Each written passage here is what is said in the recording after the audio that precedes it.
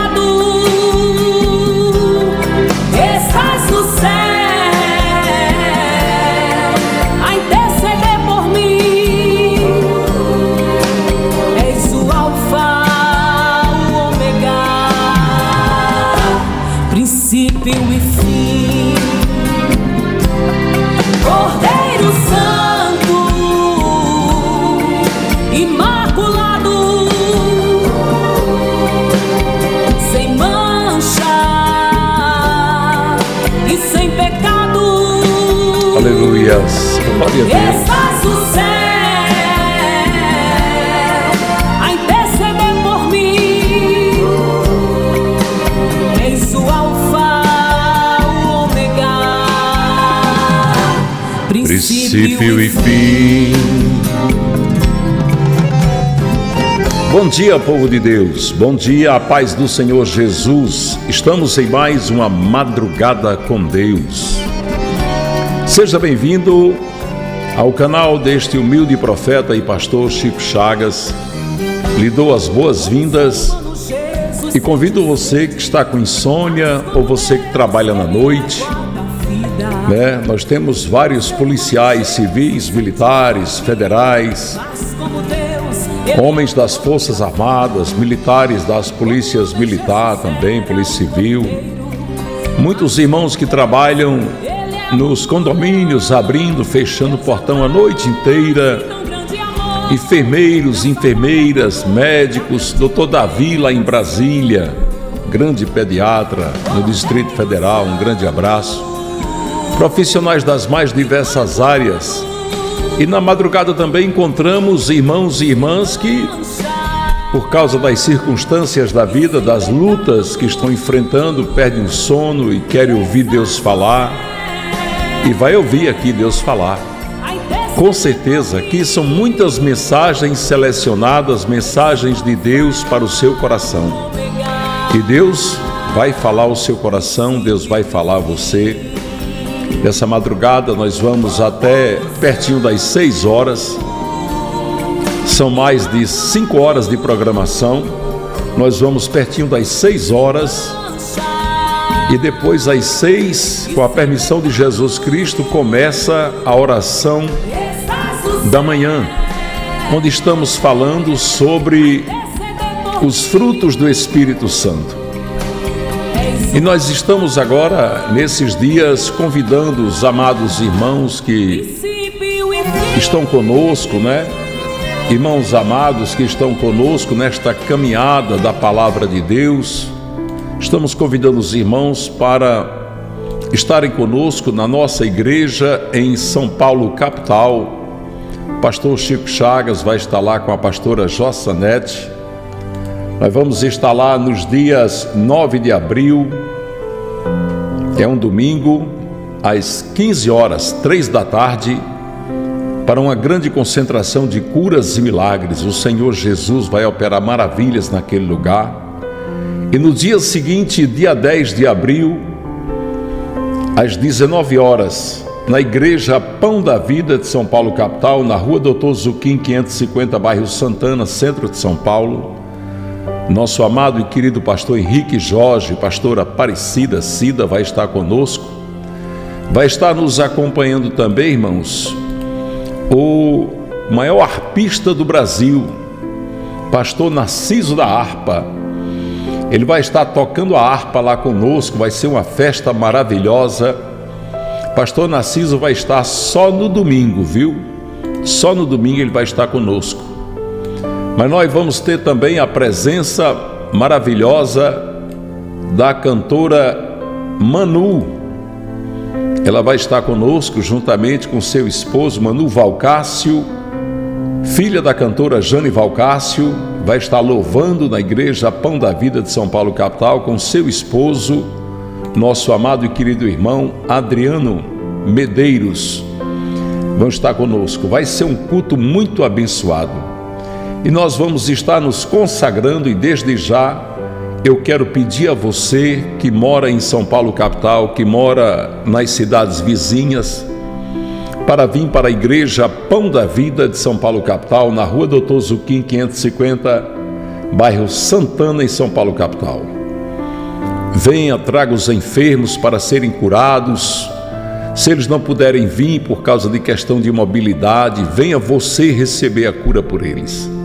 Você está enfermo, venha também. Você que está passando por um processo de depressão, por um processo de ansiedade, você que tem causas na justiça, problemas familiares, você que está passando por um processo de separação e quer a reconstrução, a restituição, a restauração do seu casamento, a restauração da vida dos seus filhos.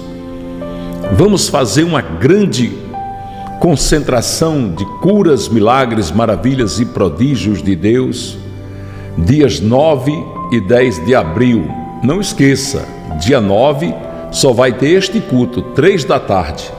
E dia 10 só tem também um culto, é na segunda-feira, dia 9, domingo, dia 10, segunda, às 19 horas, na Igreja Pão da Vida de São Paulo, capital, na rua Doutor Zuquim, 550, Santana. Cinco minutos só do metrô. Espero contar com a presença de todos. Vamos estar eu, pastor Henrique Jorge, pastor Cida, os obreiros da igreja, as missionárias, missionários. Vamos estar juntos, né? Com o pastor Narciso, com o irmão Adriano Mixer, com a, com a cantora Jane Valcácio, que é sua esposa, a irmã Aninha da Talaiatu, o irmão Gessé da Talaiatu.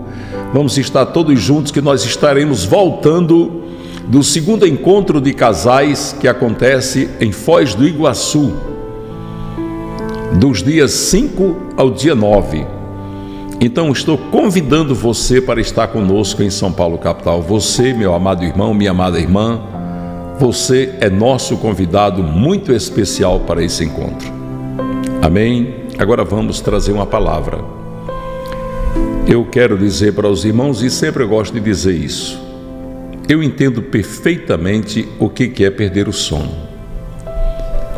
Quem lembra aqui das vezes que o pastor Chico entrou no ar de madrugada, duas e meia, três horas, às vezes quatro horas da manhã, depois de uma noite de muitos pensamentos, depois de uma noite de pensar bastante, buscando a saída, querendo ouvir a voz de Deus, e Deus me usava, dizia: Tu vai ouvir minha voz falando para o meu povo, vai lá. E eu falava: Perdi o sono, vamos falar com Deus.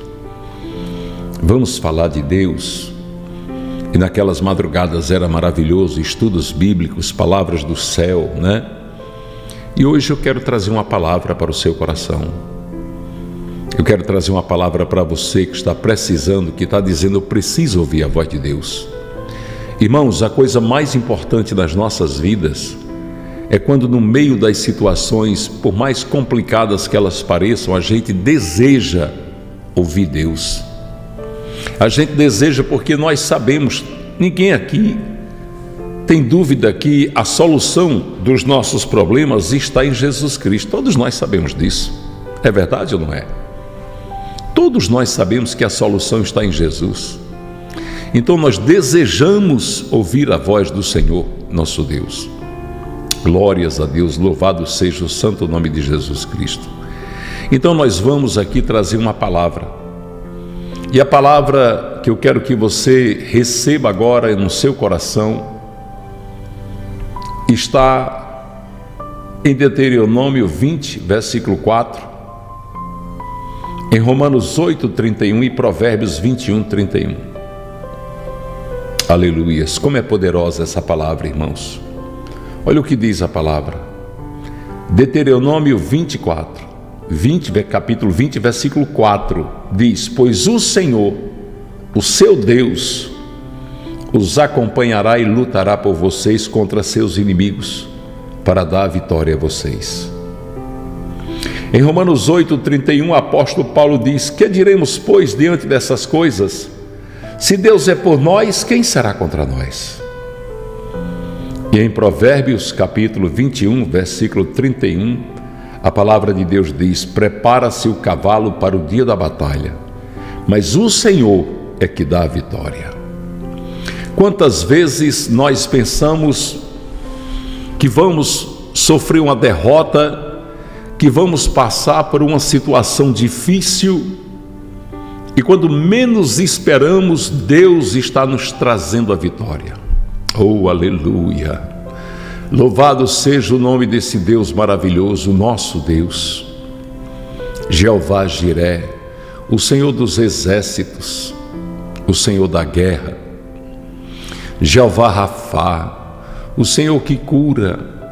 Meu Deus, quantas vezes nós nos perdemos em meio às preocupações, aos pensamentos. Quantas vezes, Deus, nós estamos temerosos, tristes, mas de repente chega, Deus, a tua mão poderosa, a tua mão linda, a tua mão santa e nos socorre. Oh, aleluia! Pai, nós queremos agradecer, Deus. Queremos agradecer, Pai, porque o Senhor tem sido maravilhoso em nossas vidas. E nós sabemos, Paizinho querido, Deus amado, que muitas vezes nos encontramos em situações tão difíceis.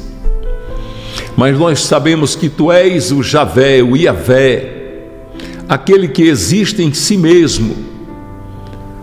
Tu és o Deus que tem relacionamento com o teu povo, um verdadeiro Deus que ama o seu povo e foi capaz de dar o seu filho amado para demonstrar o seu amor.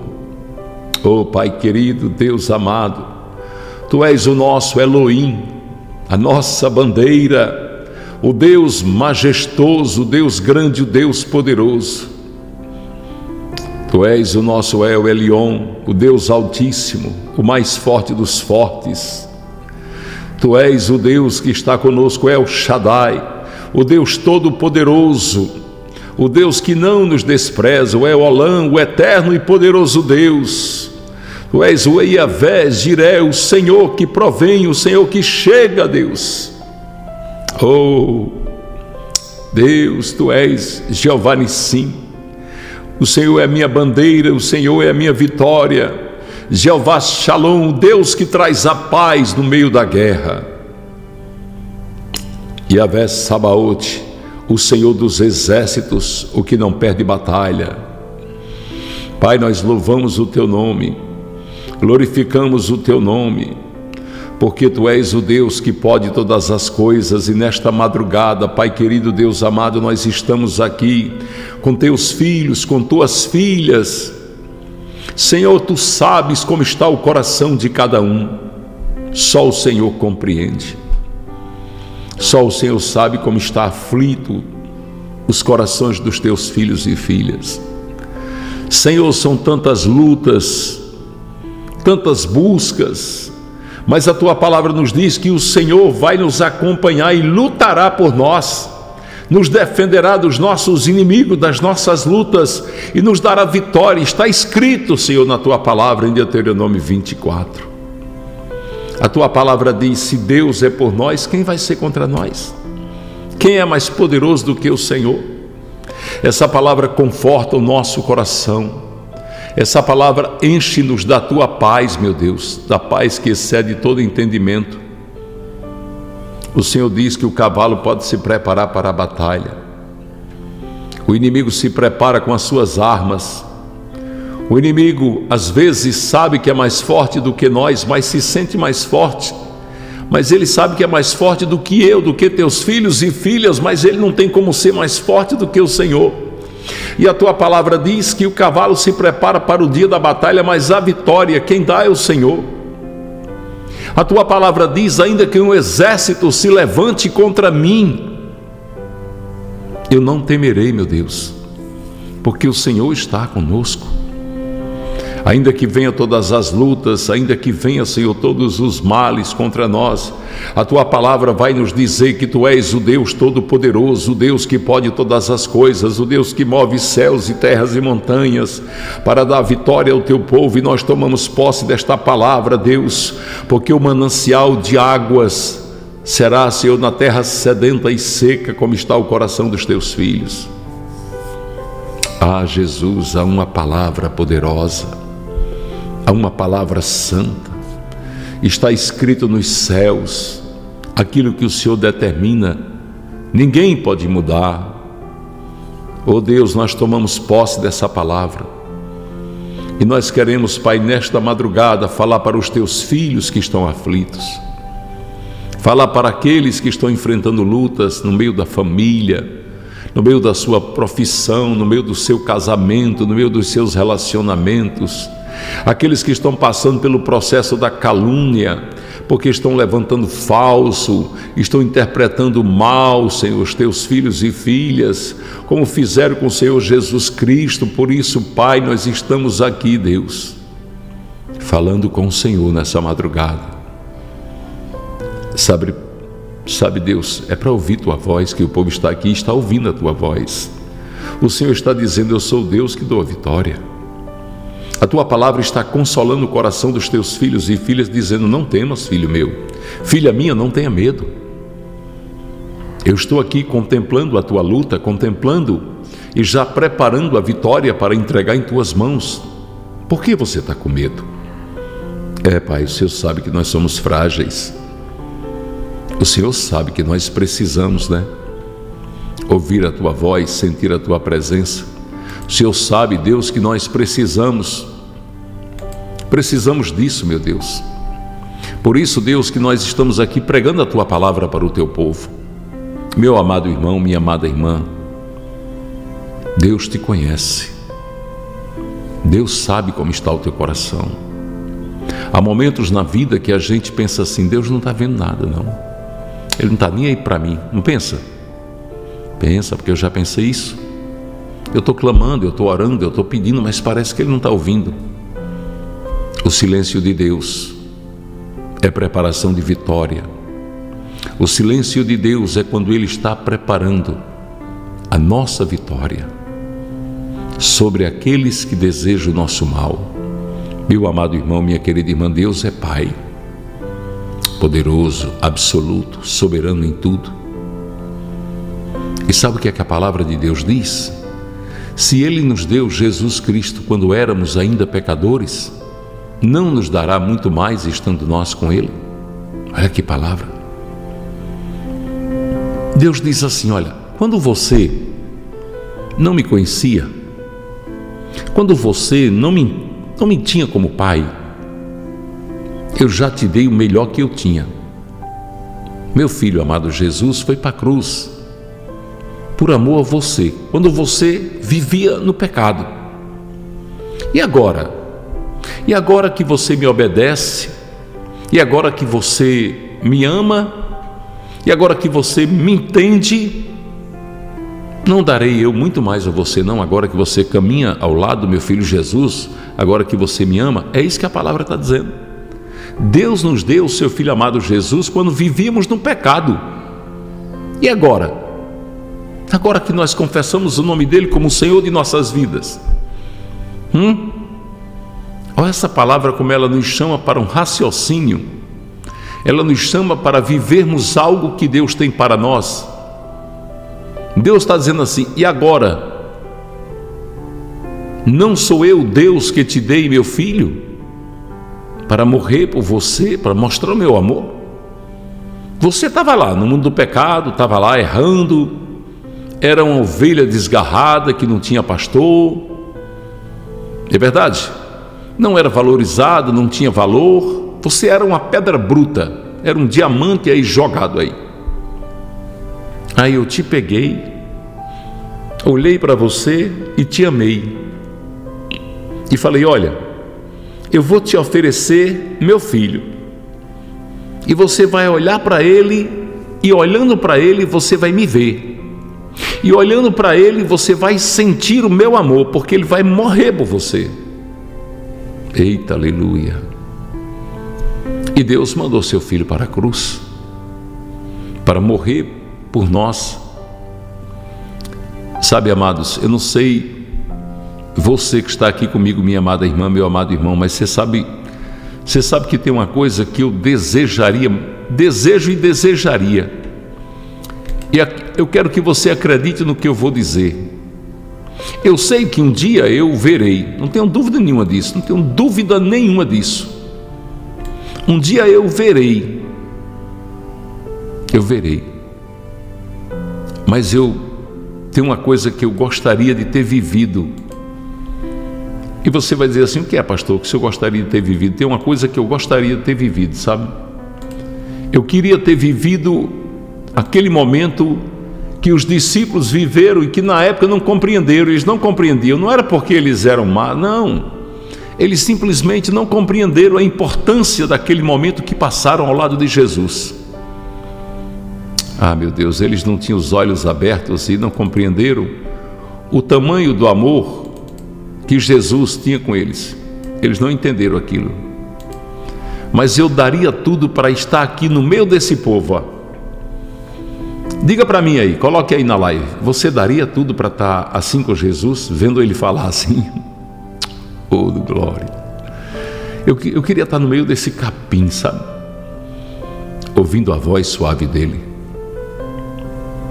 Ouvindo Jesus falar, olhando nos olhos dele. E ele falando assim: Meu pai amou vocês de uma maneira tão tão maravilhosa que Ele me mandou para cá para demonstrar esse amor. Para que você não morra, mas tenha vida eterna. Eu queria. Eu, eu ouço isso saindo da boca dele porque eu leio a palavra e a Bíblia Sagrada é a boca de Deus aberta falando a cada um de nós. Mas outra coisa era estar aí, ó. Hum. Aí sabe o que é que a palavra diz? Que um dia nós vamos estar aí com Ele. A palavra nos garante que um dia Jesus vai estar conosco. E sabe o que é que ele diz? E ficarei com vocês por toda a eternidade. O amor de Jesus Cristo por nós é um amor tão inexplicável, é algo tão tremendo que ele disse: Não mais beberei dessa vide. No dia da Santa Ceia, ele celebrando a Santa Ceia com os discípulos, ele disse: Não mais tomarei outra Santa Ceia, só quando vocês estiverem comigo na glória é que eu celebrarei outra Santa Ceia. Imagine agora você e eu, nós,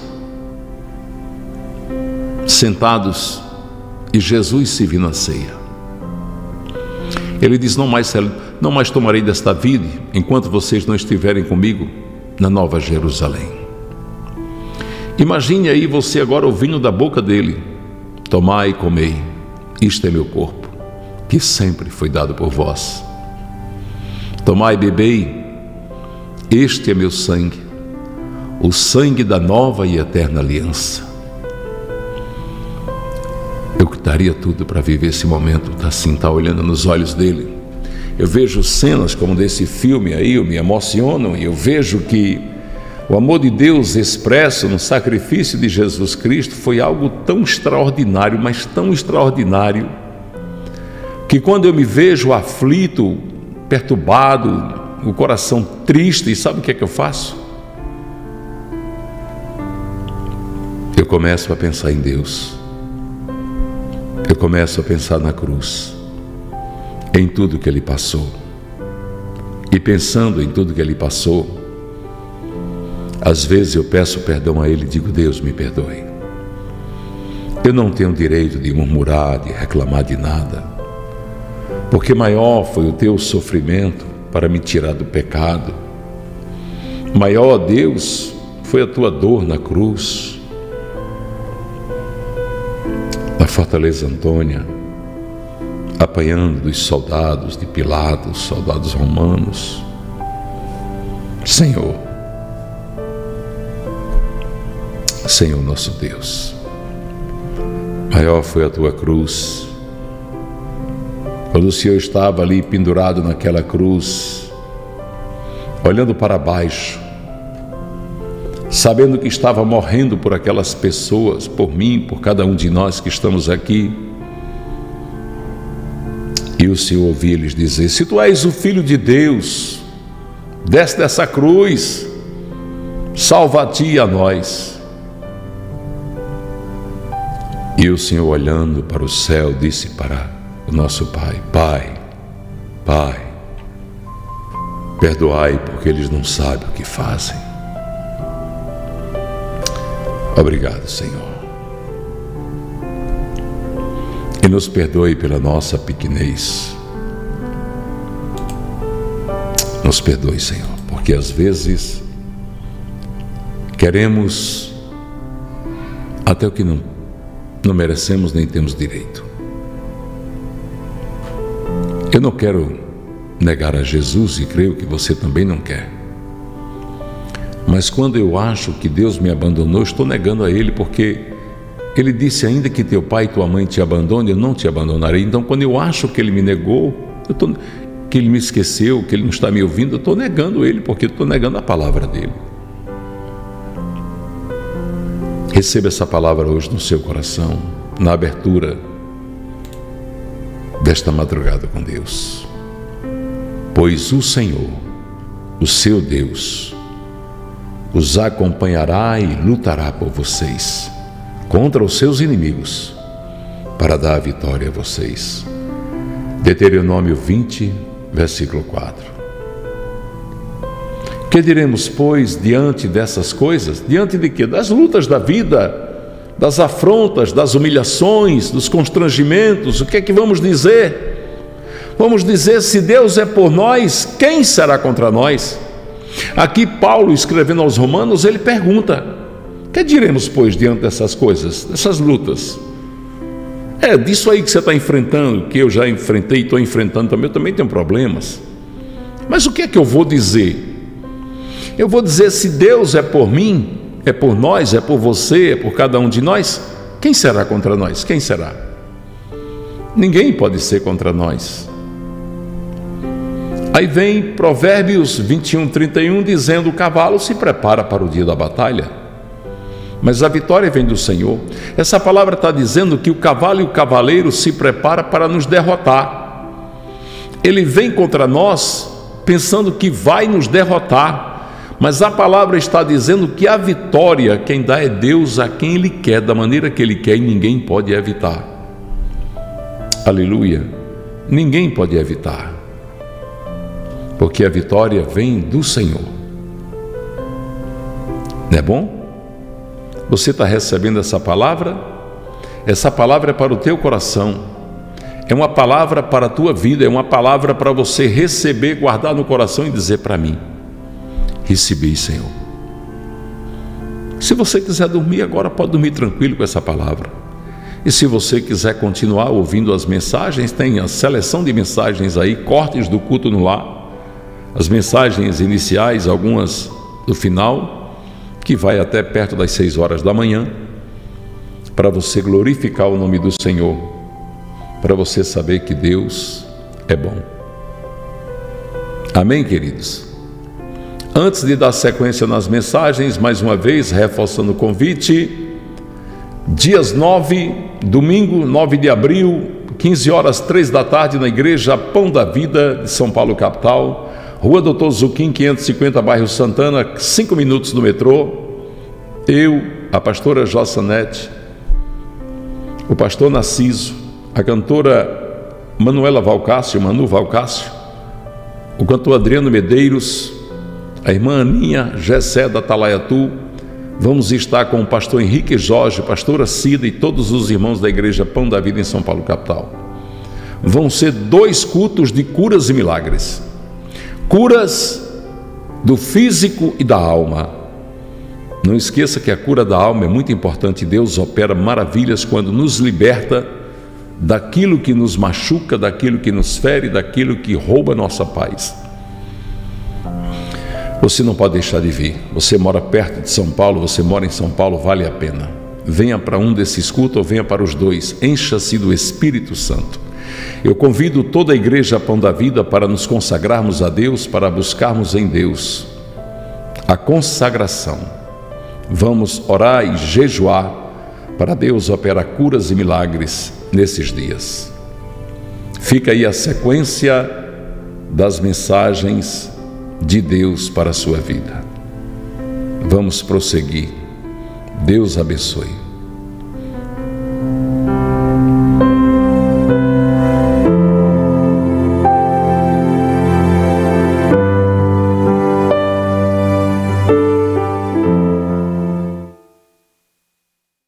E hoje é um dia muito especial, porque é um dia em que Deus nos dá para mais uma vez glorificarmos o nome dEle. E o que é que vamos fazer? Vamos pedir a direção dEle, vamos orar e vamos pedir a Deus que dirija este culto da maneira que Ele achar que é louvável a Ele. Ore comigo, igreja. Santo Deus, eterno Pai. Pai querido, nós somos 100% dependentes de Ti, Pai. Sem a tua presença, sem o teu olhar misericordioso, nós não somos nada. Nada, Paizinho. E que bom Deus, que maravilhoso é ter o Senhor como nosso Senhor e Salvador. Porque podemos sentir, Deus, na tua presença, a força que precisamos para vencer as lutas da vida, que são tantas. Mas, Pai querido, Deus amado, nós queremos glorificar o teu nome e agradecer pela vida das nossas ovelhinhas, Pai. As tuas filhinhas e filhinhos que o Senhor levantou para estar conosco, para ser pão da vida à distância, amar essa obra. Amor que o Senhor colocou no coração deles e delas. Obrigado, Senhor. Inuda com teu amor, com a tua unção, cada uma das nossas ovelhinhas, dos nossos cordeirinhos. Visita, Deus, o coração dos teus filhos e filhas que são moderadores e moderadoras. Visita o Rui, Pai, esposo da irmã Fátima Ramos. Restaura a saúde do teu servo, do teu filho.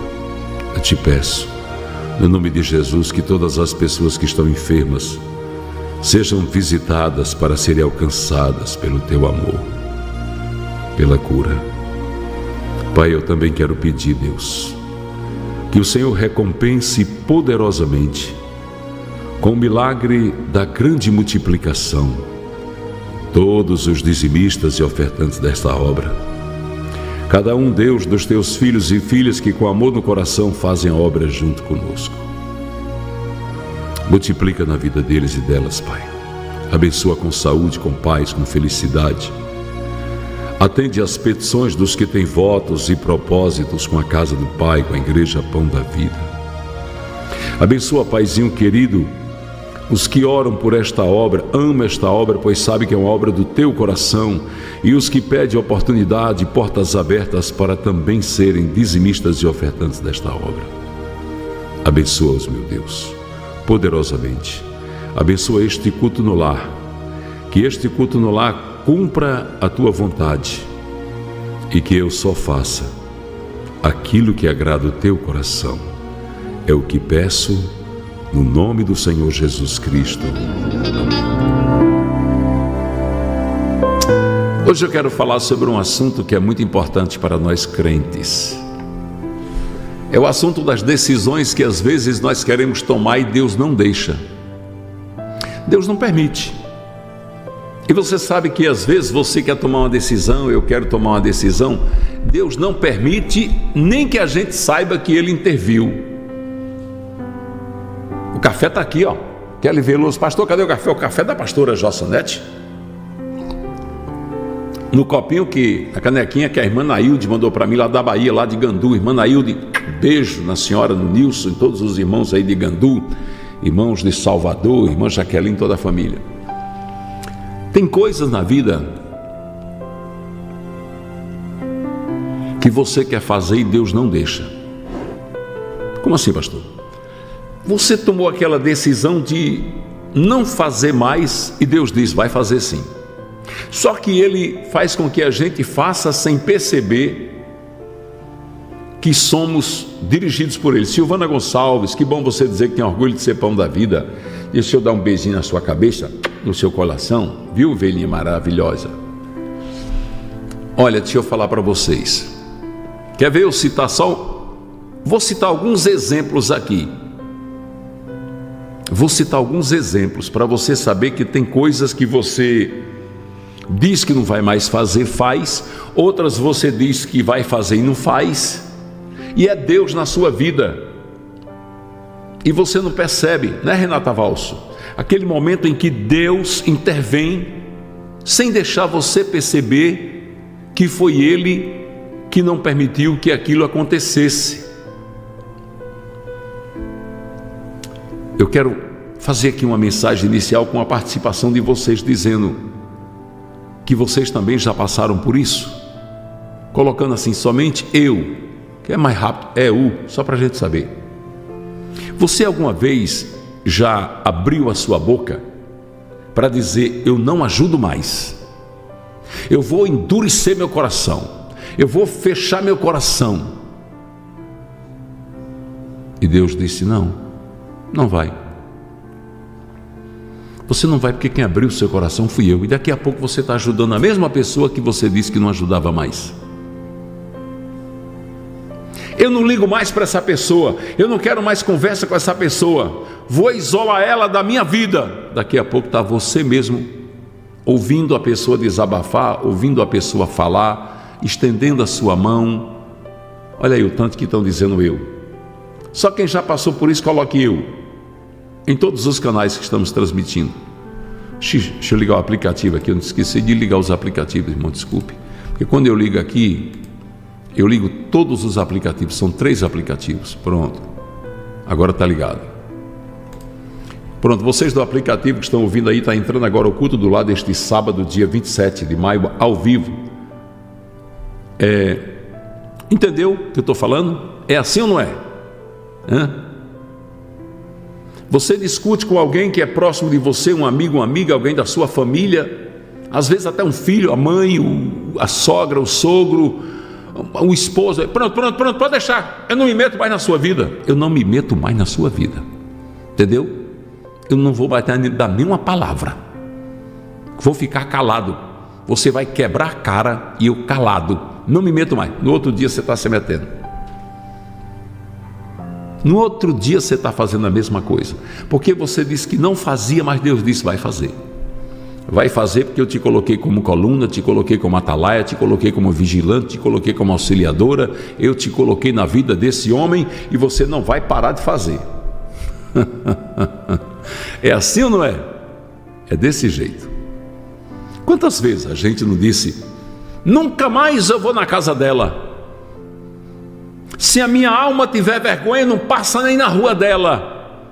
Esses pés não cruza mais o batente da casa dela. Quando você imagina estar tá na casa dela, sentado na cozinha, tomando café, dando gargalhada e sem entender que foi Deus que mudou a sua decisão. Hum?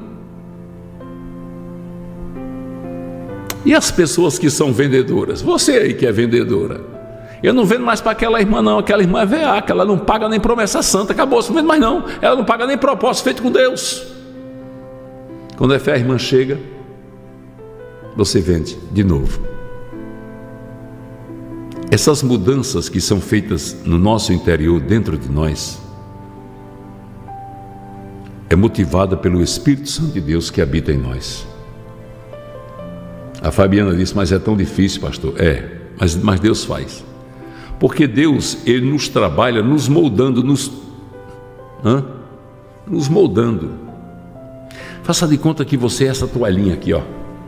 Deus pega assim você, ó, pega eu, olha, pega assim, ó. E ele vai dobrando. Senhor, eu não quero fazer, mas você vai fazer. Você vai fazer porque eu tenho um propósito na sua vida, você vai fazer porque você é escolhido, você vai fazer porque eu tenho algo contigo. E se eu tenho algo contigo, tu tem que fazer o que eu gosto, o que me agrada.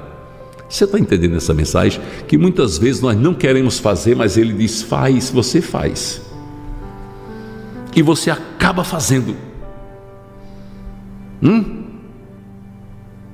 Acaba fazendo.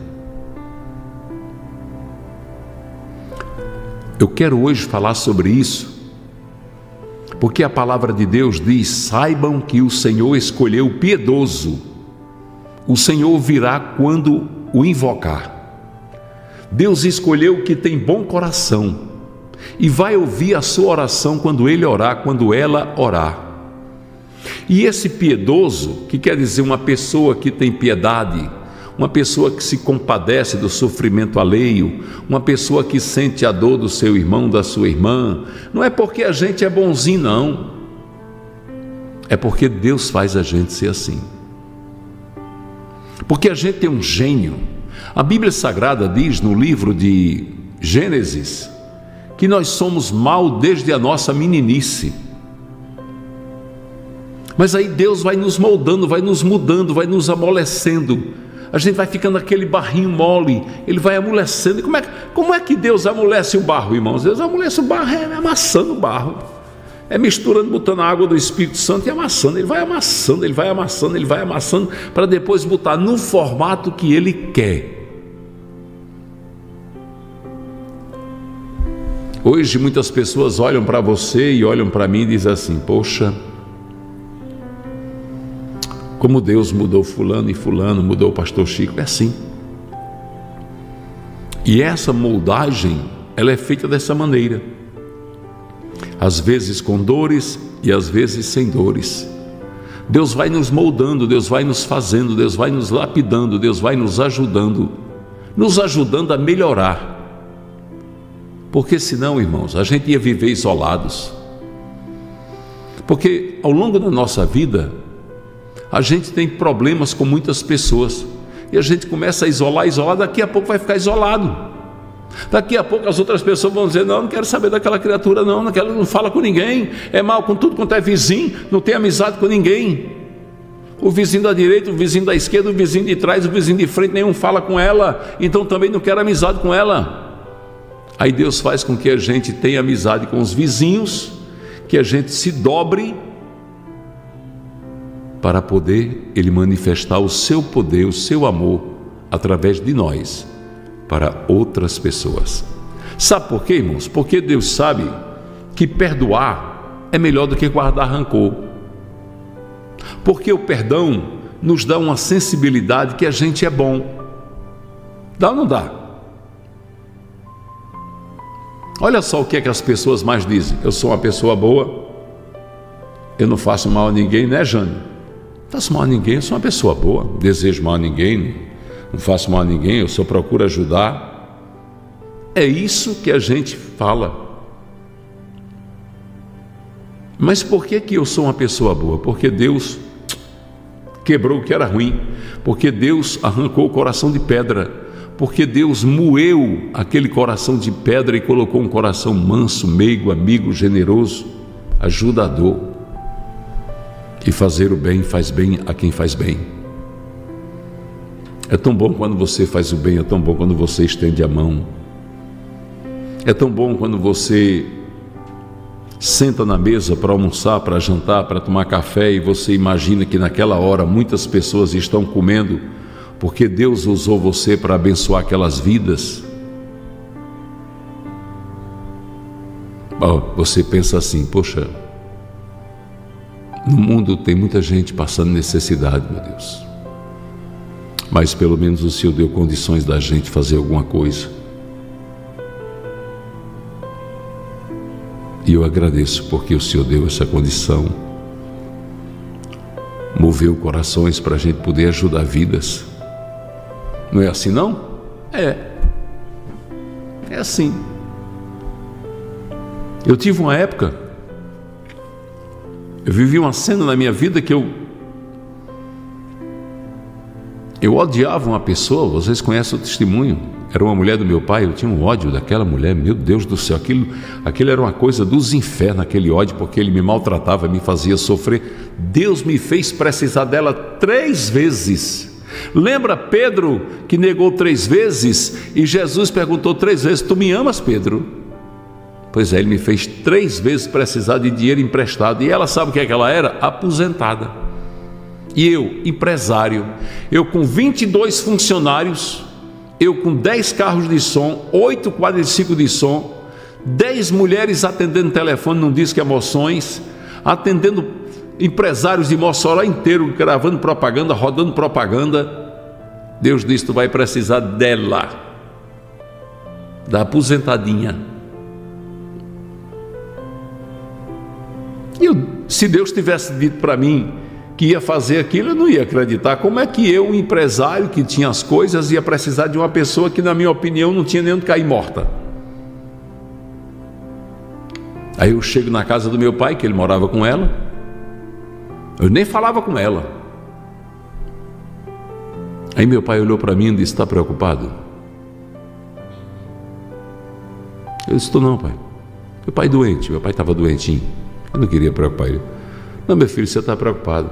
Diga para mim o que é, meu filho, para mim orar, para Deus te abençoar. Meu pai, que era ateu, agora estava orando por mim para Deus resolver os meus problemas. Olha como Deus transforma. Aí eu falei: é. É dívidas, é problema, um cheque que vai entrar hoje aí, eu não tenho como pagar. Ele disse: De quanto é o cheque? Eu olhei para ele assim, eu sabia que ele recebia só 300 e pouco por mês, porque ele tinha ele tinha feito empréstimo na aposentadoria dele, a gente que comprava os remédios dele. Eu disse 3.500 reais o cheque. Ele disse, Jean tem. Ele chamava ela de Jean. O nome dela era Jan, é Janete, que ela ainda é viva. Jean tem. Jean? Eu falei, não acredito não. Deus, eu não acredito, mas eu já sabia que era Ele. Eu falei, não acredito. Eu não acredito que o Senhor vai fazer isso comigo. Não acredito. Ela veio e disse: Pois não, Zé. Chico está precisando de 3.500 reais. Você tem para emprestar para ele? Ela disse: Tenho. Espera aí que eu vou pegar meu cartão e a senha. Ela foi lá, pegou o cartão e a senha. Entregou. Está aqui, Chico. Se você precisar de mais, pode tirar, que lá tem. Meu Deus. Falei, não acredito. Falei, tá bom, obrigado. Eu estava precisando. Eu não tinha onde buscar aquele dinheiro para cobrir aquele cheque naquele dia. Irmão, entrei no carro, liguei o carro, fiquei olhando para o tempo assim. Falei, ei Jesus, isso não é jeito não.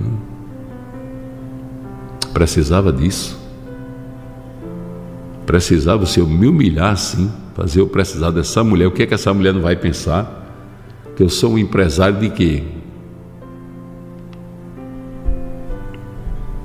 Fui lá, tirei o dinheiro, usei, paguei, depois foi mais duas vezes pedir dinheiro a ela. E aí já foi eu que fui. Ou seja, Deus, quando Ele quer te quebrar, Ele te quebra. Quando Ele quer te moldar, Ele te molda. Quando Ele quer te lapidar, Ele te lapida. E não tem quem evite, porque Ele cria os caminhos e por esses caminhos temos que andar. A Jane botou Deus tem um humor, é, ele faz as coisas assim. Ele, ele dá-lhe uma tapa na cara e você fica rindo. Ele deu uma tapa em mim, eu saí, eu saí rindo. Cheguei e falei para minha nega, nega, você deve, você deve ver, olha o que aconteceu. Ela disse: Olha aí, viu? Está vendo? Está vendo como Deus é? Então, essa mensagem de hoje é para dizer para você: prepara-te para as mudanças que Deus vai fazer na sua vida. Alguém que você gostaria de não ter por perto vai voltar precisando de você. E Deus está te preparando para quê? Para abraçar, para beijar e dizer: Conte comigo. E depois, quando aquela pessoa sair com a sua ajuda, você vai dizer: Jesus, o Senhor não é gente, não. Viu? Como é que o Senhor me faz voltar a ajudar essa criatura tão ingrata, essa criatura tão ruim, que eu disse que não ajudava mais? Que eu disse que não estendia mais a mão, que eu disse que não queria nem ouvir a voz. E aí você vai ouvir Jesus dizer só uma coisa. Mas quem é que manda? Quem é que manda? É eu ou é você? Quem é que é o Senhor? O Todo-Poderoso que dá limite aos mares, que estabelece lugar para as estrelas, para os planetas, que manda no todo o cosmo, toda a terra, em toda parte. Quem é? É você ou sou eu? Aí você vai dizer: é o Senhor. Então pronto, não se questione, faça só o que eu estou mandando. Eita! E foi desse jeito. E sabe o que aconteceu? Aquela necessidade que eu tive de precisar daquela mulher fez com que toda a vida que eu chegasse lá, abraçasse ela e desse um beijo na cabeça dela, que ela era baixinha, era é baixinha, beijasse ela. E estabeleceu-se uma relação de carinho, porque eu odiava ela sem motivo. Porque não tinha sido ela que tinha separado meu pai da minha mãe. Ela entrou na vida do meu pai muitos anos depois que meu pai saiu da vida, deixou minha mãe. Mas eu via nela a mulher que separou meu pai da minha mãe. Eu não era para odiar ela. Era uma coisa, Deus corrigiu, porque era uma coisa que não tinha razão de ser. Então, tem coisas na sua vida que você diz que não vai fazer e Deus obriga você a fazer para você entender que quem manda é Ele, quem faz é Ele, e Ele, na sua justiça infinita e justa, é quem sabe o que é válido e o que não é, porque às vezes nós deduzimos algumas coisas, às vezes nós tomamos algumas decisões, mas elas não estão certas.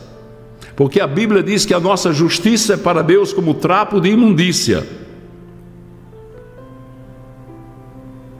Hã? Deu para entender? Que Deus faz você voltar atrás sem que você perceba nem que é Ele, porque Ele trabalha aqui. Lembra da palavra de Deus dizendo que Deus endureceu o coração de Faraó? Lembra, né? Pois é. Ele endurece, amolece, ele tira e bota no lugar. A especialidade de Deus é tirar de onde não tem e colocar onde não cabe. Como assim, pastor? Deus faz a roda grande passar dentro da pequena. Você olha para uma pessoa e diz assim: Isso aí nunca vai mudar nunca vai voltar. Tem mulher dizendo que o marido nunca vai voltar. Esse aí não volta, não. Olha no Facebook, tá ele feliz com ela lá nas redes sociais. Fala, não, esse aqui não volta mais para mim, não. Esse aqui, né, ele está muito feliz ao lado dessa sirigaita. Sirigaita. Está muito feliz ao dessa, dessa mocreia. Ele não volta, não. Aí Deus diz: É você que está dizendo. Agora não esqueça do que eu falei, do que eu prometi. Eita Jesus, vale a pena chorar. Cátia Silva cantando. Quem manda é Ele. Ele que manda, Ele é o Todo-Poderoso. Nada pode frustrar os planos dele e as determinações que ele tem para a tua vida. Receba em nome de Jesus. Vale a pena chorar estando ferido, vale a pena chorar quando sufocou. É Jesus. Quando estão te furando os espinhos, pois com uma lança marcaram teu Senhor. Vale a pena sofrer ao ser provado, quando não há ninguém pra conversar. Chorando que ele chega do teu lado e diz: Filho, eu vim te consolar. Eita Deus! Por que te espantas com choro? Por que não quer passar pela aflição? Não sabes que ele cuida da tua vida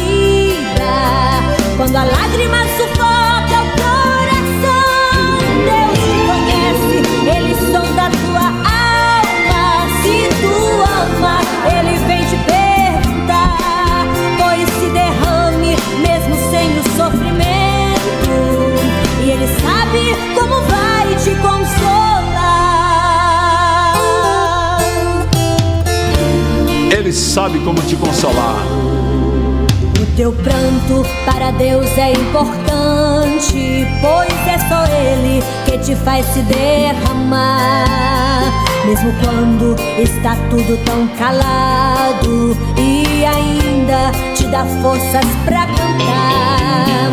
O teu pranto lava a alma e te conforta e um renovo você sente ao prantear.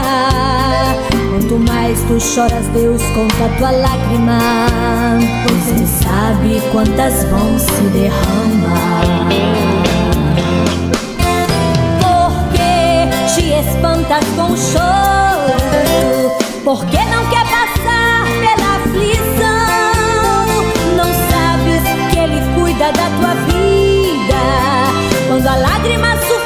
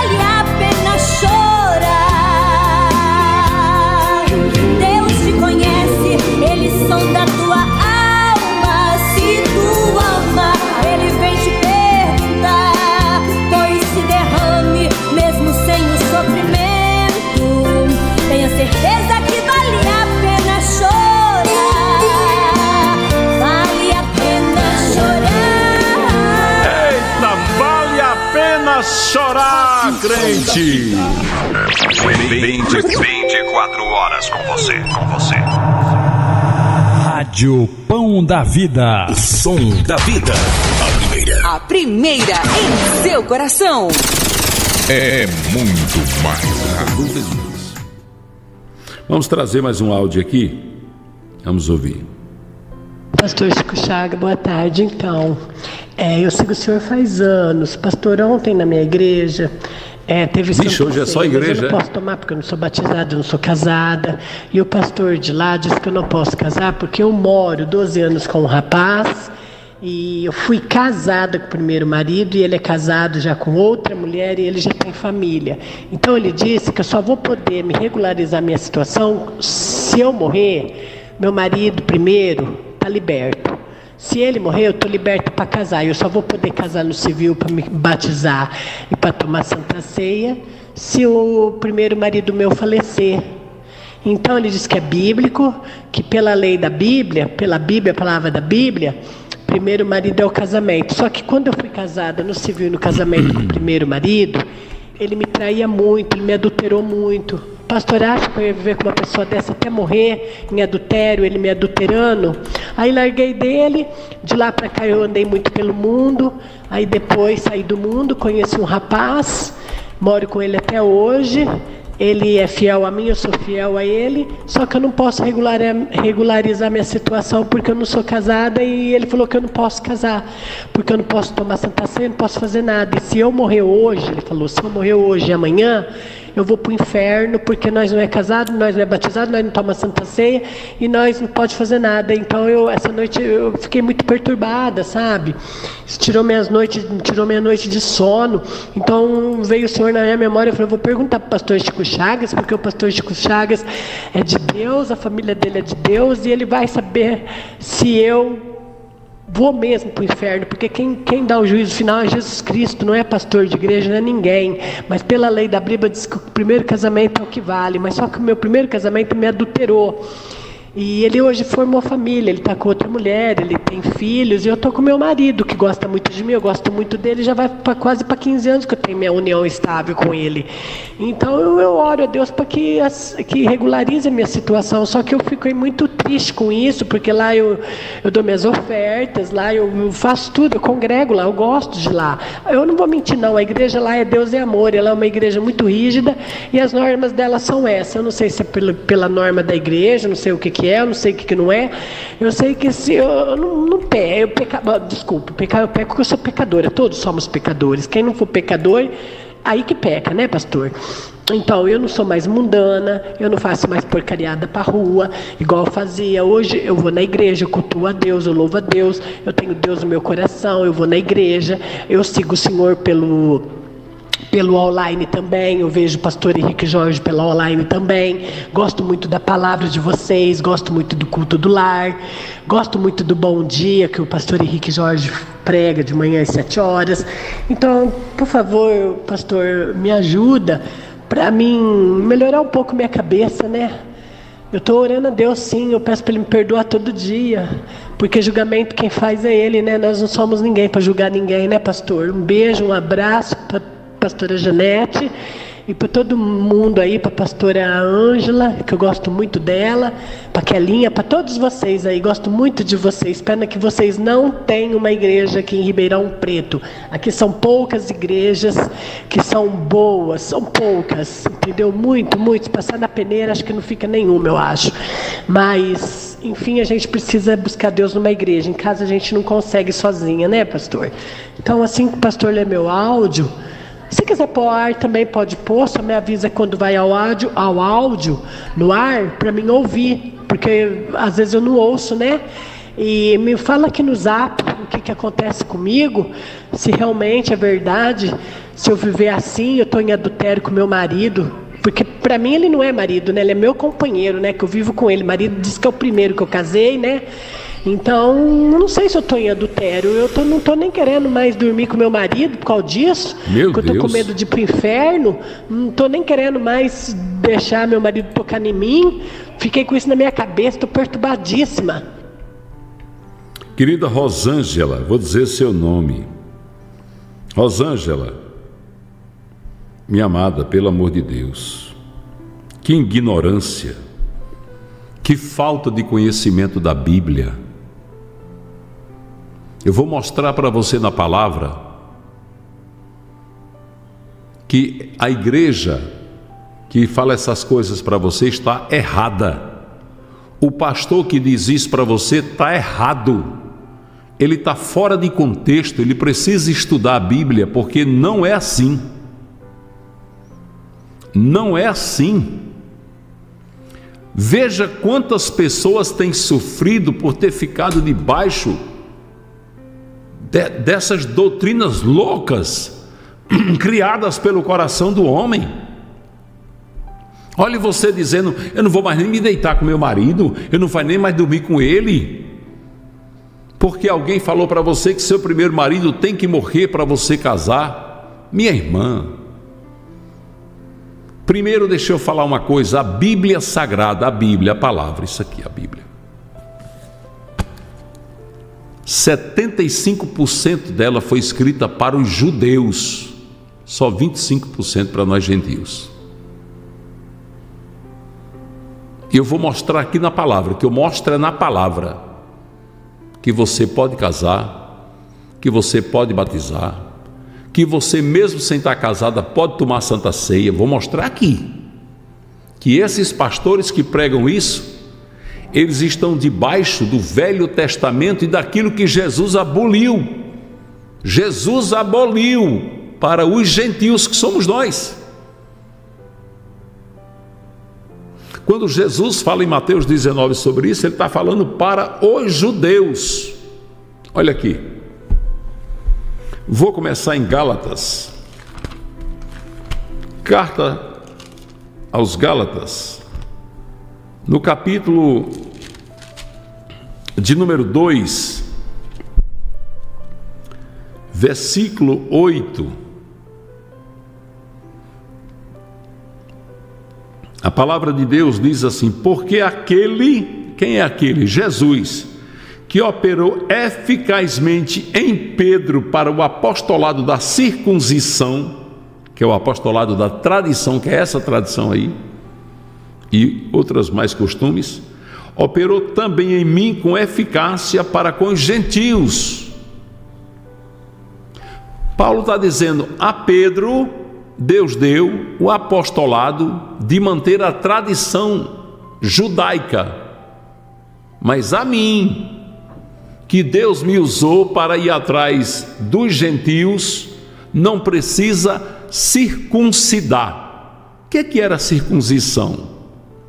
Era pegar a carninha do órgão genital do homem, cortar, era um sinal de Deus.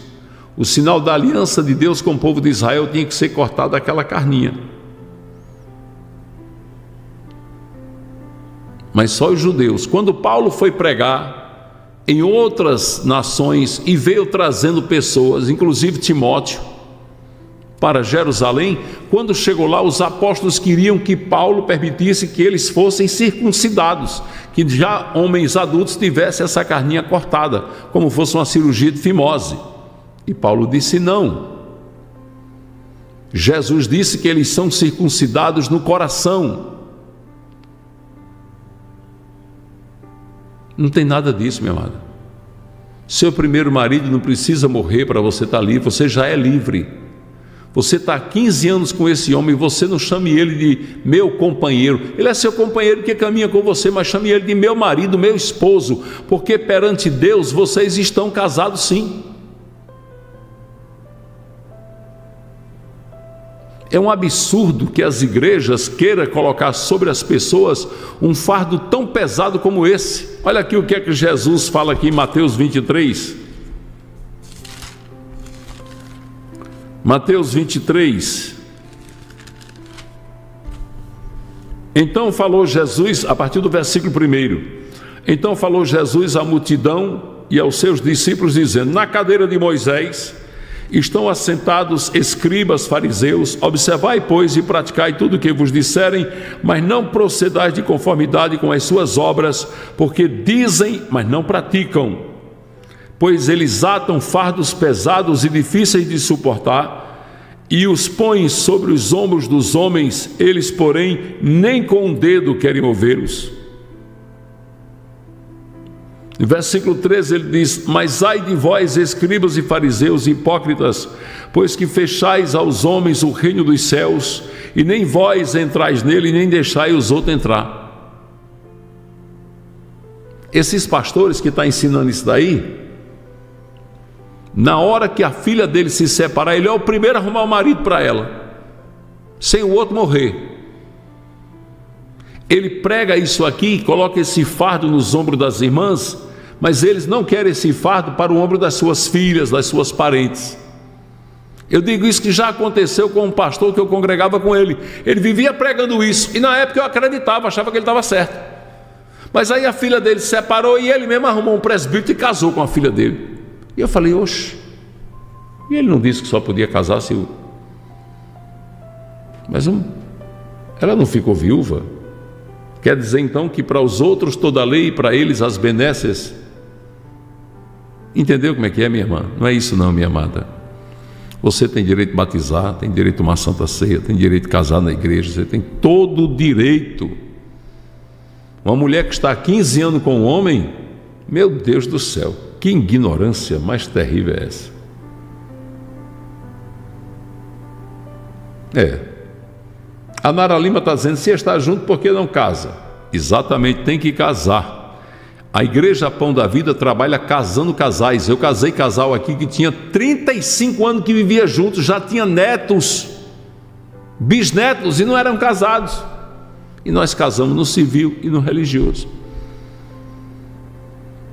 A igreja deve casar. Agora, antes de fazer o casamento, tem que procurar fazer com que a pessoa desfrute daquilo que Jesus conquistou para nós.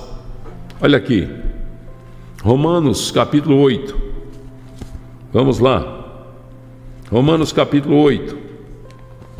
Nós estamos estudando a palavra de Deus para aprendermos de Deus o que Deus tem para nós.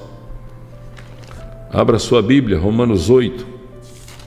Depois de Atos, antes de 1 Coríntios. Romanos 8, 38 e 39 porque estou certo de que nem a morte, nem a vida, nem os anjos, nem os principados, nem as potestades, nem o presente, nem o porvir, nem a altura, nem a profundidade, nem alguma outra criatura nos poderá separar do amor de Deus que está em Cristo Jesus, nosso Senhor. A palavra está dizendo que nada pode nos separar de Deus, e o amor de Deus está aonde? Na morte de Jesus, do derramamento do sangue dele. Nada pode nos separar do sangue dele, do amor dele, da redenção dele, da salvação dele. Você está entendendo, amado? Você está entendendo por que, que você tem que desfrutar daquilo que Jesus conquistou para você e não deve permitir que o homem tire isso de você? Você não deve permitir que um homem tire de você o que Deus conquistou para você. Não permita.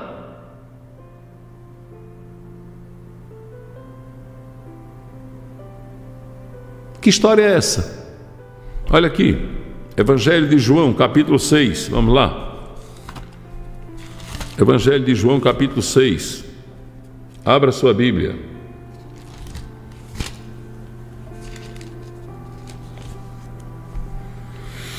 Meu Deus do céu, muita ignorância, meu pai.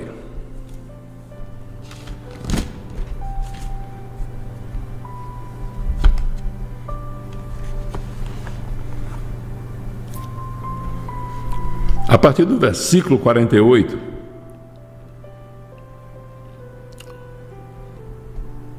Evangelho de João, capítulo 6, a partir do 48, eu sou o pão da vida, vossos pais comeram maná no deserto e morreram. Este é o pão que desceu do céu para que o que dele comer não morra. Eu sou o pão vivo que desceu do céu. Se alguém comer deste pão, viverá para sempre, e o pão que eu lhe der é a minha carne, que eu darei pela vida do homem e do mundo. Disputavam, pois, os judeus entre si, dizendo: Como nos pode dar este a sua carne a comer? Jesus, porém, lhe disse: Na verdade, na verdade vos digo que se não comerdes a carne do filho do homem e não beberdes o seu sangue, não tereis vida em vós mesmos. Quem come a minha carne e bebe o meu sangue tem a vida eterna e eu ressuscitarei no último dia. Porque a minha carne verdadeiramente é comida e meu sangue verdadeiramente é bebida. Quem come a minha carne e bebe no meu sangue permanece em mim e eu nele. Se nada pode nos separar do amor de Deus, por que é que você vai aceitar um homem chegar e dizer para você que você não pode e você vai se conformar com isso?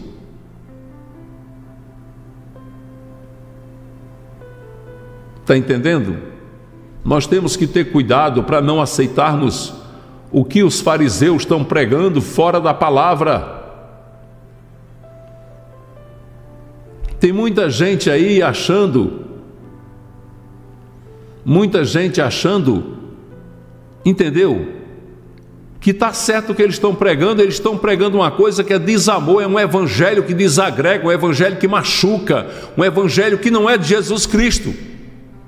No tempo de Jesus, a mulher samaritana era para ser apedrejada, a mulher adulta era para ser apedrejada. E o que foi que aconteceu? Jesus disse o quê? Nada pode te separar do amor de Deus. Nada. Nem os demônios, nem os anjos, nem as potestades, nem a profundidade, nem a altura, nem a largura, nada pode te separar do amor de Deus.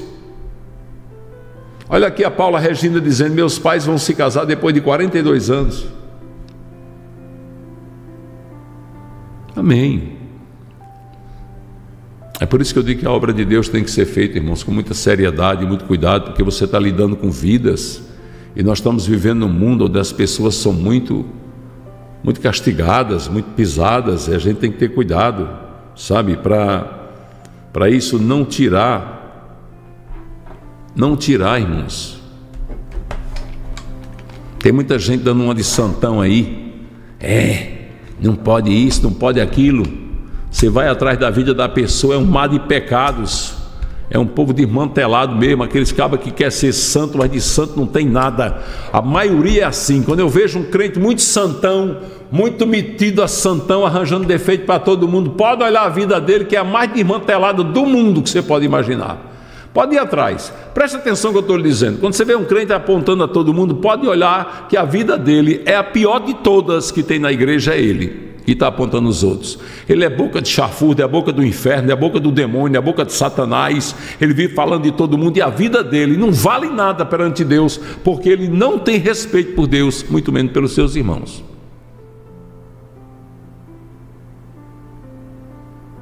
Você lembra como foi que Jesus chamou os fariseus, os hipócritas?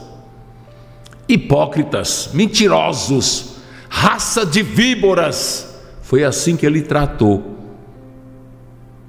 aqueles que queriam ser santo, que viviam nas esquinas.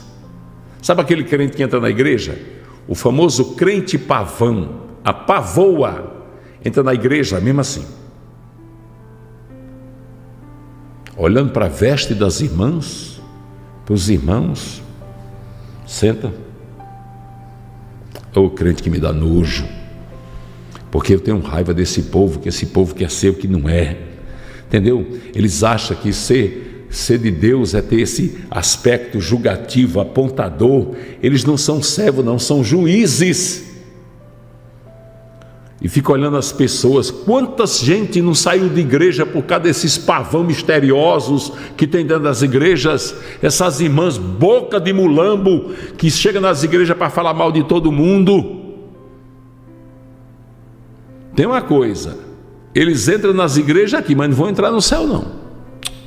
Não entra, não. Não vão entrar, não. Você viu Deus dizendo aí? Jesus falando em Mateus 23: Vocês nem entram no céu e nem quer deixar os outros entrar.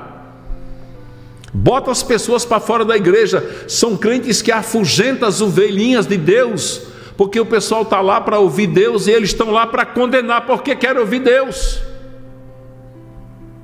cheio de julgamento, cheio de tudo. Lembra daquele pastor aqui da Paraíba? Lembra? Aqui de Campina Grande? Era o pastor presidente. Ele disse que nós, das outras Assembleias de Deus, que não era da igreja dele, a gente era um lixo. E é bom até que esse lixo saia mesmo, para nos dar paz. Jesus olhou e disse: Como é que é? Como é que é seu falso, seu mentiroso, você está falando das minhas ovelhas? Olha, Jesus arrancou a máscara dele há seis anos. Ele era amante da cantora da igreja. Deus tocou o coração da cantora, a cantora confessou com a boca dela. Ele tinha lutado ela em programa de TV, em tudo lá. Uma menina nova envolvida com ele há seis anos dentro da igreja e ele atirando pedra nos outros crentes. É por isso que eu digo: crente que vive atirando pedra nos outros, vai atrás dele que o rabo dele está pegando fogo o rabo de palha. Crente que é crente não fala de ninguém, não. Quando ele sabe que alguém está em pecado, ele vai orar e pedir a Deus para ter misericórdia. Hã? Aí quando foi quatro, quatro ou cinco dias depois, está a voz dele: Eu quero pedir perdão à igreja, porque eu adulterei. Mas não estava chamando a gente de lixo? Não estava dizendo que nós somos lixo? Lixo era ele. E Deus disse: Eu vou mostrar quem é lixo. Entendeu, meus amados? Amados, o que Deus ama é humildade. Deus ama quem reconhece seu lugar, reconhece que é pó, que é cinza, que é carente das misericórdias de Deus e se comporta como tal, sem estar olhando para as pessoas, estar apontando aquele é isso, aquele é aquilo, aquele é outro, aquele, aquela irmã não é crente, aquela não é convertida, aquela. Cuidado, que quem vive apontando, o apóstolo Paulo diz: quem tiver em pé, cuide para que não caia. O que nós temos que dar aos nossos irmãos é a nossa oração, nosso apoio, nossa mão estendida. Porque é desse jeito que está. Às vezes um pastor desse está dizendo à irmã que não case, tem que esperar o marido dela morrer. Você vai olhar para a vida dele, está maior desmantelo, a maior podridão por trás dele. Fazendo a pobrezinha sofrer, o marido sofrer. A pobrezinha dizendo: Eu, tô, eu já estou quase sem, sem, sem querer ficar com meu marido. Imagina aí uma mulher 15 anos chegar para o marido e dizer: Eu não vou mais me deitar com você, não, porque nós estamos em pecado. E você sabia que fornicação não é isso?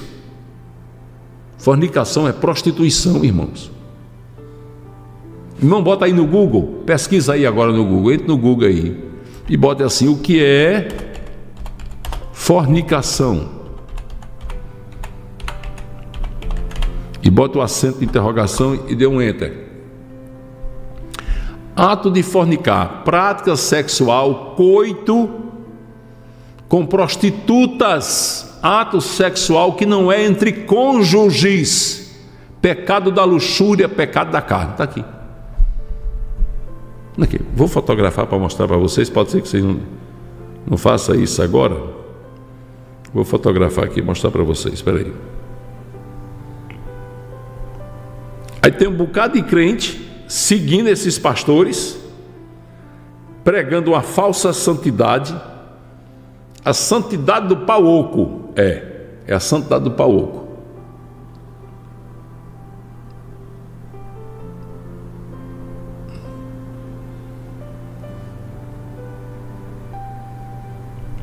Aqui a tela aqui fica tão feia, mas eu vou mostrar assim mesmo.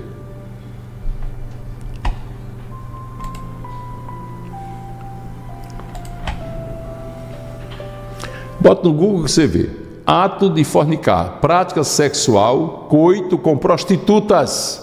Na religião, ato sexual que não é entre cônjuges, o pecado da luxúria, o pecado da carne. Aí, a mulher chega para uma mulher que está vivendo com um homem, já tem não sei quanto tempo. Aí, mulher, você está em fornicação. Você dizer que uma pessoa está em fornicação é você dizer que a pessoa está adulterando, porque fornicação, essa palavra é uma palavra latina que foi originária lá de Roma, quando as prostitutas iam se deitar, ter, ter relações sexuais por dinheiro com os marinheiros que chegavam em Roma, no Arco do Triunfo. Por isso que surgiu essa palavra fornicação. Fornicação é sexo pago. Deixa eu mostrar aqui para vocês aqui essa tela aqui.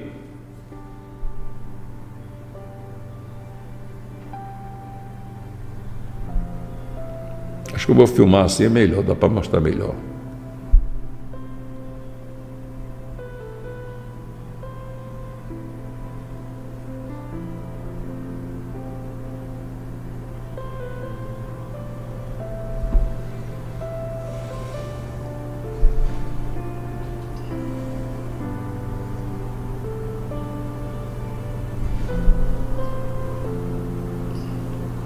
Olha aqui, fornicação é uma relação sexual praticada entre duas pessoas que são pagas para fazer aquele ato.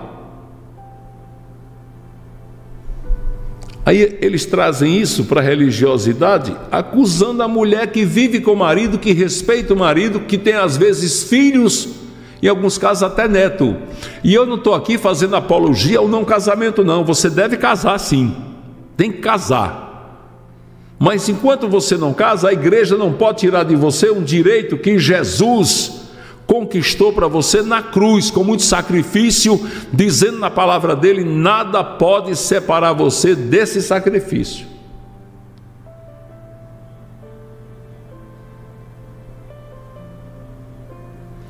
É, Rayane Silva colocou, pastor, falou comigo, meu Falou comigo meu esposo que nós não somos casados porque aonde meu esposo congrega falou que nós vamos para o inferno. Meu Deus do céu. Maria Miranda está dizendo: Eu separei. Eu estou dizendo a vocês que, por falta de conhecimento bíblico, as pessoas perecem, morrem, as pessoas sofrem porque algumas pessoas têm usado isso para pisar nas pessoas. A última vez que nós fizemos casamento na igreja, assim, casamento coletivo, porque casamento eu faço direto, mas a última vez nós casamos 19 casais. 19 foram casados. 19 casais foram casados. E entre eles tinha um que tinha 35 anos, que vivia amigado, vivia junto com a mulher já tinha netos e não eram casados. E o pastor Chico entrou, mediou, conversou, ajeitou e casou. Entendeu? Não, não vá na cabeça das pessoas, não, pelo amor de Deus, vá na Bíblia, vá na palavra. Eu, você imagina o seguinte: olha, imagine comigo, pense comigo só um pouquinho. Será que Deus ia dar seu filho Jesus para passar tudo que ele passou, sofrer o que ele sofreu, para você ir para o inferno porque não se casou? Fala sério, pelo amor de Deus. É uma falta de, de inteligência, uma falta de compreensão, é uma ignorância tremenda isso. A pessoa achar, não, Deus vai mandar para o inferno, porque foi, foi uma mulher que respeitou o marido, foi um homem abençoado, Deus comeu os filhos, cuidou dos filhos, educou os filhos, mas agora vai para o inferno, por quê? Porque não casou. Espera aí, você vai para o inferno porque não casou? Quer dizer que o sangue de Jesus não é suficiente para salvar você, não? Você precisava de um papel assinado por um homem para poder ir para o céu?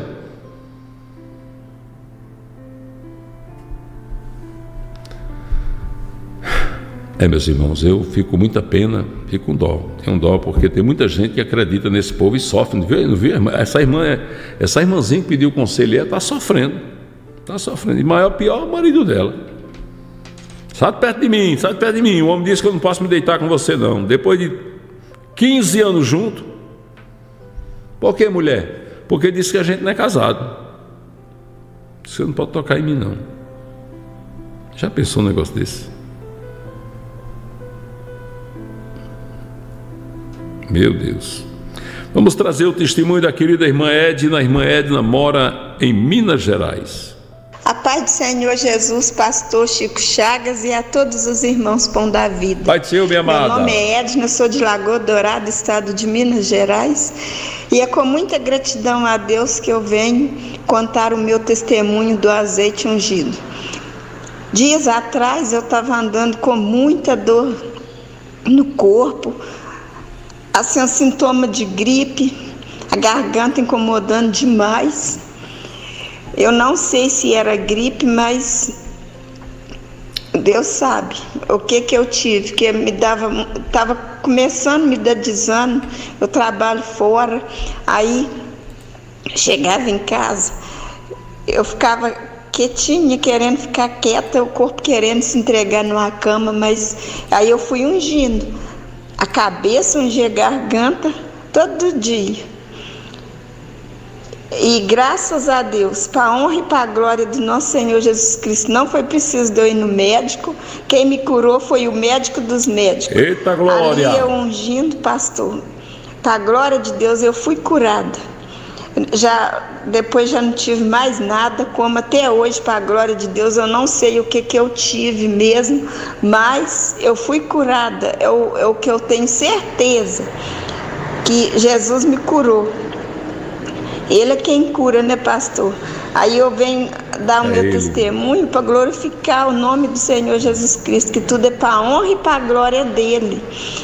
E eu agradeço muito a Ele pela vida de todos vocês, pela família que Ele me deu, que é a família Pão da Vida. Muito obrigado, Jesus, por tudo. E esse é o meu testemunho para glorificar o nome do nosso Senhor Jesus Cristo e para aumentar mais a fé de cada irmão, para saber que essa obra é de Deus. Fica com Deus, pastor, que Deus continue abençoando o Senhor e toda a família Pão da Vida. No nome de Jesus. Um Amém. abraço. Amém, querida Edna. Jesus. De- Amém. Deus abençoe, querido. Deus abençoe. Eita glória. Olha o que é que a mulher, a irmã falou. Explique Romanos 7, 2. É muito fácil. Está falando aqui. Porque a mulher casada está ligada pela lei a seu marido, porque ele vi, enquanto ele viver. Mas se ele morrer, ela está livre da lei do marido. De sorte que enquanto viver o marido, será chamada adúltera se for de outro homem. Mas se ele morrer, ela está livre da lei, e assim não será adúltera se for do outro homem. Ele está falando do- dos judeus aqui. É por isso que eu disse a vocês que a Bíblia, 75% foi escrito para os judeus e só 25% para nós gentios. Ele está falando da mulher que está ligada pela lei. Qual a lei? A lei mosaica.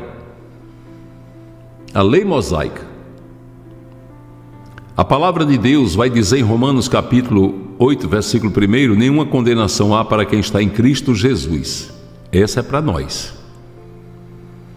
O que a palavra de Deus e, a- e as pessoas pensam que quem está vivendo a graça está livre. Não, não está livre. Você sabia que ficou mais duro ainda? Olhe, não se engane, ficou mais duro. Porque a vinda de Jesus Cristo, ele disse: Vos foi dito que era olho por olho, dente por dente, mas eu vos digo: se bater de um lado do rosto, dá o outro. Se te chamar para caminhar uma milha, caminha duas. Não foi assim não? Deus falou no Rio Jordão e no Monte Hermon: Este é meu filho amado, em quem muito eu tenho prazer, faça tudo o que ele mandar. Só que Jesus veio dizer: Aquele que me confessar diante dos homens, eu confessarei diante do meu Pai que está nos céus. Aquele que me negar, eu negarei. Então, o que ficou explícito agora é uma dureza de que quem não for de Deus vai para o inferno. Entendeu? Quando Jesus diz: Quem comigo não ajunta, espalha, quem não é por mim é contra mim. Então nós temos que saber que a lei de, que Jesus trouxe para modificar o mundo é a lei do amor, e quem estiver fora do amor já está condenado. Aquele que crê e for batizado será salvo, o que não crê e não for batizado já está condenado. Tem gente que pensa, não, agora eu posso fazer tudo. Pode não, meu irmão, ficou duro do mesmo jeito, ainda mais durinho um pouquinho.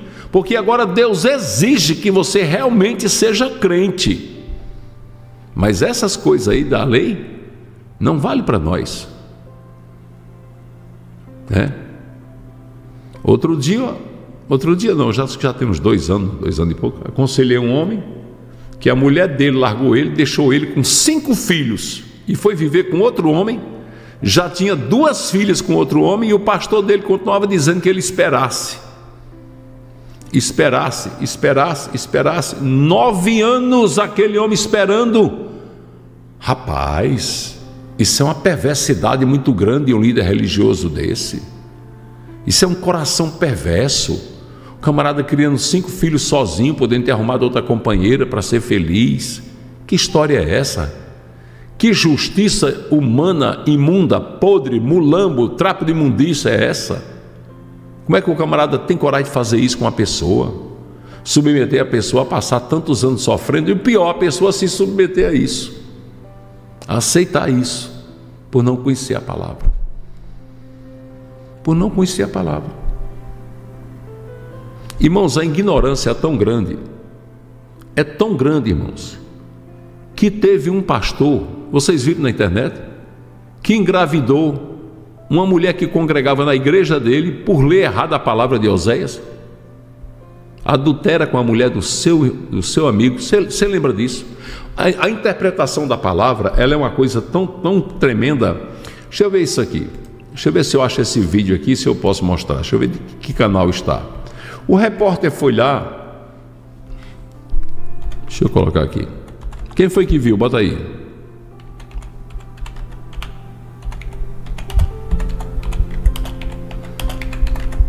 O marido dela concordou que o pastor engravidasse ela. O marido dela concordou que aquilo acontecesse. Essa reportagem saiu no Fantástico. Deixa eu ver se eu acho, já vi aqui, mas deixa eu ver se eu acho em outro canal.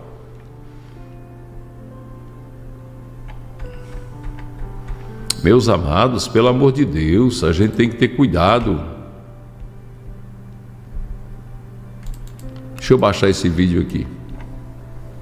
Não, eu vou rodar, vou rodar só o áudio, que eu acho que o áudio não dá problema não. Quem foi que viu esse vídeo? Vá dizendo eu. Eu, para mim saber que você ouviu. Por favor, coloque aí eu, pastor, eu vi, eu vi esse vídeo. O pastor leu a palavra, você imagina aí. E na cabeça dele, Deus estava mandando, Deus, viu? Ele disse que Deus estava mandando ele engravidar a irmã. E o pior é que o marido da irmã aceitou. Diga aí. O marido da irmã aceitou aquela situação. Para você ver como é perigoso você se ir pela cabeça dos outros é por isso que eu digo que o crente tem que ter conhecimento da palavra, irmãos. Tem que conhecer. Porque senão ele começa a fazer besteira. Por acreditar que aquilo que a pessoa está falando é sério.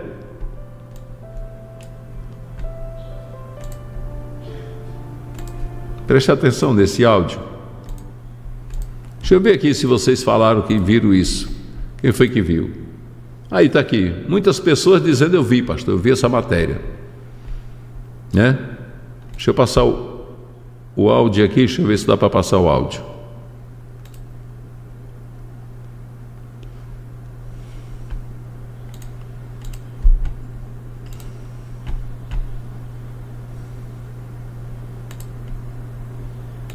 História muito estranha. Ela envolve um homem que se diz pastor evangélico, a vizinha dele e o marido da vizinha. Acompanhe só. A casa no bairro de Vila Nova de Colares, na cidade de Serra Grande Vitória, virou o centro das atenções. É onde mora um pedreiro que também se diz pastor. A vizinhança desconfia. Que é esquisito, é? Eu nunca vi falar que, que existia esse. A casa no bairro de Vila Nova de Colares, na cidade de Serra Grande Vitória, virou o centro das atenções. É onde mora um pedreiro que também se diz pastor. A vizinhança desconfia. Que é esquisito, é? Eu nunca vi falar que, que existia esse. Que o pastor tem direito nessas coisas. Essas coisas significam casos extraconjugais. O pedreiro pastor é Justino, de 50 anos, e foi na Bíblia que o pastor viu que poderia ter outras mulheres. Gostaria que alguém provasse para mim, biblicamente, aonde foi proibido um homem ter mais de uma mulher. Pouca gente frequenta os cultos do pedreiro que se apresenta como pastor. Umas 12 pessoas nas contas dele mesmo. E foi na convivência com os fiéis que Justino se viu envolvido em mais um caso extraconjugal. Aconteceu depois que uma mulher que mora na vizinhança contou a ele uns sonhos que vinha tendo. Na casa dela, a música evangélica pode ser ouvida de longe. A mulher tem quatro filhos, é casada e prefere não aparecer. Disse que sonhou que teria filhos com um pastor.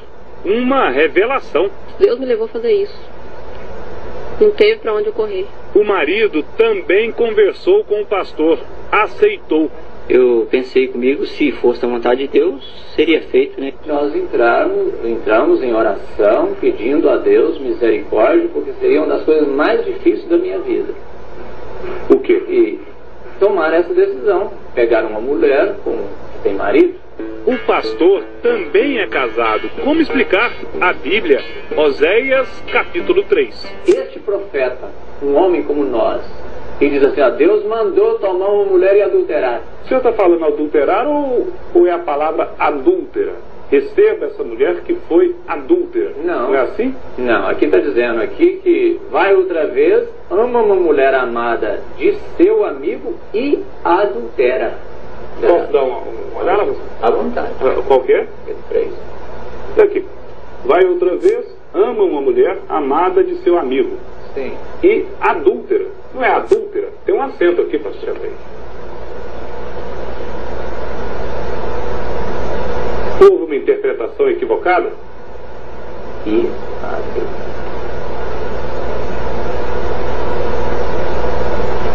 a Bíblia não estaria se referindo a uma mulher adúltera? Deixa eu ver. E não para que o senhor adulterasse? Ah, tá. Inclusive foi bom eu estou mexendo isso aqui, porque uma coisa chama a outra, né? Por isso nós precisamos da direção do Espírito. É um grande equívoco, na opinião do pastor da igreja. Aí você veja aí que o pastor interpretou a Bíblia dessa maneira, ninguém sabe se por maldade, né? A irmã foi com a história da revelação, e aí aconteceu esse grave erro que envergonhou a igreja. Isso na época causou um grande constrangimento para a igreja do Brasil inteiro, pela falta da interpretação, porque quando Deus estava falando para Oséias perdoar a mulher dele, era uma simbologia que Deus perdoaria o adultério de Israel, que deixou de amar a Deus para amar as imagens de escultura. Entendeu como é que é? Para você ver o perigo de você ouvir uma pregação e não conhecer a Bíblia. Entendeu? Por isso que eu tenho pregado aqui contra esses falsos profetas, esses mentirosos. Porque tem muita gente hoje na internet sendo amaldiçoada, abençoando pessoas que não têm igreja, entregando seus dízimos para quem não tem igreja. Quando Deus diz: Trazei todos os dízimos à casa do tesouro para que haja mantimento da minha casa, a pessoa pega o dízimo dela, entrega para um, alguém que está na internet dizendo que é pastor, não tem igreja, não tem rebanho, aí você está realmente comprando a sua maldição. Por quê? A maldição vem por quê? Pela desobediência. Então nós temos que ter cuidado, irmãos. É por isso que é importante conhecer a palavra de Deus, aprender a palavra de Deus e procurar ouvir pessoas que têm compromisso com Deus. A palavra de Deus diz que pelas, pelos frutos você conhece as árvores. Outro dia eu estava vendo uma cena aqui, uma mulher, mulher de um, de um pseudo apóstolo, será ser apóstolo, o que, que é aquilo? A mulher sentada numa cadeira, no púlpito, bem assim na beiradinha do púlpito, as pessoas vindo deixar dinheiro nos pés dela e beijando os pés dela. Quem foi que viu isso? E as pessoas às vezes olhavam para ela, queria falar com ela, não, não tem tempo para conversar, não, passa, passa, que é para os outros trazer o dinheiro. As pessoas chegavam com o dinheirinho, botavam nos pés dela o dinheiro e beijavam os pés dela. Meu irmão, pelo amor de Deus, Jesus do céu, aonde está a cabeça de uma criatura que faz um negócio desse? Beijando os pés daquela criatura e aquela, aquela criatura levar o povo àquele engano, levar o povo a beijar os pés dela, botar dinheiro nos pés dela. Quem foi que viu isso, irmãos? Eu fiquei com nojo daquilo, falei, Jesus, se eu tivesse o poder, Senhor, pelo menos por alguns minutos, uma criatura dessa, eu fulminava ela na hora, mas é porque a misericórdia de Deus dura para sempre. Mas eu ia ensinar ela o que é que se faz com quem leva as pessoas a praticar um ato como esse. A bispa, não sei quem, estava lá, e o povo beijando os pés dela.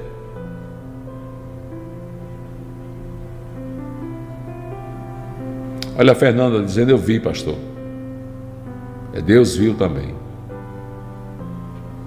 Eu fiquei, falei, Deus, não, não, não, não, não, não, Deus, Deus, eu não estou acreditando no que eu estou vendo, não, porque na época dessa, dessa tecnologia avançada, onde todo mundo tem Bíblia no celular, onde tem palavra sendo pregada de noite, os canais como esse e outros pregando a palavra, ensinando a palavra, ainda tem gente que vai cheirar o chulé dessa desgraçada e botar dinheiro nos pés dela. Jesus, eu não acredito. E ainda sendo humilhado, chegavam umas pobrezinhas. Eu queria falar com a senhora. Não, passa, passa, passa.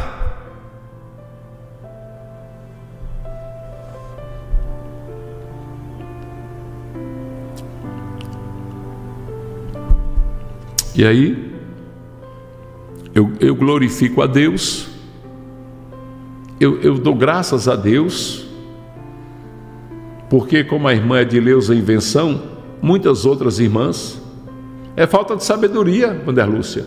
Muitas outras irmãs e irmãos diz, pastor, depois que nós entramos para Pão da Vida, não dá mais não dá mais para ir para outras igrejas não, porque fica difícil, pastor, porque a gente passa a conhecer a verdade. A gente passa a saber que honrar glorificar, exaltar e ter como Senhor é só Deus, é só Jesus Cristo, é só o Pai eterno, é só o Espírito Santo.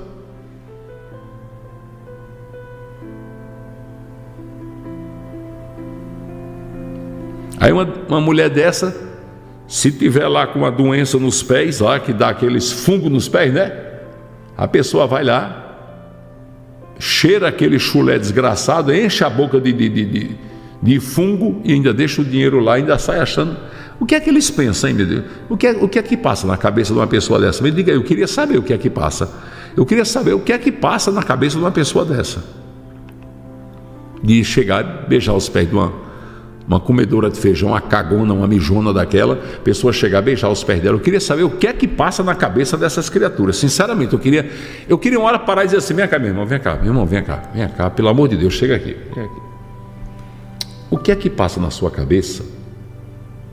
Você não, viu? Você é ovelhinha. De fazer isso. De ir até ali, beijar os pés daquela marmota e ainda deixar dinheiro e ver ela te humilhar. Me diga, pelo amor de Deus, o que é que passa na sua cabeça. Me diga o que é que você acredita. Que você vai beijar aquele chulé dela, que você vai cheirar aquele chulé, e o que é que isso vai trazer para você, além de fazer raiva a Deus? O que é que vem trazer para você isso? Me diga, pelo amor de Deus, o que, que é?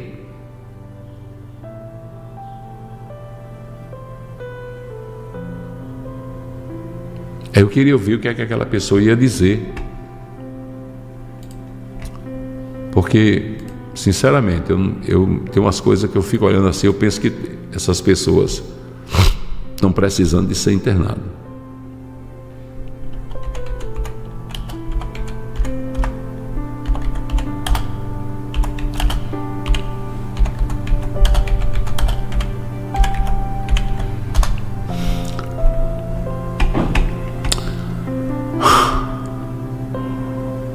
Meu Deus, meu Deus, meu Deus, meu Deus, meu Deus, meu Deus, meu Deus, meu Deus.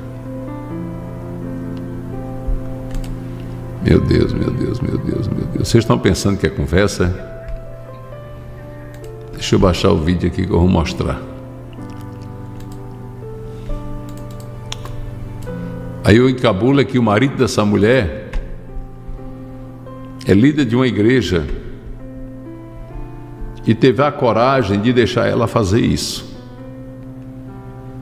Como é que um homem pega, deixa sua esposa fazer um negócio desse com os, com os irmãos, com as irmãs, com Deus? Com Deus. Fazer isso com Deus. Fazer as pessoas beijar os pés dela. Como é que pode isso, meu Deus? Como é que isso é possível? Olha aí a cena.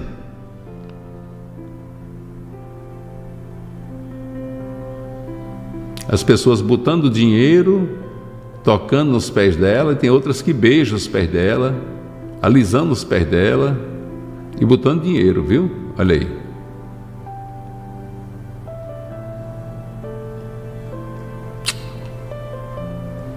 Tem uns que chegam aí. Olha, olha o monte. Olha um monte de gente para fazer um negócio desse, uma palhaçada dessa, uma coisa feia dessa. Olha o monte. E aí, papai? E aí, meu paizinho, como é que vai ser esse negócio?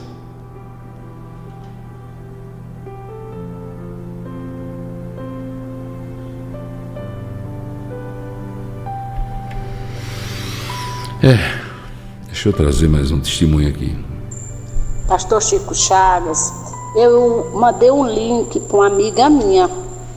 E aí essa amiga minha, ela é católica, só que ela está acompanhando o Senhor. E ela tinha é, um caso na, na, na justiça, né? Que ela ficou viúva e processo de viuvez. E aí é, a comarca que desse, desse processo dela era em Goiânia. E aí ela fez, ela assistindo o senhor todo dia e vendo o senhor é, mandar as pessoas fazer é, voto com a cara do pai. Eu mandei o link para ela, não é? E ela fez um voto com a casa do pai. E aí o que aconteceu aí, ó? Ela foi, Deus resolveu para ela e ela tá mandando aí o, o voto que ela fez com a casa do pai. Glória a Deus, minha amada. Deus abençoe, querida irmã Luciana. Luciana, que mora no estado do Maranhão. Deus abençoe a sua vida cada vez mais. Tem uns pastores, já estamos falando mesmo? Vamos falar. Tem, tem umas igrejas que elas têm uma história Quando o pastor chega na igreja, para tudo, para, para, para tudo. Pare, pare, pare. Todo mundo levanta para o pastor entrar.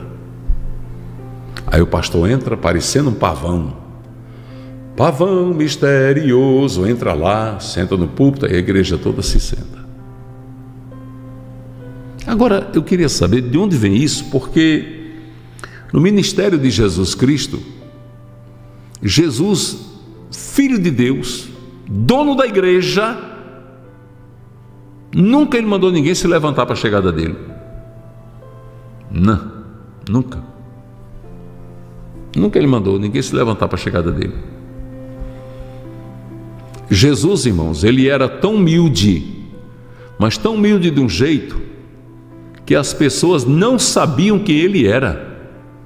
Para poder prender ele no Getsemane, Judas teve que ir lá e dar um beijo nele. Os soldados disseram: Como é que a gente vai saber quem é ele? Ele disse: Aquele que eu beijar, prendei-o. Aquele que eu beijar, vocês prendem, é ele. Quer dizer, ninguém sabia quem era Jesus. Aí eu vejo aqui no Brasil, igreja que quando o pastor chega, para tudo, para.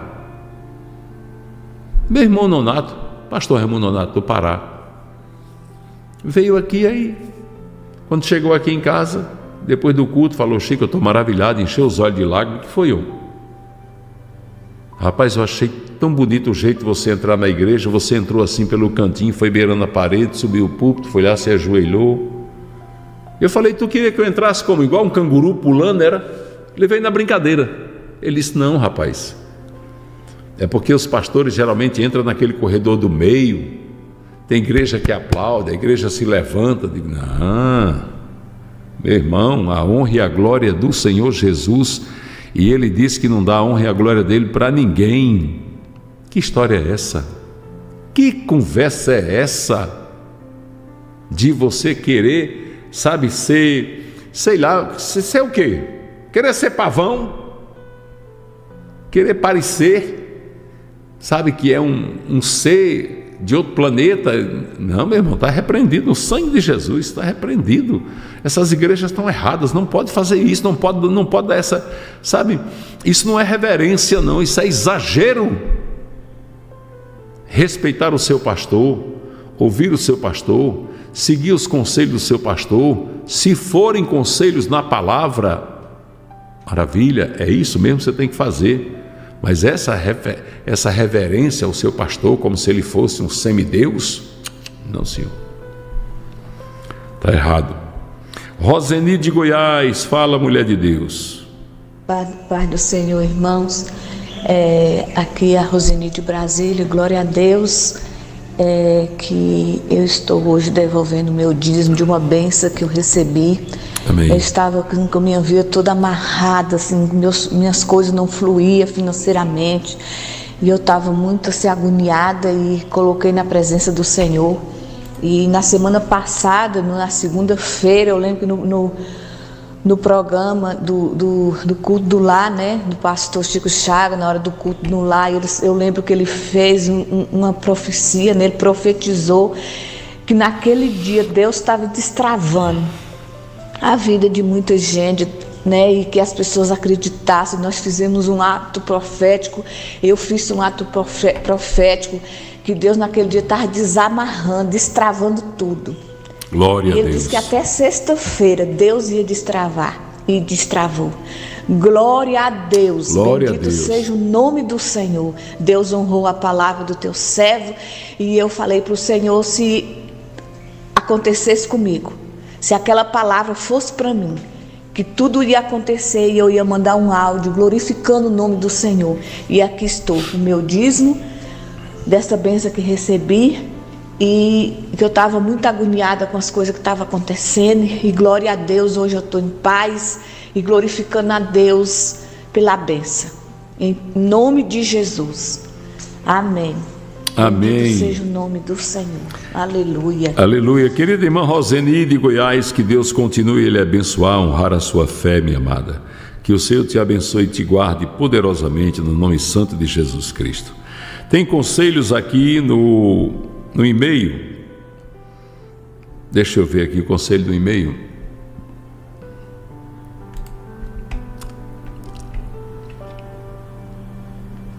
Irmão botou urgente. A paz do Senhor, pastor Chico Chagas, pastora Jossa Neto, todos da Pão da Vida, de perto e de longe. Ela botou o nome dela, não vou dizer, tá certo? que eu não conheço, aqui o texto é meio grande, eu não sei o que, é que ela está querendo dizer. É, ela botou: Me chamo Fulana de Tal, de São Paulo, capital. Quero primeiramente dizer que amo o seu canal, sigo você em todas as redes sociais, no YouTube, no Facebook. Sou ofertante da Casa do Pai, sou pão da vida, com muito orgulho, pão da vida à distância. Sou grata a Deus por enviar a minha irmã tá, para mim apresentar este programa. Esse programa abençoado que tem mudado muito a minha vida, a minha visão espiritual em diversas situações. Quero dizer, pastor, o quanto sou feliz por poder conhecer o seu canal e poder fazer parte deste lindo ministério. Amém, minha amada. O desejo do meu coração é um dia que eu possa ir, um dia que eu possa ir a Mossoró, conhecer um pouco do trabalho de perto aí da obra da casa do Pai. Me emociono muito em ver todo o trabalho lindo que vocês fazem aí. O meu pedido de conselho, pastor Chico Chagas, é que assim que é que assim que eu estou trabalhando hoje, há um ano e seis meses, e sou muito grato a Deus, pois Ele foi Deus que abriu esta porta e confirmou no dia que abriu esta porta de trabalho para mim. E tem me honrado ao Senhor por essa, tem me honrado ao Senhor por essa porta aberta, ter realizado meus sonhos, o qual o Senhor um dia me fez essa promessa de reformar a minha casa, de tirar minha habilitação.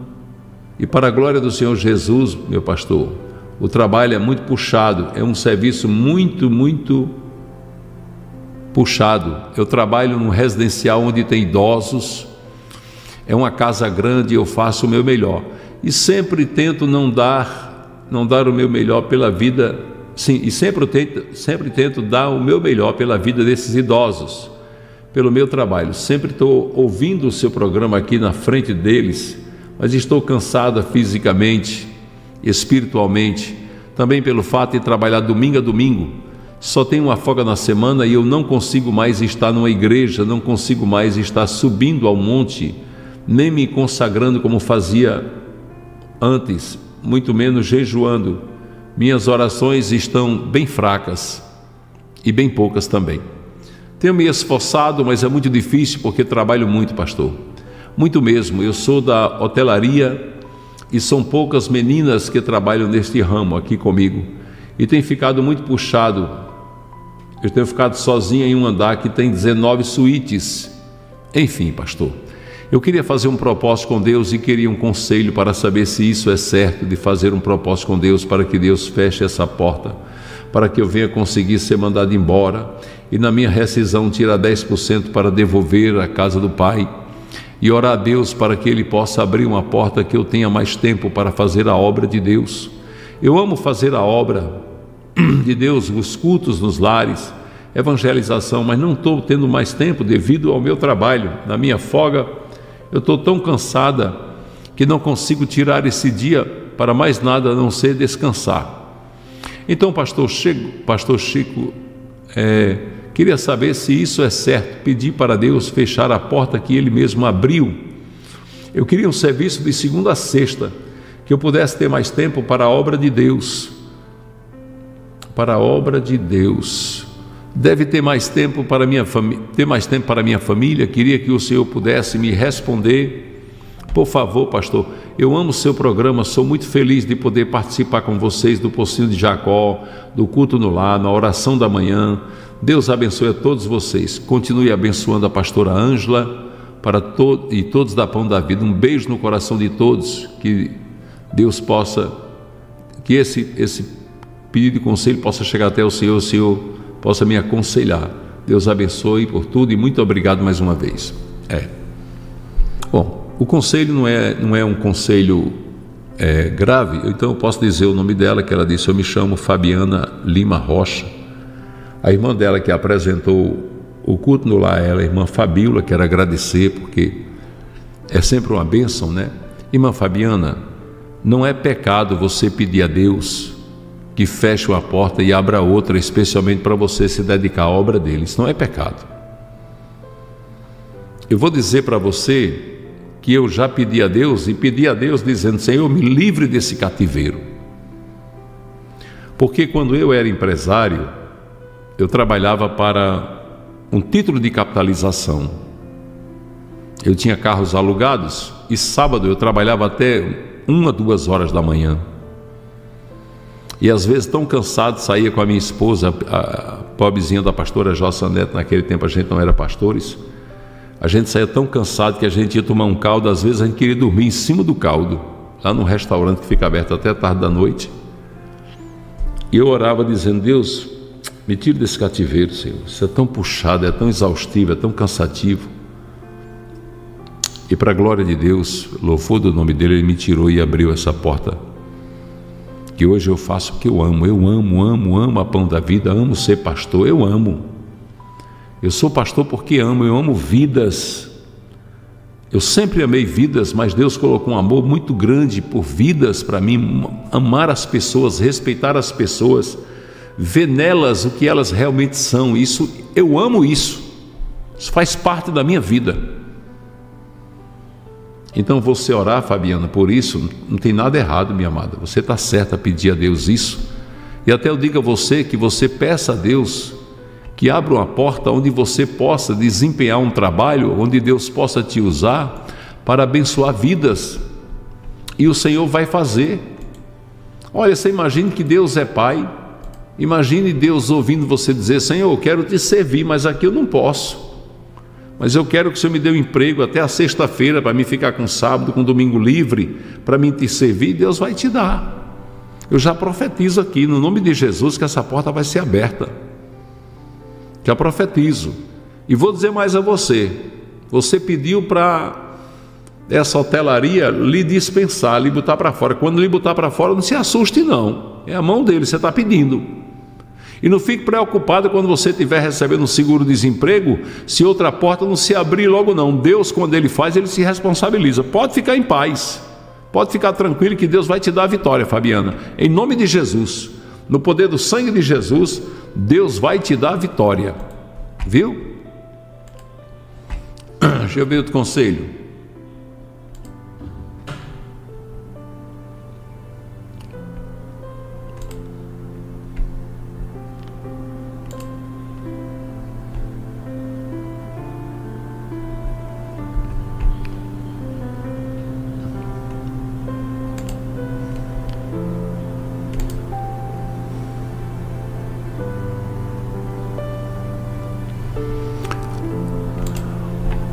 Conselho para o irmão Daniel. Pastor Chico, me chamo Daniel. Tenho muito orgulho do meu nome, que é o nome de um profeta muito forte, muito usado por Deus. E confesso ao Senhor que, tendo orgulho deste nome, pastor, me aconteceu certas coisas na vida que eu às vezes pensei que se eu mudasse de nome, mudaria a situação. Uma das coisas que eu queria saber do Senhor, se é um homem sábio que estuda a palavra, que o Senhor me dissesse se eu mudar de nome pode, pode influenciar no meu futuro. Porque, pastor, não tenho sorte com mulheres. Eu creio que sou um homem bom, sou um homem trabalhador, ganho dinheiro, tenho carro, tenho moto, tenho apartamento tenho meu emprego, me visto bem, não sou feio. Eu não sei se é porque a minha conversa não agrada. Eu namoro uma mulher, pastor. Em poucos dias, a maioria acaba comigo por telefone. Eu não sou um homem que qualquer mulher dispensaria pela feiura, não. Eu sou um homem até bonito. Olha aí minha foto. Deixa eu ver, Daniel. Aqui no perfil dele. É. Eu vou dizer assim para em tom de brincadeira, não é de se jogar fora não, você é um neguinho bonitinho, um moreno muito bonito, um moreno bonito. Aí ele prossegue dizendo: A última namorada que eu tive, pastor, foi minha maior decepção, porque cheguei a namorar com ela quase seis meses. Na verdade, foram cinco meses e vinte e dois dias.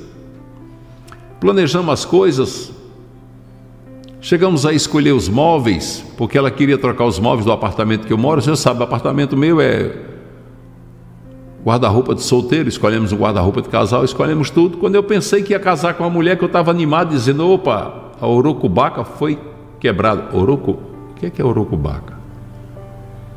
Orocubaca foi quebrada. Depois eu vou olhar o que é Orocubaca, porque eu não conheço não. Alguém sabe o que é Orocubaca aí? Oroco, Orucubaca, Orucubaca. Aí eu recebo dela apenas um áudio dizendo que lamentava muito, mas que não dava para continuar comigo. Que não ia se casar comigo para me iludir, pois ela ainda amava o ex dela e pastor, arrasou meu coração. Chorei rios de lágrimas, olhando para ela, olhando para as fotos que a gente tinha juntos. E saí apagando todas as fotos das minhas redes sociais que eu tinha com ela. E só mandei dizer para ela: Você estraçalhou meu coração. Por que, que você fez isso comigo? Por que, que você não esperou um pouco mais para ver se você me amava? e agora estou só. Só, frustrado, querendo namorar, querendo casar, já tenho 26 anos. E queria saber, pastor, se pode ser um trabalho de feitiçaria, se pode ser alguma coisa desse tipo que está atrapalhando, porque mulher nenhuma para do meu lado. Outro dia eu fui no dentista e falei: você percebe se eu tenho mau hálito? O dentista disse: Não, seus dentes são perfeitos. Por quê? Eu disse: Não, porque a mulher não quer namorar comigo. E o dentista sorriu e disse: Mulher não namora com bom hálito, não. Pastor, por favor, me ajude. Eu estou desesperançado, triste. Para senhor ter uma ideia, o que eu mais quero é chegar no apartamento, me trancar e ficar trancado. Eu saio do emprego, eu só trabalho até sexta, seis horas da tarde. Quando eu chego, me tranco, saio na segunda-feira para trabalhar de novo. Estou muito triste.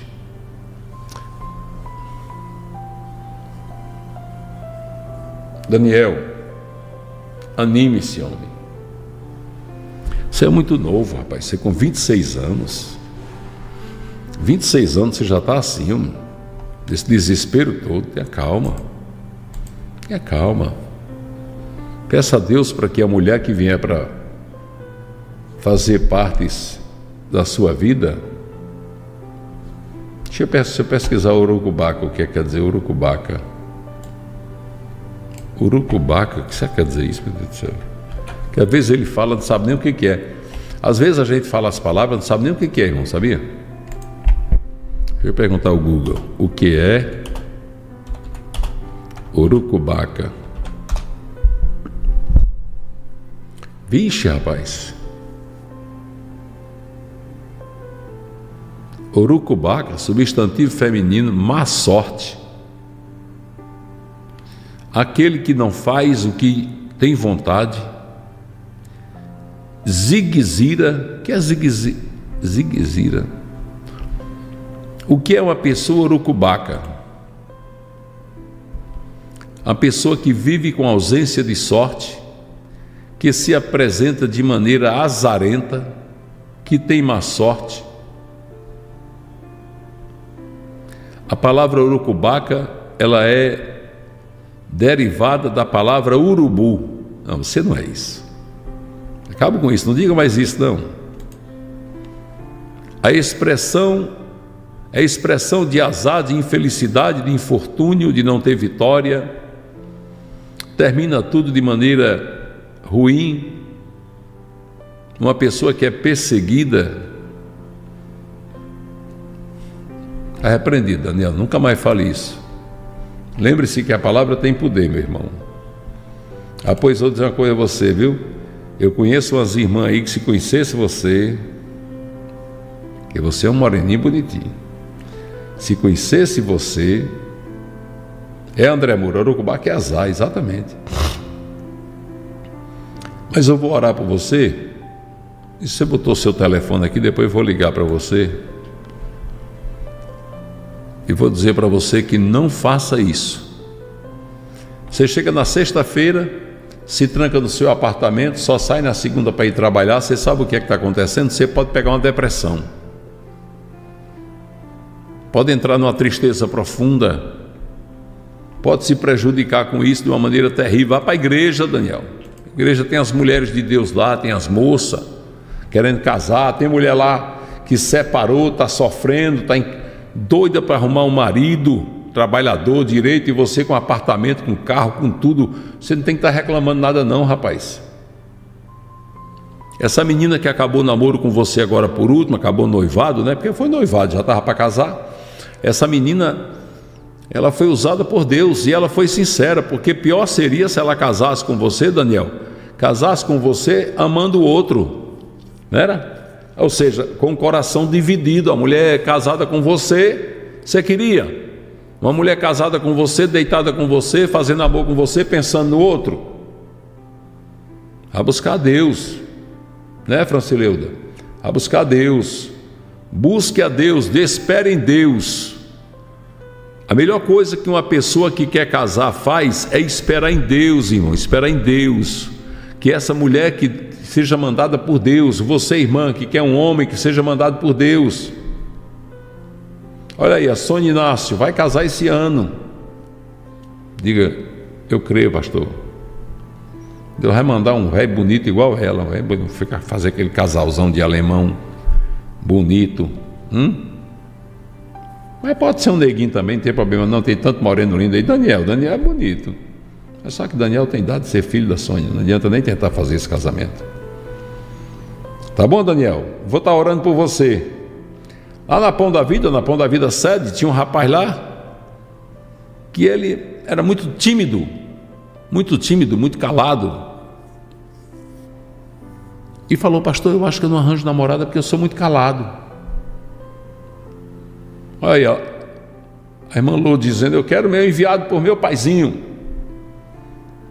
Né? E aí o que é que acontece?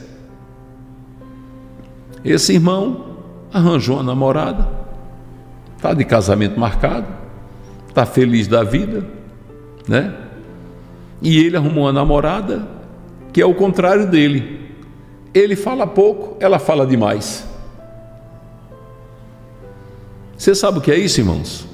É porque os opostos se atraem, os diferentes se atraem, né?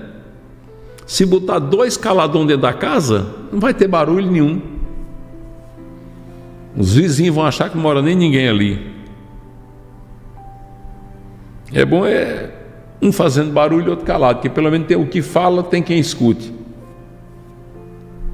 Não é verdade?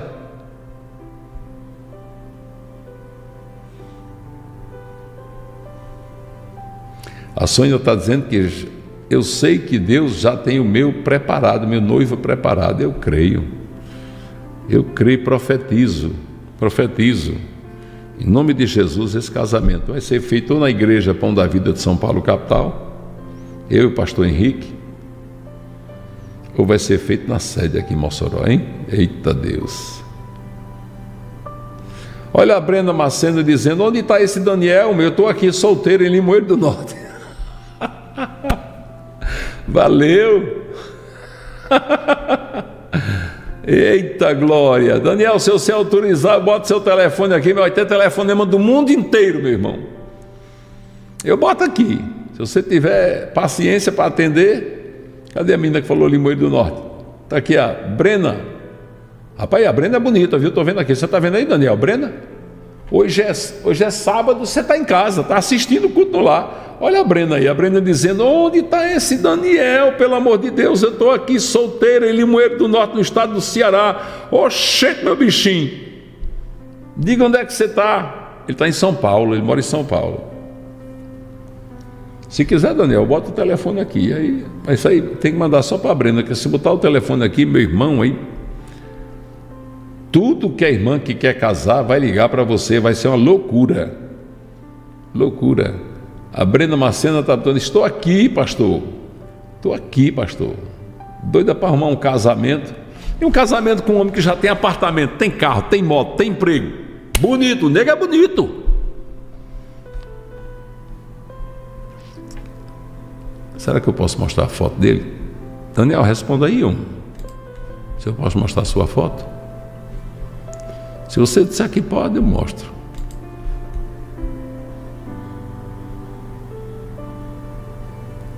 A Janeide Lira botou, pastor ainda é cupido. Eu gosto de fazer casamento.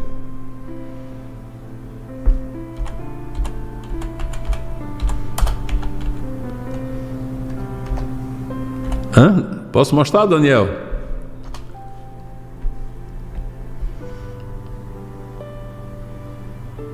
Daniel, fala para mim aí, irmã, que as irmãs tá tudo doido. Quem quer ver a foto de Daniel aí? Só quem quer ver, bota aí, eu quero, pastor, quero ver a foto do Daniel. Vamos ver quem quer ver a foto de Daniel. Eu mostro, viu, Daniel? Se você autorizar, eu só não mostro se você não autorizar, mas se você autorizar, eu mostro na hora.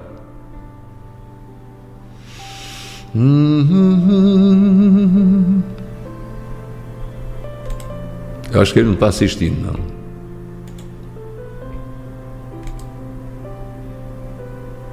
Hum?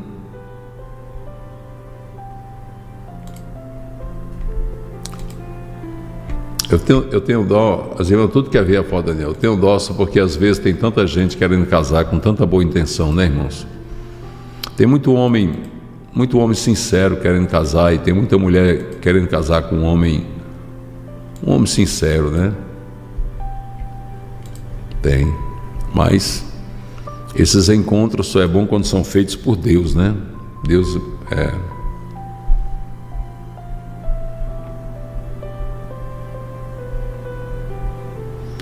Agora presta atenção.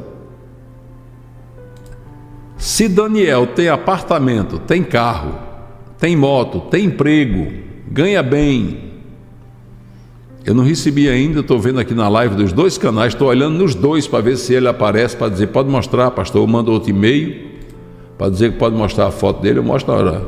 Mas vamos supor que Daniel fosse assim, olha, vocês queriam casar com ele?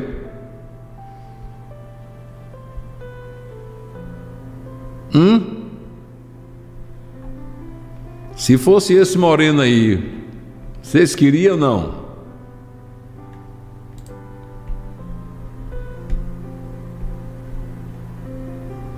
As irmãs estão dizendo misericórdia, pastor, tem a dó da gente. Estou brincando, viu? É só brincadeira, viu? Mas se, se Daniel autorizar aqui, eu mostro a foto dele. Mostro na hora. Ana Paula Davi botou, Daniel tem todo o material que a gente quer. Eita glória. Aí a Francisca sai morrendo de rir. Só para a gente rir um pouquinho, para descontrair nesse sábado, né? Porque eu vou falar uma coisa para você. Uma mulher casada com um homem assim tem uma vantagem que, que é? Ela já acorda assustada, ela já solta da cama já e já sai com tudo, sabe? Já entra no, no pique, já de 180 por hora, não tem quem pare ela, porque quando ela olhar para ele, já viu, o medo é grande, é um medão, daqueles bem grandão, né?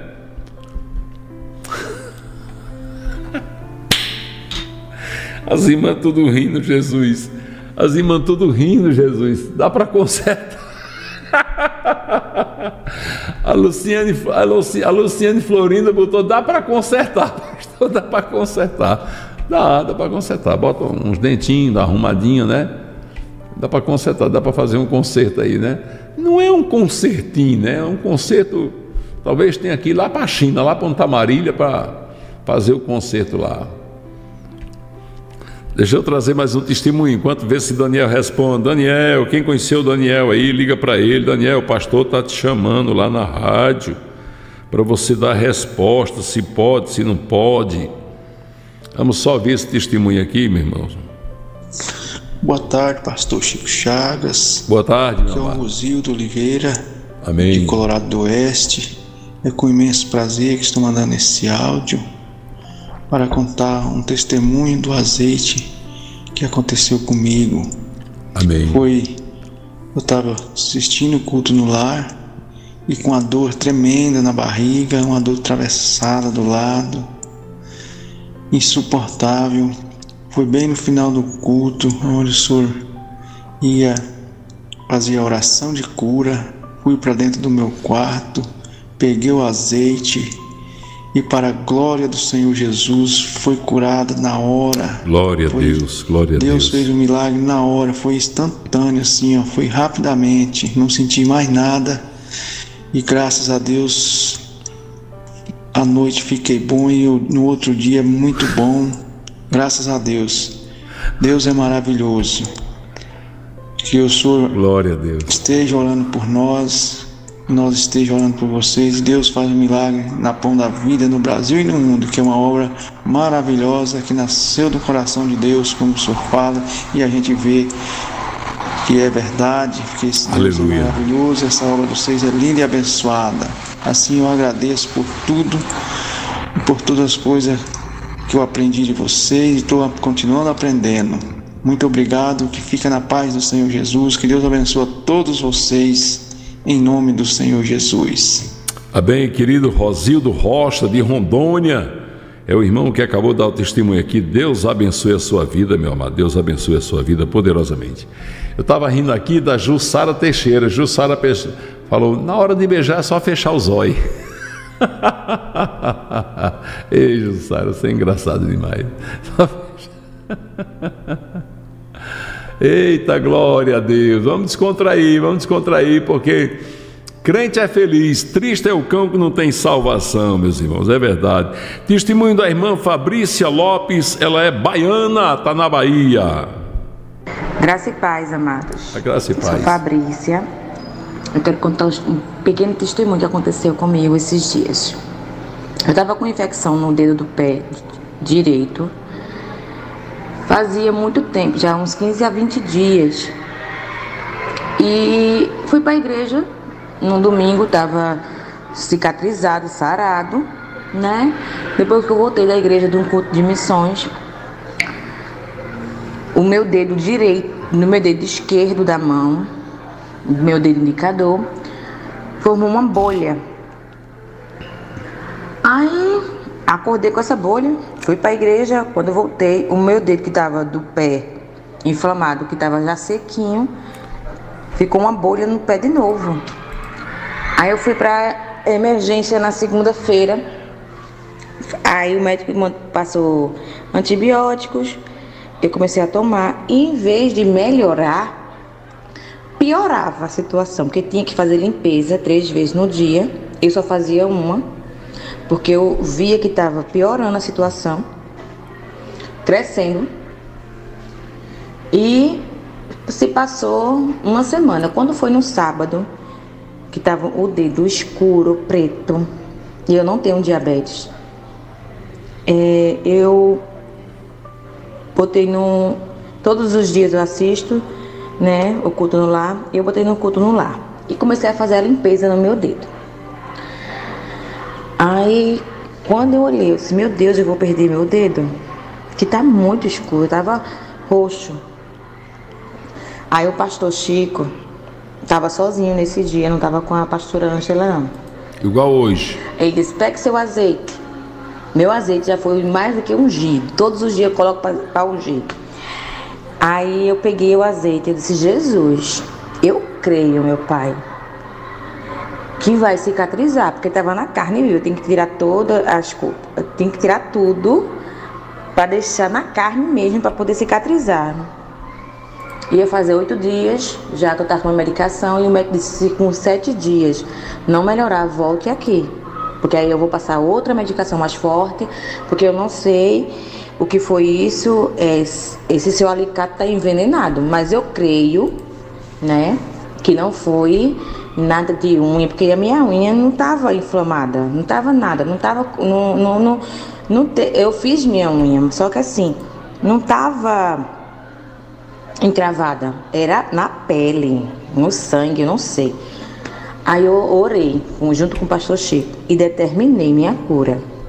Glória a Deus. Para honra e glória de Jesus, quando não foi meia hora não, eu senti puxando a, o, o, o, a pele assim, né, na unha, puxando, ardendo, puxando e cicatrizando.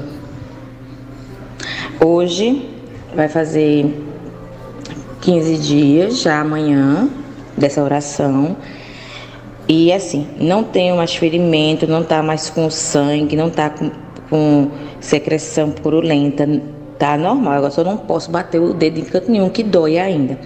Mas eu creio que Jesus me curou naquele dia. Amém, Jesus. Para a honra e glória do nome dele. Toda honra, toda glória seja dada ao Senhor, né? E eu agradeço ao pastor Chico por ser esse homem de fé, né? Um homem de fé determinado Glória a Deus. e que ajuda muita gente. Amém. Eu sou grata a Deus. Amém. Fique na paz. Obrigada. Amém. Fabrícia Lopes, Deus te abençoe, minha amada. Jesus abençoe sua vida e conceda tudo o que deseja do seu coração, minha amada. O- As mulheres estão pedindo aqui, as irmãs, eh, Daniel, para ver suas fotos, né? mas só tem uma foto sua aqui. Ele mandou. Eu não liguei para ele porque ele mandou um e-mail, sabe? Eu vou responder aqui o e-mail dele, né? pedindo a ele para. É, vou botar aqui assim, Daniel. As irmãs na live ficaram curiosas, curiosas para lhe conhecer, porque falei que você é um homem bonito. Olha, ele vai ficar todo um homem bonito, um homem bonito. É, se você me autorizar, me autorizar, mostro sua foto ou até outras que você mandar. Mandar e posso passar seu número de telefone. Só que, passando o seu telefone, você vai ter que atender muitos telefones, milhares talvez, milhares, milhares, talvez. Deixa aqui um abraço e aguardo sua resposta. Foi. Pronto. Deixa eu ver outro conselho aqui. Tem muito homem querendo casar e muita mulher querendo casar. Mas eu queria saber aqui na live quem são as irmãs e os irmãos que estão disponível para um relacionamento que estão sem compromisso. Agora, por favor, só bote se tiver sem compromisso. Se tiver compromisso, não bote. Se você está namorando, se você está pensando em restaurar seu casamento, se você está fazendo alguma coisa, não coloque. Bota só assim, eu, para me saber aqui. Você tem muita gente solteira aqui que está com o coração desocupado para ser ocupado por um grande amor enviado por Deus, que eu quero fazer uma oração. Eu quero fazer uma oração para Deus mandar esse amor. Quem está assim? A, a Mídia Kelly já fez uma profecia aqui que Daniel vai já casar. Eu creio. E a irmã Jussara botou: pretendente é que não vai faltar. Olha, Jô Gomes botou eu, Maria Aparecida, Francileus, Eunice, Edinalva, Andy Silva, a Ilma de Cascais, né? As irmãs, é muita irmã aqui que está à procura de um amor e o pastor. É, pastor vai fazer uma oração agora para Deus mandar o amor da sua vida. E você sabe que quando Deus manda, é coisa boa. Deus não vai mandar problema, não. Deus manda coisa boa. Deus vai mandar. Miriam Oliveira botou: Sou solteira, pastor. Estou aqui à procura de um amor. Deus está. Estou esperando em Deus. Pronto. Vamos fazer uma oração agora, pedindo a Deus que envie homens dele preparados pelo Espírito Santo para casamento. Homens que querem compromisso sério com as irmãs. E Jesus manda. Cadê? Eita, mas vai ter essa ruma de gente solteira aqui. Jesus do céu, vamos orar por isso mesmo, papai. Vamos orar mais, porque. Olha, tem um homem aqui também, João Batista dos Reis, tenho 32 anos, sou do Piauí. Sou um homem bom. Amém. Quem tiver alguma coisa enganchada, não entre aqui agora. É para receber a oração só quem está sem impedimento. Amém? Só quem está livre. Mulheres separadas, solteiras, homens solteiros, livres, desimpedido, né? Se não divorciou, mas está no processo de divórcio, já não tem mais nada com a ex, já acabou, a mulher também não tem mais nada com o ex. E nós vamos orar por aqueles que realmente estão querendo companhia.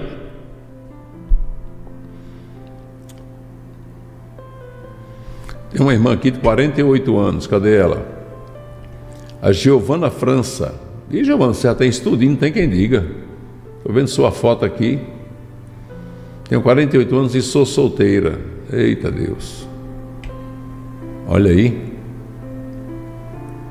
Meu Deus do céu, não imaginava nunca que tivesse esse tanto de gente solteira aqui, papai. Nós temos que casar esse povo, Jesus.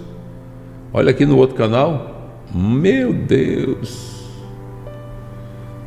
Meu pai amado, olha o tanto de irmãos aqui, irmã, querendo casar, Jesus. Pois não vai casar a gente agora. Vamos orar. Esperar só mais um pouquinho para vocês colocar mais. Deus vai agir, Maria Aparecida Silva. A Fabi botou, eu tenho 30 anos, Fabi Feitosa. A Thelma Maria botou, sou viúva. Glória a Deus. Aqui no Nordeste, irmãos, tem uma história. Quem é do Nordeste sabe disso, que a, eles falam mulher do figo branco.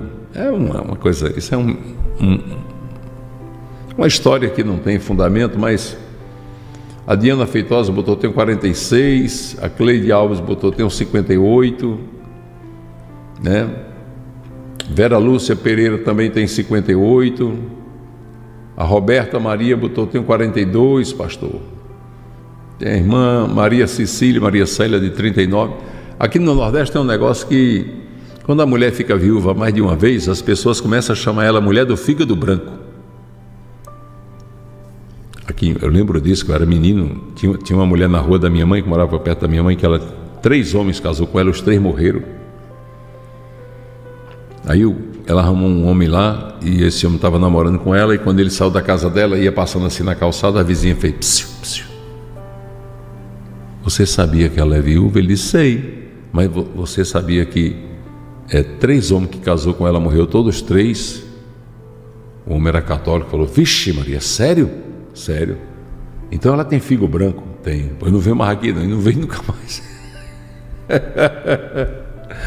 vamos orar agora, irmãos, vamos orar. Minha filha Vanessa, 39 anos, para casar. Eita, já tem mãe apresentando a filha para casar. Eita, essa oração vai, vai, vai render casamento. Vocês vão ver o testemunho. Glória a Deus. Eu vou dizer para vocês aqui, eu conheci uma irmã.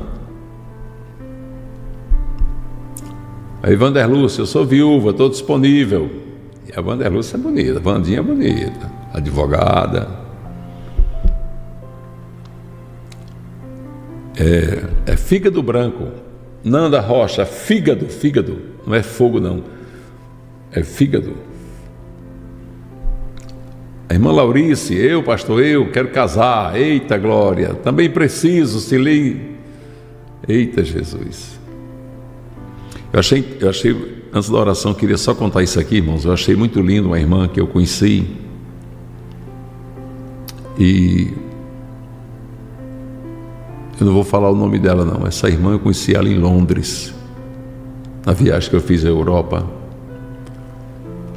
Eu achei tão bonito quando ela disse: Eu não quero outro homem. E ela é uma mulher bonita, um tipão de mulher, mulher, mulher que arranjaria um casamento fácil. Ela disse: Não, não quero. Eu quero o meu. Eu quero o meu marido de volta. Quero o meu marido. Aí eu falei: Me mostra uma foto dele aí, que eu pensei que era um Alain Delon, uma coisa linda, né? Aí ela vai, pá, trouxe a foto dele. Quando eu, eu olhei a foto, falei, nego, olha aí. Eu achei ele feio demais. Meu Deus, é, o amor é cego mesmo. Mas vamos orar, vamos orar para ele voltar. Ele vai voltar com feiura, com tudo, mas vai voltar. Em nome de Jesus. Vai, a gente vai estar tá, tentar orando para ele voltar mais bonitinho, né? Mas é, eu acho lindo essa disposição, porque eu sei que tem mulheres também que elas lutam pelo seu casamento, elas buscam seu casamento, a restauração do seu casamento, mesmo sabendo que o seu marido deixou ela e já está nos braços de outras, mas elas mantêm a fé.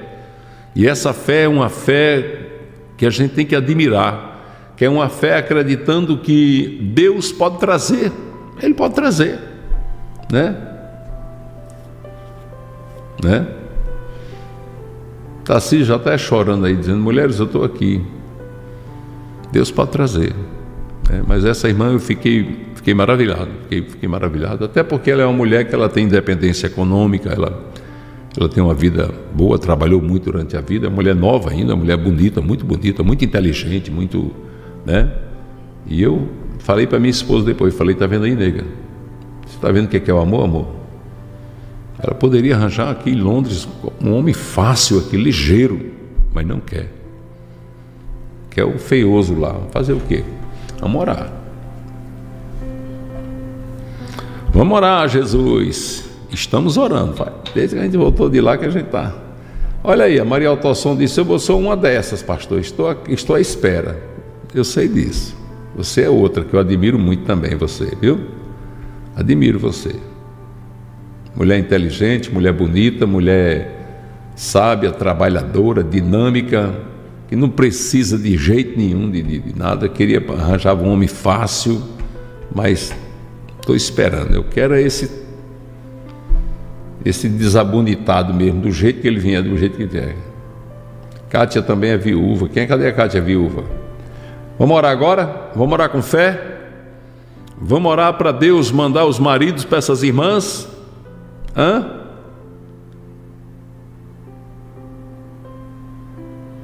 Amém? Nós vamos orar e Deus vai mandar. E tem mais, nós vamos orar não é só para isso não.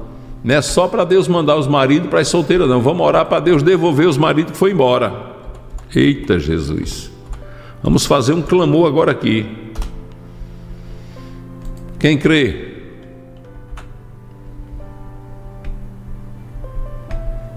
Hein? É agora. Vamos fazer, vamos apresentar o azeite. E para que essa oração seja mais poderosa, vai ser feito com as mãos ungidas, pedindo a Deus homens abençoados e Deus desmanchando os laços, as macumbas, as magias, as simpatias, as orações contrárias as movimentações do inferno que separaram casais. Deus vai desmanchar tudo porque Ele é poderoso para fazer. E a única coisa que Deus precisa é que a gente ore e creia para Ele fazer acontecer. Vai ser agora, em nome de Jesus. Em nome de Jesus. Convido você a orar comigo agora, igreja. Maravilhoso Pai, Santo e Eterno Deus. Estamos aqui, Paizinho querido, Deus amado, com as nossas imperfeições, com nossas falhas, mas especialmente, Deus, conscientes de que precisamos da tua misericórdia, do teu perdão, do teu amor.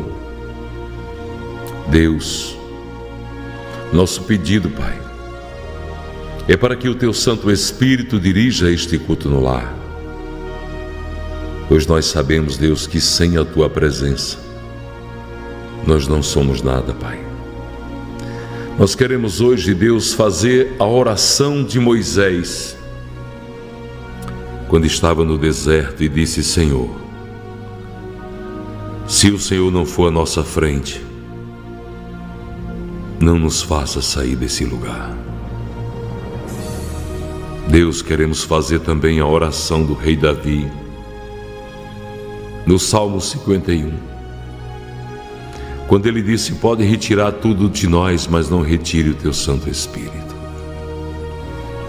Nós sabemos, Pai, que a cada dia nós estamos fazendo um culto, Deus, para corações que precisam ouvir a Sua voz, assim como o meu também, Pai. Todos nós precisamos ouvir a Tua voz, sentir a Tua presença para que o Senhor estenda sua mão santa e aquiete as nossas almas, Deus. Eu sei, Pai, eu sei que a obra que o Senhor faz, Deus, é muito grande. É uma obra grandiosa no coração de cada um dos nossos irmãos e irmãs. E nós queremos, Deus, agradecer, Pai. Agradecer pelos teus cuidados. Deus, agradecer pela tua misericórdia, por este amor tão grande que o Senhor tem por cada um de nós. E queremos pedir que o Senhor use este culto no lar como canal de bênção na vida do teu povo. Nos dá a graça da pregação da tua palavra, sabedoria para o entendimento da tua palavra. Senhor, a palavra de sabedoria, a palavra revelada pelo Espírito Santo, Deus. Abençoa, Paizinho, todos os dizimistas e ofertantes desta obra teus filhos e filhas que com tanto amor no coração fazem a tua obra crescer, se multiplicar a cada dia. Pai, abençoa os que têm votos e propósitos com a casa do Pai, com a igreja Pão da Vida. Abençoa, Deus. Abençoa teus filhinhos e filhinhas, Deus, que pede a oportunidade para ajudar esta obra, abre as portas. Abençoa todos que oram, Deus. Todos que amam esta obra por saberem que é uma obra que nasceu no teu coração, Pai. Abençoa nossas moderadoras, moderadores. Abençoa cada uma das nossas ovelhinhas queridas, Deus. Nossos cordeirinhos. Que a tua mão poderosa esteja estendida, Deus, sobre a vida de todos nós abençoando a todos. Em nome do Senhor Jesus Cristo. Amém. Amados de Deus, de todos os encontros de Jesus, o encontro que o Senhor teve, e que é um encontro que mexe muito comigo, e eu sei que com você também, porque quando eu prego, quando eu falo sobre a mulher samaritana, tem irmãs que gravam áudios chorando, dizendo: Eu sou essa mulher samaritana. E eu estava fazendo a leitura hoje do Evangelho de João, capítulo 4, 26. Eu li todo, toda a história da mulher samaritana, meu Deus, já li milhares de vezes. Mas essa parte do capítulo 26 é muito forte quando diz: Jesus disse: Sou eu eu que falo contigo. A primeira coisa que nós entendemos é que aquela mulher, ela se sentia muito humilhada. Humilhada porque ela tinha buscado o amor em muitos braços e não tinha encontrado. Ela fez feliz, mas não foi feliz. Ela se dedicou, mas ninguém se dedicou a ela. Ela já tinha tido cinco maridos. Então, na cabeça dela, ninguém queria nada com ela, ninguém queria saber dela, até porque naquele momento da vida dela, ela era amante de algum homem comprometido, de algum homem casado. Porque quando Jesus disse: Chama teu marido, ela disse: Eu não tenho marido, Senhor. E Jesus disse: Disseste a verdade. Porque já tiveste cinco maridos e o que tens agora não é teu. Ou seja, era marido de outra pessoa. E quando ela diz, então vejo que o Senhor é um profeta. E quando ela começa a dizer que o Messias viria, quando Jesus diz a ela, sou eu mesmo, eu que falo contigo. Aquela mulher falou: Mas como pode? Como pode eu, com a vida tão errada, tão cheia de, de pecados, ele está aqui falando comigo? Como é que isso pode? E aí, o melhor aconteceu depois. Porque lá em, em Samaria, onde tem um posto de Jacó, ninguém ia na casa daquela mulher. Ninguém ia. Porque aquela mulher, ela era considerada impura pelos muitos casamentos que tinham tido e pela vida que ela levava. E a história dessa mulher é uma história que mexe muito comigo, porque a gente vê nessa história Jesus Cristo indo atrás, sabe, de uma pessoa que ninguém queria, indo atrás da mais desprezada mulher daquela comunidade. E eu fui pesquisar aqui na internet, porque lá em Israel, eu vi a distância que é de Jerusalém para para Samaria, 199 quilômetros. Meu Deus. E eu imaginar que Jesus deu milhares e milhares de passos para chegar até aquela mulher só para dizer para ela: sou eu. Eu que falo contigo. Sou eu que estou aqui. E quando ela e os demais pediram para ele ficar em Samaria, Senhor, não vai embora hoje não, fique um pouco conosco.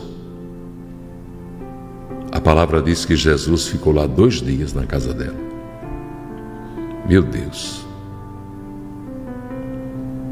Logo eu vou acreditar, e sei que você também que me acompanha vai acreditar, que todos aqueles que são desprezados são jogados de lado, Deus acolhe. Que o julgamento que vem do povo não é o julgamento que vem de Deus.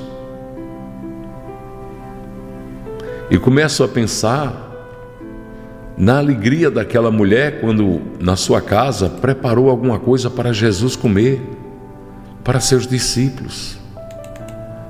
E como ela deve ter ficado olhando para ele e pensando: como é que como é que pode isso? Ele é o Messias? Ele é o enviado de Deus que está aqui na minha casa. E ela ficava se perguntando e olhando para Jesus Cristo e sem querer acreditar no que os olhos dela estavam contemplando.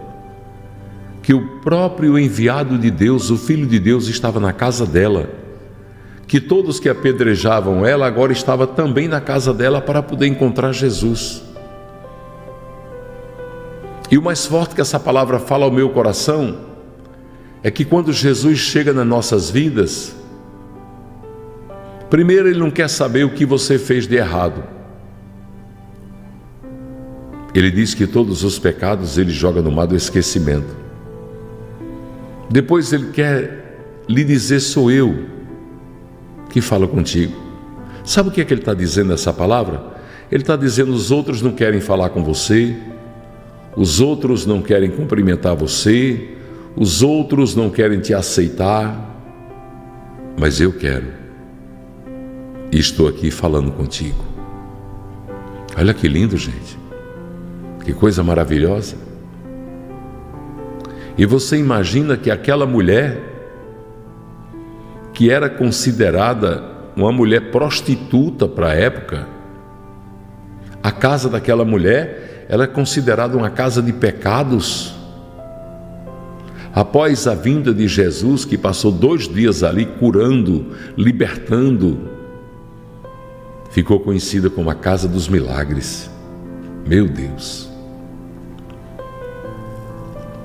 Eu quero falar para você que está me ouvindo aqui hoje. Eu sei que estou falando para pessoas que às vezes se perguntam, às vezes ficam em dúvidas com relação ao amor de Deus por você, não deixe que tenha nenhuma dúvida no amor que Ele tem por você.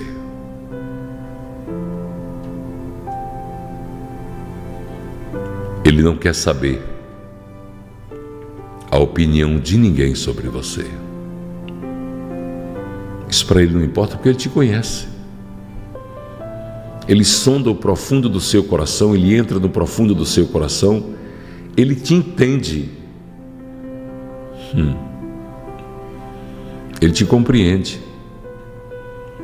Ele sabe a mensagem, a carta que está em cada lágrima que corre em seu rosto,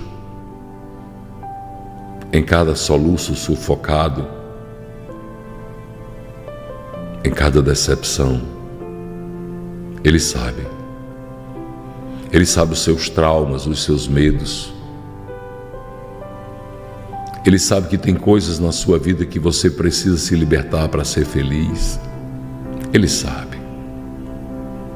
Ele sabe tudo. Então, que essa palavra possa trazer ao seu coração hoje descanso. Porque quando nós reconhecemos o amor que Deus tem por nós, a gente descansa. Aonde, pastor, a gente descansa? Nos braços do Pai.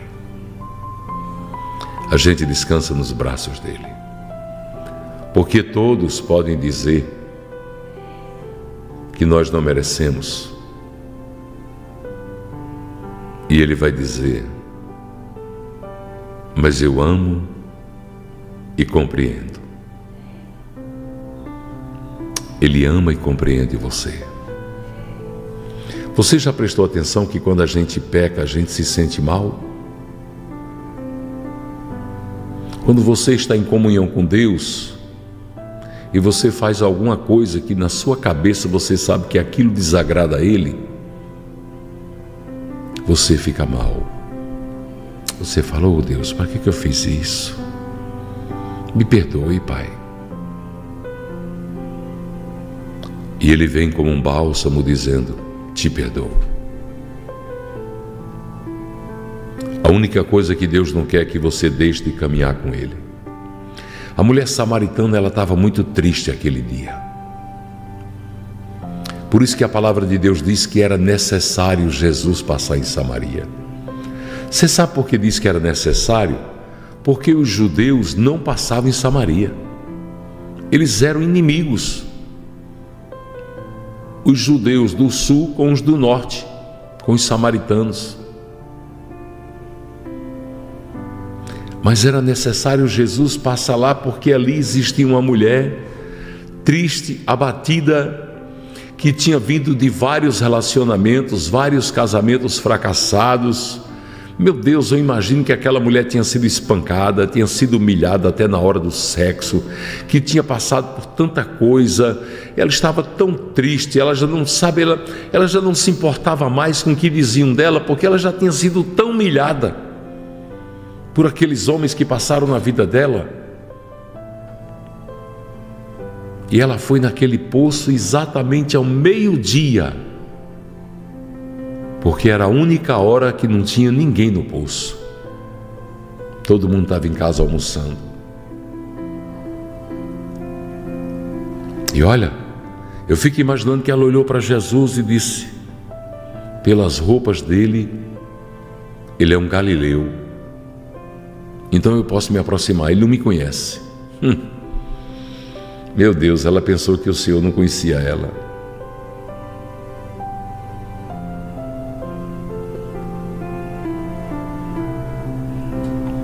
Meu Jesus,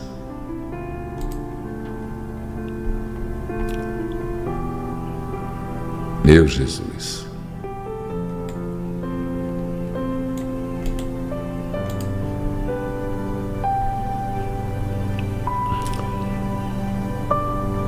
É só falar para Marli Carvalho que não bote o Pix assim, não, Marli, que os irmãos acabam errando, sabe? Tem que ser o e-mail completo, como está aqui agora. Olha o Pix do Santander. É pastorchicochagas.gmail.com, se for para o Santander. Muito bem, irmãos, deixa eu só falar uma coisa para vocês. Essa mensagem de hoje é uma mensagem de acolhida de Deus para a vida de vocês. Para a minha vida. Sim, para a minha vida.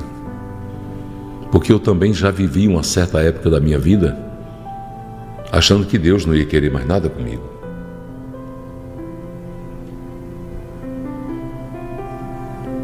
Olha Eliane Barbosa dizendo: Meu Deus, essa história é igual à minha, chorei demais, tá vendo? Pois é, ela parece com a história de cada um de nós. Aquela pessoa que todo mundo achava que Deus não queria mais saber dela, e ele veio atrás.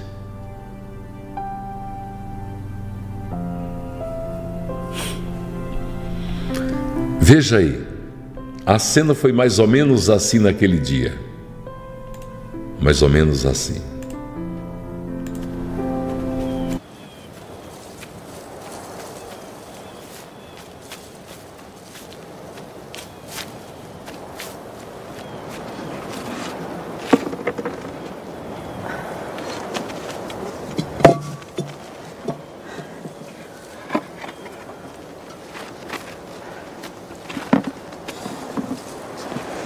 Dá-me de beber.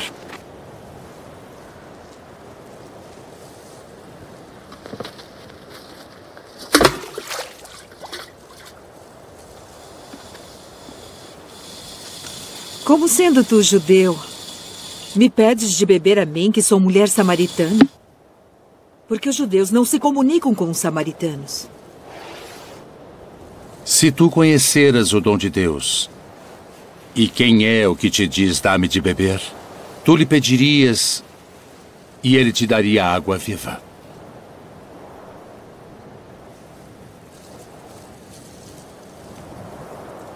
Senhor, tu não tens com que a tirar, e o poço é fundo.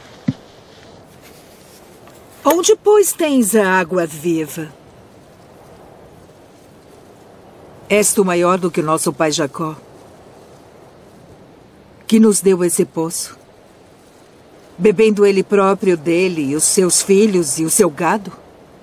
Qualquer que beber desta água tornará a ter sede. Mas aquele que beber da água que eu lhe der, nunca terá sede. Porque a água que eu lhe der se fará nele uma fonte de água que salte para a vida eterna.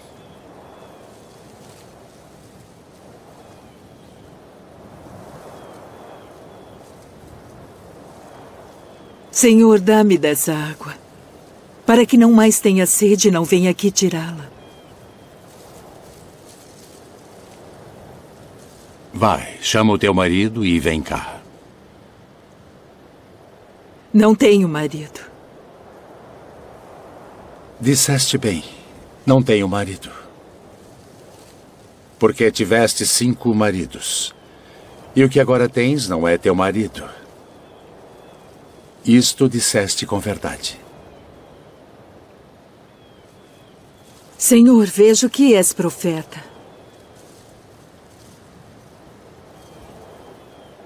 Nossos pais adoraram neste monte. E vós dizeis que é em Jerusalém o lugar onde se deve adorar. Mulher, crê-me, que a hora vem em que nem neste monte, nem em Jerusalém adorareis o Pai. Vós adorais o que não sabeis. Nós adoramos o que sabemos porque a salvação vem dos judeus.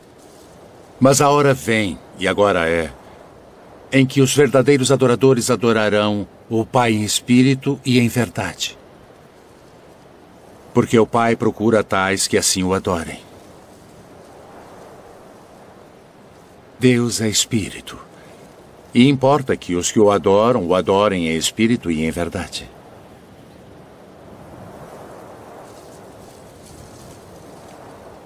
Eu sei que o Messias, que se chama o Cristo, vem. E quando ele vier, nos anunciará tudo. Eu sou. Eu que falo contigo.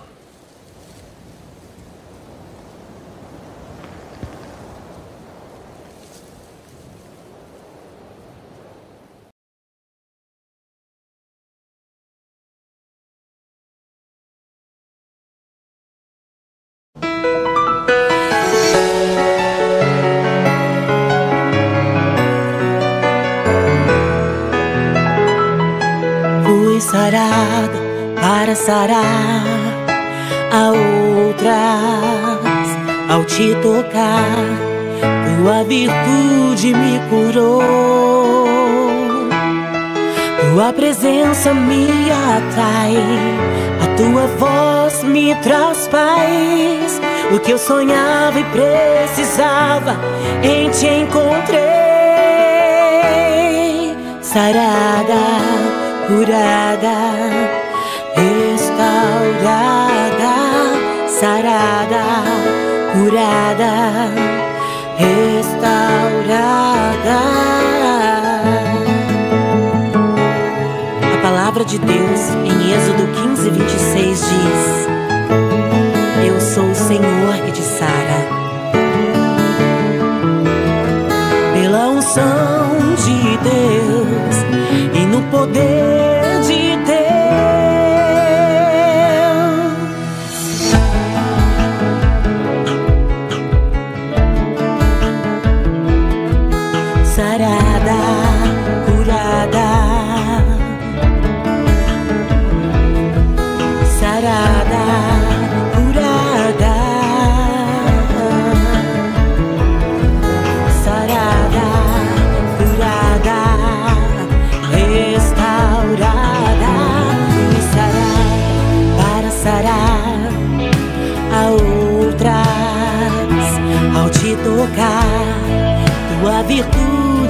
curou.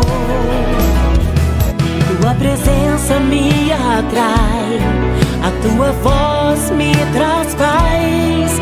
O que eu sonhava e precisava, em te encontrei. Sarada, curada,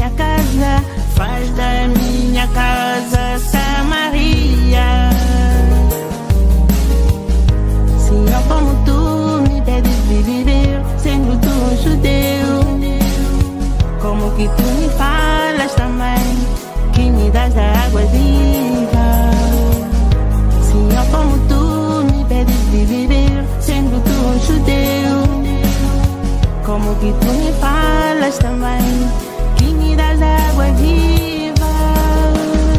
Eu quero a fonte chegar de cântaro.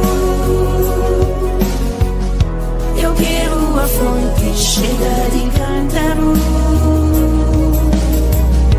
Eu quero a fonte que é Jesus.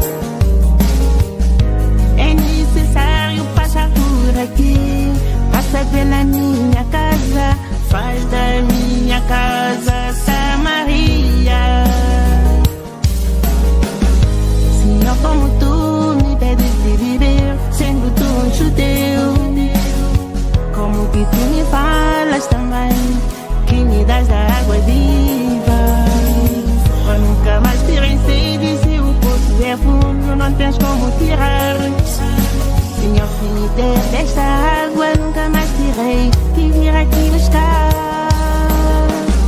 Eu quero a fonte cheia de cântaro.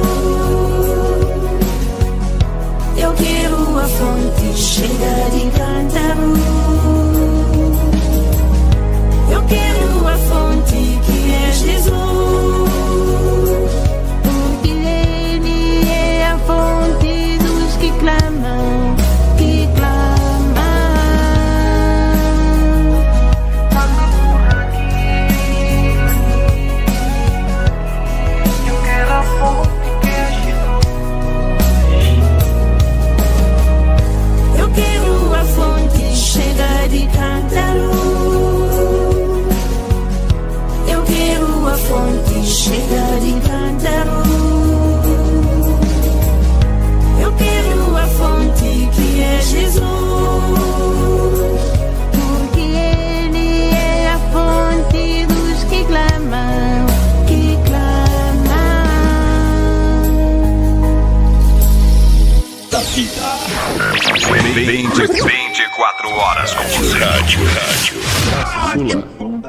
Entendeu? Vamos trazer mais um pedido de conselho?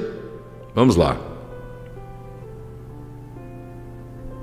Paz do Senhor, pastor Chico Chaga, Deus A abençoe paz, grandemente a vida do Senhor, da sua Sua esposa, também. da sua filha e todos os que fazem a pão da vida. Deus abençoe grandemente. Pastor Chico Chaga, eu vou estar fazendo, deixando aqui meu pedido de conselho, que o Senhor é muito usado pelo Espírito Santo e eu creio que o Senhor vai falar comigo o que eu devo Amém. fazer, pastor. Eu comprei uma moto no início de novembro de 2022, ano passado. Aí, Serginho, Deus abençoe, E Serginho. eu sempre tenho muitos traumas por causa de um acidente que eu sofri no ano de 2016, mas meu esposo, a gente tá vivo pelo milagre de Deus, porque a gente caiu sentado. Se a gente tivesse batido a cabeça na altura que a gente caiu, né? Porque um carro veio e bateu na traseira da moto. Era meu esposo que aí estava conduzindo. E a gente subiu na altura de uma casa, pastor. O menino que socorreu a gente falou, ó, era a altura de uma casa que vocês subiram a gente desceu, caiu na, no meio da BR, né? E a moto desceu o aterro. E aí, pastor, desde esse tempo aí que eu sempre assim, eu fico muito assustada. E pastor, mas mesmo assim eu pensei, Senhor, mas eu preciso comprar uma motinha, o Senhor vai me ajudando. E então, pastor, desde novembro que sempre aparece empecilho para eu não aprender, eu não sei o que, que acontece. Não sei se é Deus querendo me dar um livramento, pastor. Aí, assim que eu comprei, eu eh, tive uma crise de hemorroida, fiz duas cirurgias. E logo depois veio pedreiro aqui para casa e aquele corre-corre. E depois, quando os pedreiros saiu, que passou mais de mês, a moto deu problema, tá com quase dois meses parada ali, sempre aparecendo um empecilho. Meu marido, aquela pessoa que não me apoia, pastor, para eu aprender. Assim, não tenho aquela pessoa para ajudar, pastor. Eu não sei porque que, que ele pensa, mas ele não acredita em mim, no meu desenvolvimento.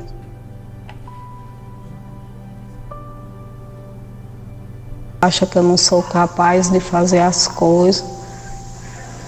E pastor, eu queria um conselho. Eu vou mandar ela para o concerto e eu estou pensando, pastor, o que eu devo fazer se eu vendo e boto em mercadoria, né? Que eu trabalho com cama, mesa e banho. Ou se eu insisto, pastor, em aprender. Me ajude, pastor, diga aí. Eu sei que o Senhor vai falar, né? Vai ser instruído pelo Espírito Santo. Eu creio, pastor. Então, pastor, é isso. Será que eu devo vender e colocar em mercadoria? Ou ajeitar algumas coisas aqui em casa que tá para terminar? Ou eu devo insistir, pastor, em aprender para resolver minhas coisas, vencer esse trauma? Amém, minha amada. Eu vou dizer a você que vença o trauma. Olha, hoje em dia, o preço de uma moto está muito alto. Qualquer moto hoje é muito cara. Aí você tem uma moto ou um carro, eu aconselho você ter o carro. A pessoa diz: não, mas o carro a despesa é maior, porque o motor é maior, é quatro pneus andando no lugar de dois, é, mas a segurança. Moto é muito perigoso para mulher, especialmente, muito perigoso. Eu vejo algumas mulheres, às vezes eu vou na BR, eu vejo mulher na BR, na beira da estrada, e vejo aquelas carretas passando, sabe? Às vezes ela vai numa bizinha, numa Trax, essas motos pequenininhas, e aquela carretona passa, aquela carreta com trinta e tantos metros, 36 metros de comprimento. Menino, eu fico morrendo de medo por ela. Fico com medo. Porque assim, é muito perigoso.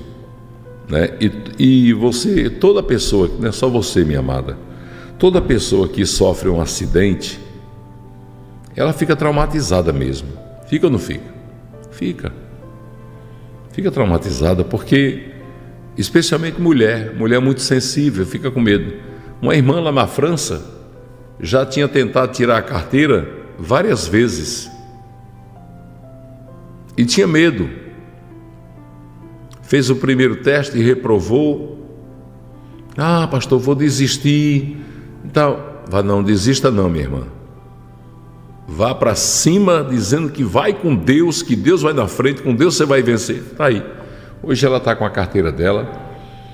Então não desista não, porque se a gente for abrir mão de todos os prazeres da vida, a gente vai ficar conhecido como uma pessoa que nunca lutou por nada. Hoje você desiste disso, amanhã você desiste daquilo, você se acostuma a desistir das coisas. Tá bom? Quero mandar um abraço aqui para a irmã Luz Helena Feliz do Carmo. Deus abençoe a senhora, irmã Luz Helena. Deus abençoe a senhora poderosamente com toda a sua família, viu? Deus abençoe, em nome de Jesus Cristo. Tem aqui o testemunho de um voto com a casa do pai, da irmã Manuelita, ela mora em Recife. Vamos ouvir, para a glória de Deus. A graça e a paz, irmãos. Me chamo Manuelita, sou aqui de Recife. E meu testemunho é sobre com a casa do pai, né, que eu fiz. É, eu trabalhei com meu pai durante 16 anos. Ele tinha uma lojinha de peça de carro e eu trabalhava com ele. Foi meu primeiro emprego e foi o que me sustentou por muitos anos. Quando o meu ex-marido foi embora de casa e eu fiquei só com meus dois filhos. E depois de um tempo, Jesus me presenteou com o meu esposo, né? Depois de três anos sozinha, Jesus me presenteou com um casamento. Hoje eu vou fazer dez anos que sou casada. E depois que eu não, não, depois que eu fui demitida, né, que eu trabalhei com meu pai, meu pai não conseguiu é, continuar com a loja, né? Aí eu fui demitida. E depois de um tempo fiz umas coisas, fiz uns cursos, coloquei uns currículos, tentei me qualificar, mas não consegui entrar de volta no mercado. E consegui três meses de ferista para tirar no hospital. E com o salário de lá do hospital, eu comecei a me envolver vendendo Natura. Natura, Boticário. Aí fiz né, novas amizades, conheci novas pessoas e fui vendendo, fui vendendo, né? E terminei o meu contrato, não consegui ficar efetivada. Só que o dinheiro das vendas, ela não consegue me sustentar. E um dia eu estava muito triste, né, porque eu ainda peguei ainda o tempo da pandemia, o desemprego das pessoas, as dificuldades. E um dia eu estava muito triste e estava conversando com Jesus, né?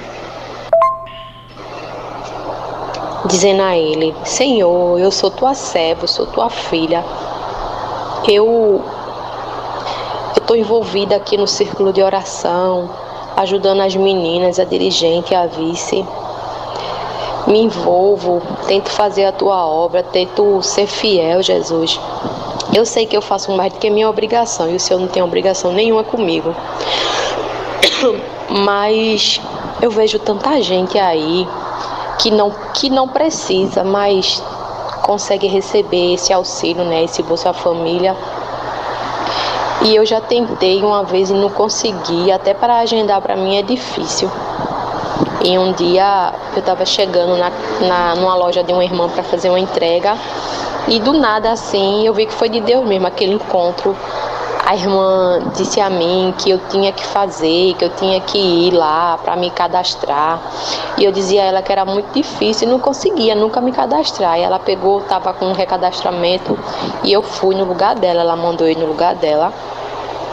E quando chegou lá, eu vi Deus purinho naquele momento.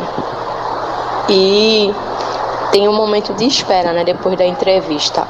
Aí, quando foi um dia, eu estava assistindo, né, a Pão da Vida e vi uma irmã falando que tinha feito um propósito, né, com a casa do pai. Aleluia. E eu disse assim a Jesus: Jesus, dia de quinta-feira eu não trabalho para ninguém. Minha quinta-feira é na consagração na igreja. Volto para casa, finalizo o almoço, né, organizo as coisas e volto para a igreja para o círculo de oração. Minha quinta-feira é assim, é do Senhor. E eu queria, Senhor, se for da tua vontade mesmo, que eu não volte mais a trabalhar para o homem, que eu fique né, vendendo minhas coisas e de olho nos meus filhos, porque é o bem mais precioso que eu tenho na terra, é os meus filhos. E principalmente para uma Glória mulher que é separada, né? Toda a responsabilidade cai por cima da mãe. Qualquer coisa que aconteça. O que é bom é difícil das pessoas apontarem, mas o que for de ruim na vida dos filhos, as pessoas sempre apontam, né? Aí, principalmente a minha situação, que foi uma separação muito difícil, muito conturbada. Até hoje, a convivência com meu ex-marido, eu nem convivo, não quero nem muito papo, porque é muito difícil, envolve muitas coisas. E eu fiz um propósito com o Senhor. Senhor, sabe aquele propósito que você faz assim sem fé? Eu fui para o CRAS fazer o cadastramento, mas eu fui sem fé. Eu fui porque a irmã mandou eu ir, usada por Deus, né? E quando eu cheguei, quando foi à noite, eu estava orando. Eu disse: Senhor, eu sei que se for da tua vontade, eu vou ser aprovada. Esse, esse, esse auxílio. E eu quero te dizer, Jesus, que se eu for aprovada, a metade do que sair, eu vou ofertar na casa do Pai.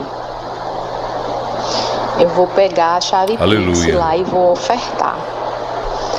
Aí fiquei esperando, mas sem muito entusiasmo né, de estar olhando o aplicativo. Aí quando foi um dia assim, a minha prima me mandou uma mensagem e disse assim, dá uma olhadinha lá no teu aplicativo, já vai fazer, daqui a pouco faz 40 dias.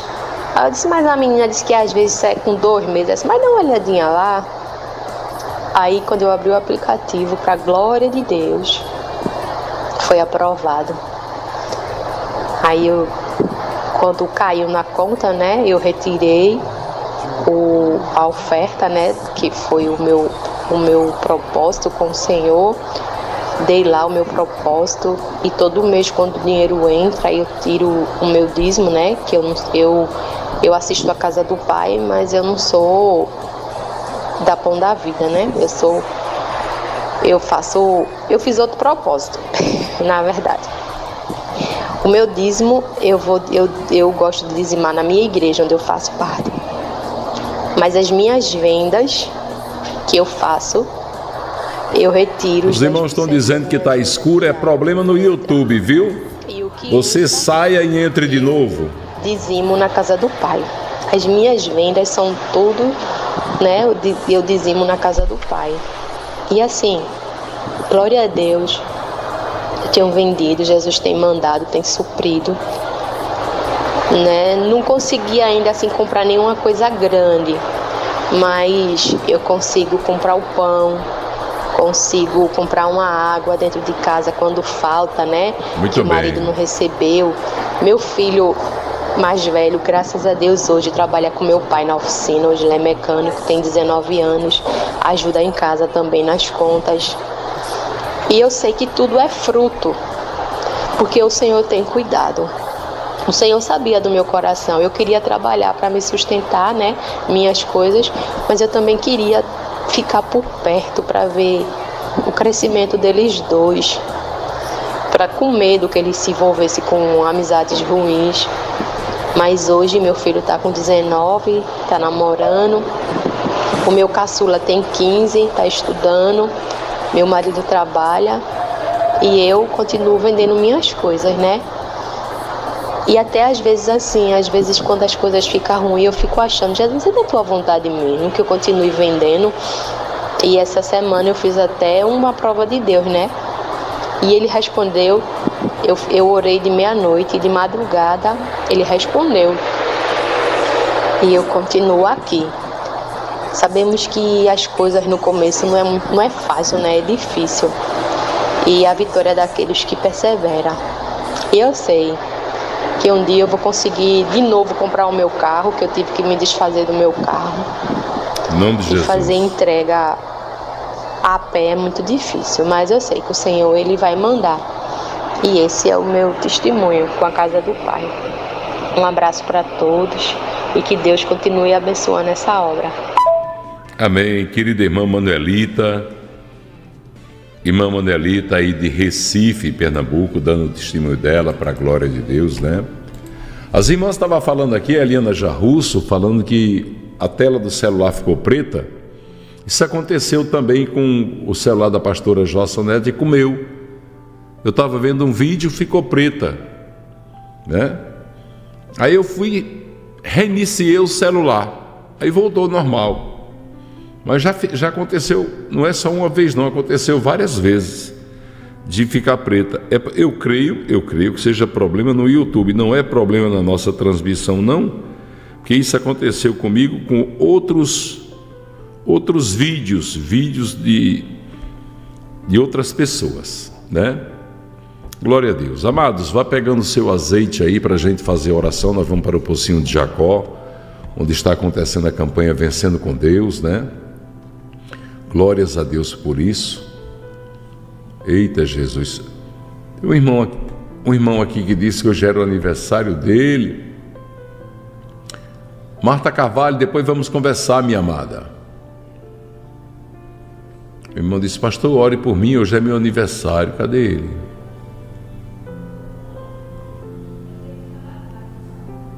Foi Adailto Melo? Quem foi?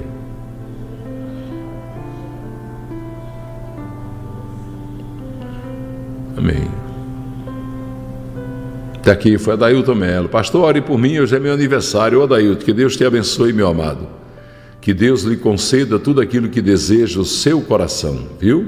Que o Senhor te faça muito feliz para a glória de Deus. Pronto, a Eliana Jarrus botou que já está normal.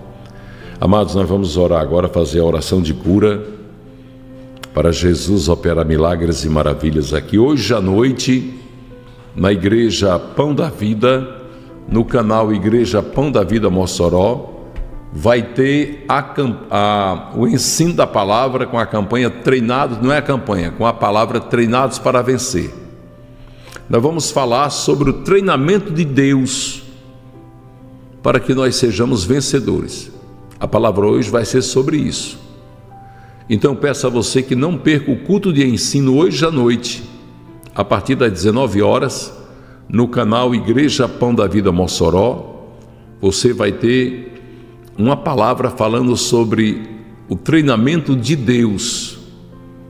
O título dessa mensagem é Treinados para Vencer, tá bom?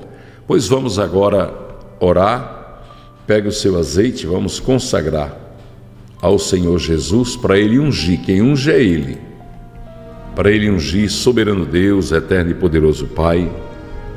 Apresentamos ao Senhor e consagramos ao Senhor este azeite que está em minhas mãos e nas mãos, Deus, de cada irmão e cada irmã no Brasil e no mundo, Deus.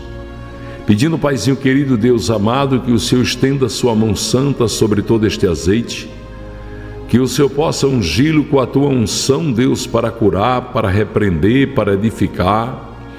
Que todas as vezes que esse azeite for usado, Deus, o teu nome santo seja glorificado. Pai, nós pedimos a tua bênção e a tua recompensa para os dizimistas, para os ofertantes desta obra.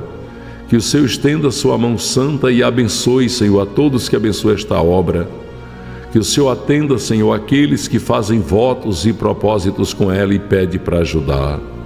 Todos que oram por ela, Deus. Abençoa agora, Paizinho, esta oração. Pai, tem irmãos e irmãs que estão aí, Deus, só esperando esta oração, cheios de fé, sabendo, Deus, que o Senhor tem o poder para curar, sabendo, Pai, que o poder é teu, que é vontade tua curar o teu povo. Então, Pai, honra agora esta oração, esta imposição de mãos. O Senhor disse: Imporão as mãos sobre os enfermos, eles serão curados. Em meu nome expulsarão os demônios, e tudo o que pedires em meu nome eu te darei. Aqui está a nossa imposição de mãos. Aqui está, Deus, o nosso pedido, Pai, para que sejam todos curados. Os que estão assistindo agora ao vivo, Deus, e os que vão assistir qualquer dia, qualquer horário, que recebam a cura das suas enfermidades, sejam elas quais forem, Pai pois não é impossível para ti, meu Deus. Pai, eu peço também que o Senhor melhore a vida financeira do teu povo, que o Senhor abençoe, Deus, as tuas filhas e filhos. Senhor, que o Senhor melhore o desempenho das empresas, que o Senhor abra portas de emprego. Deus, que o Senhor visite o coração, a alma, tire a raiz de amargura, Deus. Tira, Deus, a depressão, a tristeza, a ansiedade, o mal do pânico. Repreende, Deus, o espírito da morte, o espírito da tristeza, da desilusão, o espírito do fracasso. Que seja repreendido toda a macumbaria, toda a feitiçaria, toda a magia negra.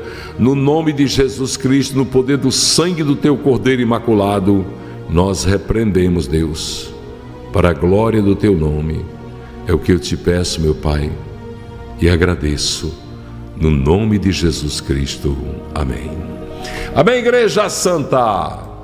Igreja querida, que a graça de Deus, nosso Pai, o amor de Jesus Cristo, as maravilhas do Santo Espírito, seja com esta igreja abençoada hoje e sempre. Amém. Pense sempre coloque no seu coração: posso todas as coisas naquele que me fortalece. Um beijinho carinhoso em todas as nossas ovelhinhas um abraço cheio do Espírito Santo. Deus abençoe. Peço a você que dê o seu like, inscreva-se aqui no canal e compartilhe. Arranje mais inscritos. Você pega o celular e diz: Deixa eu abençoar a sua vida. Me dê seu celular aí. Você bota em YouTube Pastor Chico Chagas, bota inscrever-se. Pronto. Inscrevi você no canal do Pastor Chico Chagas. Abençoei a sua vida. É um canal de bênçãos. É 24 horas falando do amor de Deus. Tá bom? Fica na paz, queridos. Beijo no coração. Muito obrigado, nossas moderadoras, moderadores, nossas ovelhinhas, a todos que ficaram conosco até agora. Às 18 horas tem a mensagem, palavra poderosa de Deus para a sua vida. E à noite no canal Igreja Pão da Vida Mossoró, a palavra Treinados para Vencer. Você vai assistir esse culto aí onde você está, ou se você estiver em Mossoró, venha para a Igreja Pão da Vida, na rua Felipe Camarão, ao lado da agência dos Correios do bairro 12 anos, e você vai ser treinado para vencer com essa poderosa palavra. Deus abençoe.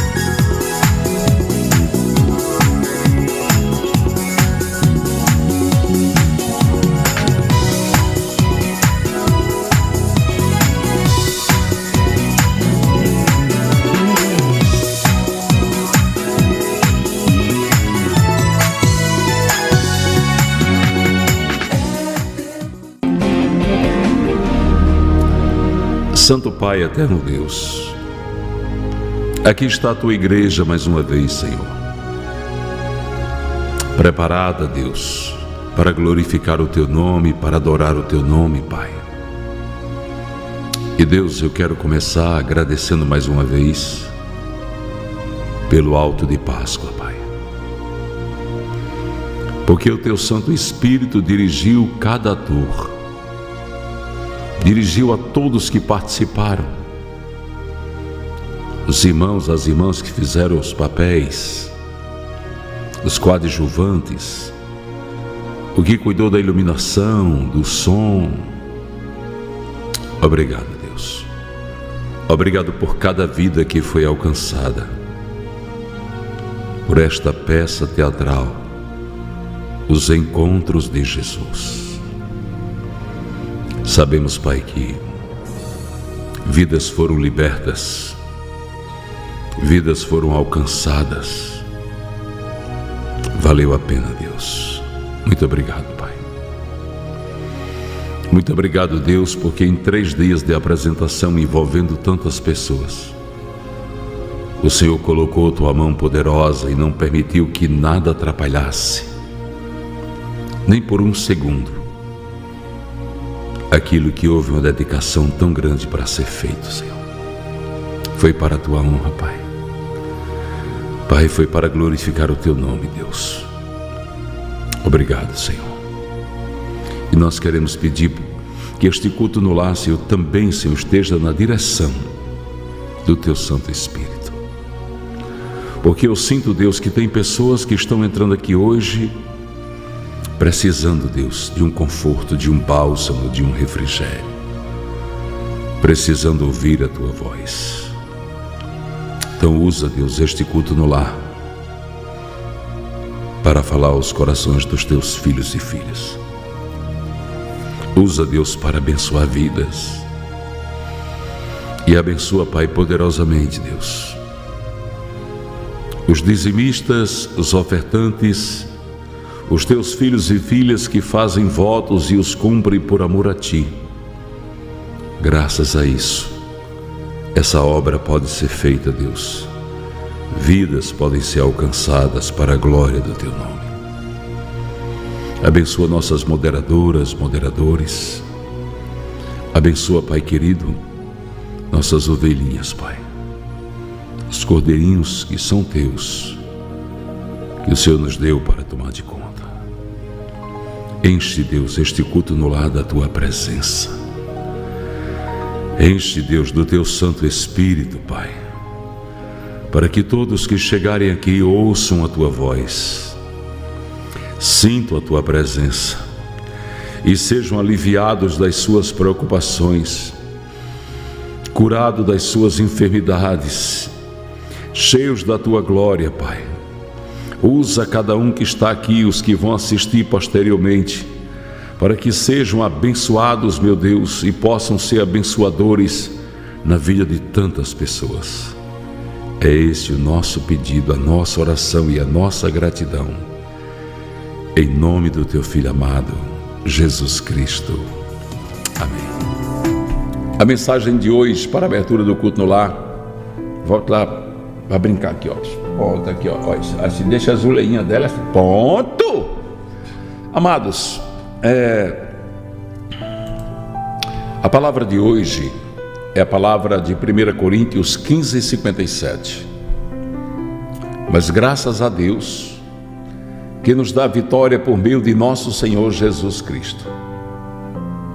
Eu queria dizer a você, e você, irmã, que está aqui nos assistindo, para que você entenda que tudo o que você vai fazer, porque você é filha de Deus, tudo que você vai fazer, você que é filho de Deus, vai ter empecilhos, vai ter lutas contrárias ao que você está fazendo. Olhe, os planos de um crente, eles não fracassam porque estão nas mãos de Jesus Cristo. Vai recebendo aí, porque os teus planos estão na mão dele. Mas tudo que o inimigo gostaria de fazer era de destruir os teus planos. Porque os planos que você faz, você já está fazendo pensando em dar o testemunho. Você é crente. Você tem intimidade, laços, compromisso com Deus. Então o crente ele já pensa assim: Deus vai me abençoar, eu vou ganhar dinheiro, eu vou fazer isso, eu vou abençoar a obra, eu vou abençoar minha família, eu vou proporcionar mais conforto, eu vou. Não é assim não? E aí o inferno se levanta e vem contra você. E quando o inferno se levanta, vem de todas as maneiras. Às vezes usando pessoas dentro da sua própria casa, usando pessoas que comem no seu prato junto com você. Eita Deus! E você às vezes não consegue entender. Ah, os lá de fora, tudo bem, mas os daqui de dentro? Os que convivem comigo, os que precisam de mim, os que dependem. Exatamente. Porque o inimigo sabe o nosso ponto fraco. Ah, se tem uma coisa que ele sabe é o teu ponto fraco, ele sabe onde te atingir, onde me atingir. Então ele vai usar aquelas pessoas que estão próximas e geralmente pessoas por quem nós oramos, pessoas por quem nós clamamos. E ele vai fazer com que aquela pessoa se volte contra nós. Por quê? Porque aquela pessoa vai nos atingir no fundo da alma. Está compreendendo? Deus está falando com você. Mas toda vez que você estiver realizando alguma coisa, ou pedindo algo para Deus, que se levantar uma luta, glorifique. Sabe por quê? Porque é sinal que Deus vai lhe atender. Porque não esqueça que o diabo ele morou no céu. Ele conhece Deus muito mais do que eu que você. Ele era um anjo de luz. Ele fazia parte do coral celestial. Ele estava com Deus lá na, lá na terra, lá, lá no terceiro céu, onde Deus mora. Então ele conhece Deus. Então, quando você está pedindo algo a Deus, quando você está orando por algum propósito, ah, minha irmã, meu irmão, ele sabe que você vai ser atendido, porque ele vai. Sabe o que é que ele vai dizer? Ele vai dizer: esse pedido aí, Deus não vai deixar de atender, não, porque eu conheço ele. Eu sei que quando o crente pede assim, chorando, se humilhando, eu sei que quando o crente pede justiça, ele vai fazer. Eu vou atrapalhar, ele quer atrapalhar. Ele é um incansável perseguidor que sabe que persegue o povo de Deus, que não consegue vencer, mas ele vai continuar fazendo isso, porque isso é próprio dele. A Bíblia Sagrada diz que a mentira, o engodo, é tudo próprio dele. Ele é o pai da mentira.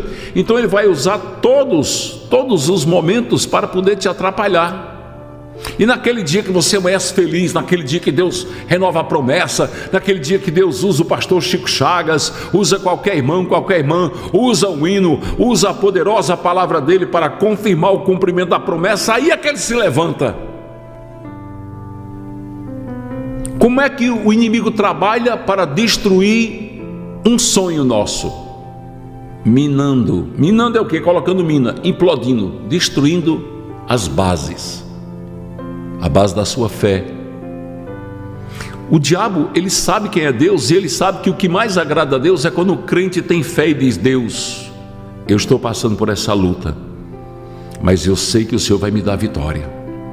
Eu estou passando por essa humilhação, mas a tua palavra diz que o Senhor vai me dar dupla honra. Quando você começa a citar a palavra, ele fica irado, porque foi isso que aconteceu quando ele tentou Jesus Cristo no monte da tentação. Foi que ele disse: se tu és o filho de Deus, transforma essas pedras em pães. Jesus respondeu com a palavra: Nem só de pão viverá o homem, mas de toda a palavra que sai da boca de Deus. E ele insiste novamente. Mostrou os, os mundos e disse: Se você me adorar, Primeiro ele diz assim: lança-te daqui para baixo do pináculo do templo, que está escrito que aos anjos, aos, aos anjos de Deus ele vai dar ordem a teu respeito para te sustentar. Jesus disse: está escrito: Não atentarás ao Senhor teu Deus. Jesus sempre dizendo: Está escrito, aonde? Na Bíblia. Aí ele vai dizer: Se prostrado me adorares, eu te darei tudo isso aqui que tem no mundo, todos os reinos que me foi dado. Já, que, já pensando em transformar Jesus no anticristo, Jesus disse: Está escrito: Somente ao Senhor teu Deus adorarás, somente a Ele rendirás culto. Ele explodiu e foi embora. Porque quando o crente usa a palavra dizendo, está escrito Deus na tua palavra, que o choro pode durar uma noite, mas a alegria vem um amanhecer. Deus, eu estou aqui passando nessa prova, nessa luta, estou aqui passando por esse constrangimento, estou aqui, Deus, sem que as pessoas entendam o que eu sou, nem me valorize pelo que eu sou, mas eu sei porque a tua palavra diz que os humilhados serão exaltados e os exaltados serão humilhados. Quando você usa a palavra, você confronta ele com aquilo que Deus promete na palavra dele. É por isso que a palavra de Deus diz: resistir ao diabo e ele fugirá de vós. Então nós temos que resistir a ele com a palavra, com o poder da palavra. Ah, quando ele vê um crente triste, ele fica alegre. Ó, oh, consegui abater. Está triste. O que foi que ele disse para Jó? Sobre Jó para Deus. Deus disse: Tu viu meu filho Jó? O quanto ele é íntegro. Ele disse também: O Senhor dá tudo a ele, daquele jeito. E Deus diz: Toca nas coisas dele. Deus estava colocando Jó à prova. Ele tocou. Depois ele voltou, Deus tornou a ordenar agora que ele tocasse no corpo dele, mas não tirasse a vida dele. Ele tocou de uma maneira que Jó ficou coçando as feridas. O que, o que restou para Jó foi um caco de telha e uma mulher que disse: Amaldiçoa o teu Deus e morre, homem, logo. Ele disse: Tu és uma louca. Eu sei que o meu redentor vive e se levantará ao meu favor. Ah, nessa hora aí acabou-se no meio daquela luta, no meio daquele sofrimento, no meio de todas aquelas perdas, Jó disse: Eu sei que o meu Deus vive e se levantará a meu favor, e aquilo encheu Deus de, de orgulho, e Deus restituiu a ele o dobro de tudo que ele possuía. Aleluia. Que é o dobro, que é bênção sem medida, que é o derramar das janelas dos céus, que é o olhar misericordioso de Deus, que é Deus dizendo: Vou te recompensar, que é Deus dizendo: A porta está aberta, ninguém pode fechar, não negue o nome dele nem a palavra dele. Apocalipse 3,8. Conheça as tuas obras. Ele está dizendo: Eu sei quem você é, e sei que você, mesmo sem forças, mesmo sofrendo, mesmo enfrentando luta, você não negou meu nome nem desprezou a minha palavra. Por isso que eu coloquei uma porta aberta e ninguém pode fechar. Aleluia. Deus está dizendo que tem porta aberta. Para você que não nega o nome dele, para você que não deixa de glorificar o nome dele, vai recebendo essa palavra hoje, dizendo: Deus, eu precisava dessa palavra, porque eu sei, Senhor, que o meu redentor vive e Ele está olhando para mim, está contemplando, Ele está recolhendo as minhas lágrimas, Ele está vendo o meu sofrimento, Ele está vendo o que eu estou passando, as humilhações, o constrangimento, tudo que estou passando. Recebe uma palavra hoje de fé, de esperança e de vida para o teu coração. Estou sentindo aqui que tem pessoas que estão dizendo assim: estou fracassando. Meu comércio está se acabando, estou perdendo meu emprego, meu seguro-desemprego está acabando, estou cheio de dívidas. Pessoas que estão dizendo, minha família está destruída, é tanta briga, tanta confusão, tanta coisa, eu não sei mais o que é que eu faço. Adore, adore ao Senhor, e Ele cuidará de você e dos seus. Lembre-se como foi que fez o rei Josafá. Segunda Crônicas, capítulo 20. Ele colocou os cantores, os músicos na frente dos soldados armados e marchou para a batalha. Ele foi adorando. Na adoração nós vencemos as batalhas. Naquele momento ninguém entendeu. Não vão entender.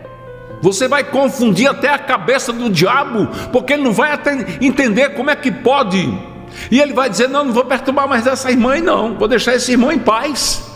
Porque quanto mais eu tento destruí-la, mais ela louva, mais ela adora, mais ela ora, mais ela jejuma, mais ela continua na presença de Deus. Vou largar essa mulher de mão, vou atrás de uma mais fraca. Eita! Alaba, canta assim, decanta ela. Vai, vai procurar o mais fraco, porque ele vê que tu és forte em Cristo Jesus. Nos dá a vitória por meio de nosso Senhor Jesus Cristo. Deus está dizendo assim: Eu sou forte e te sustento com a minha destra vitoriosa estão te afrontando, estão, estão te humilhando, estão sim, ah, estão te fazendo sofrer, estão te decepcionaram, te constrangeram, foi. Então glorifica a Deus por isso, porque o inimigo te quer triste, te quer numa cama, coberto, num quarto escuro, chorando, gemendo e ele gritando de alegria. Mas hoje tu vai gritar: O meu redentor vive e me dá a vitória em Cristo Jesus, e eu dou graças a Ele por isso. Aleluia. Glórias ao nome daquele que vive e reina para sempre. Tu veio aqui hoje receber essa palavra de vitória para a tua vida. A estratégia para vencer é glorificar. Em tudo dai graças a Deus Eita Jesus, quando você agradece a Deus por aquilo que Ele faz por você, Ele vai te abençoar cada vez mais, Ele vai resolver os teus problemas, porque Ele sabe que você vai glorificar o nome dEle, que você vai agradecer a Ele, e por isso Ele não vai parar de te abençoar. Está recebendo essa palavra no coração aí, tá? Foi muito bem. É. O Senhor está dizendo assim: olha, tenho bênçãos para você, tenho riquezas celestiais para você, tenho coisas grandes, tenho um renovo, tenho uma alegria. Ah, meu Deus do céu, quantas pessoas não estão enfrentando lutas agora e não podem contemplar o que Deus está preparando para a sua vida não conseguem ver. E eu peço, Deus, abre os olhos espirituais e mostra o que está sendo preparado no meio dessa peleja. A alegria de toda a família, a renovação de toda a família.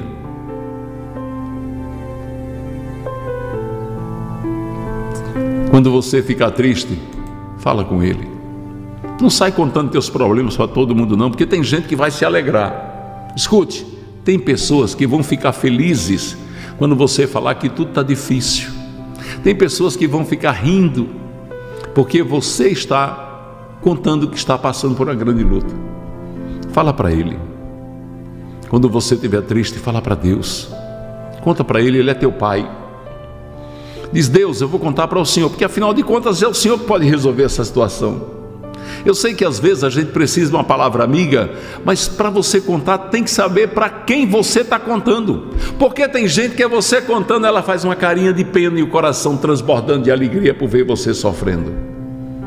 Mas Deus está dizendo assim: fala comigo, conta para mim, porque quem te entende sou eu, eu te entendo.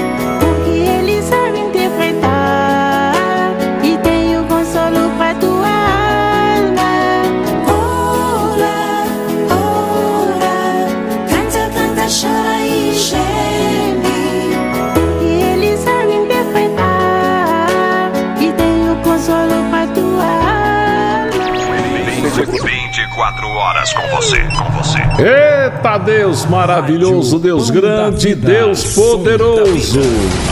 A primeira em seu coração.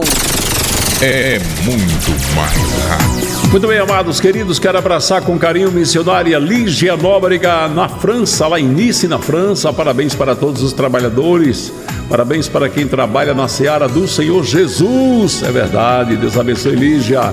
Honória Félix, bom dia, pastor. Esse é o dízimo da Sinara aqui de Portugal. Deus abençoe, Deus abençoe poderosamente, viu? Deus multiplique na vida da irmã Sinara Carneiro, toda a família. Deus abençoe em nome de Jesus a ela, toda a família. Estamos orando pela Sinara. Deise Batista, bom dia, meus pastores abençoados. Pastor Chico Chagas, peço oração pela minha causa na justiça, que vai ser julgado dia 17 de maio. Eu vendi a pessoa que não pagou o valor todo. Daí entrei na justiça pedindo a reintegração de posse. Oh Deus, concede vitória à tua filha. Em nome de Jesus. Irmã Lúcia Oliveira, Pai do Senhor, obra linda, abençoada. André Moura, Lúcia, Deus abençoe, querida Lúcia. André Moura, Pai do Senhor, pastor Chico Chagas, esse é o restante do nosso dízimo. Com muita alegria, mandamos o comprovante no seu WhatsApp. Abençoe esse ministério, Deus e os nossos pastores. André Moura, Deus abençoe você. Beijo do coração seu da Sinara Carneiro. Deus abençoe poderosamente. Deixa eu trazer aqui um conselho agora. Eu conversei com uma irmã. Eu tenho feito um trabalho, e humildemente digo isso, aconselhando casais, né?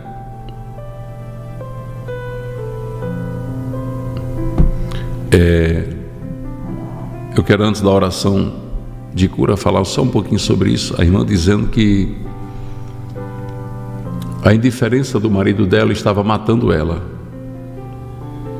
Que ele não dava atenção para ela, né? que ele ficava pouco tempo do lado dela e isso estava maltratando ela demais. E eu queria dizer que essas coisas, elas são tristes, mas elas são reparáveis. Ou seja, está pegando seu azeite, que nós vamos já orar. Elas são reparáveis. O que é? Tem conserto, tem jeito de resolver. Né?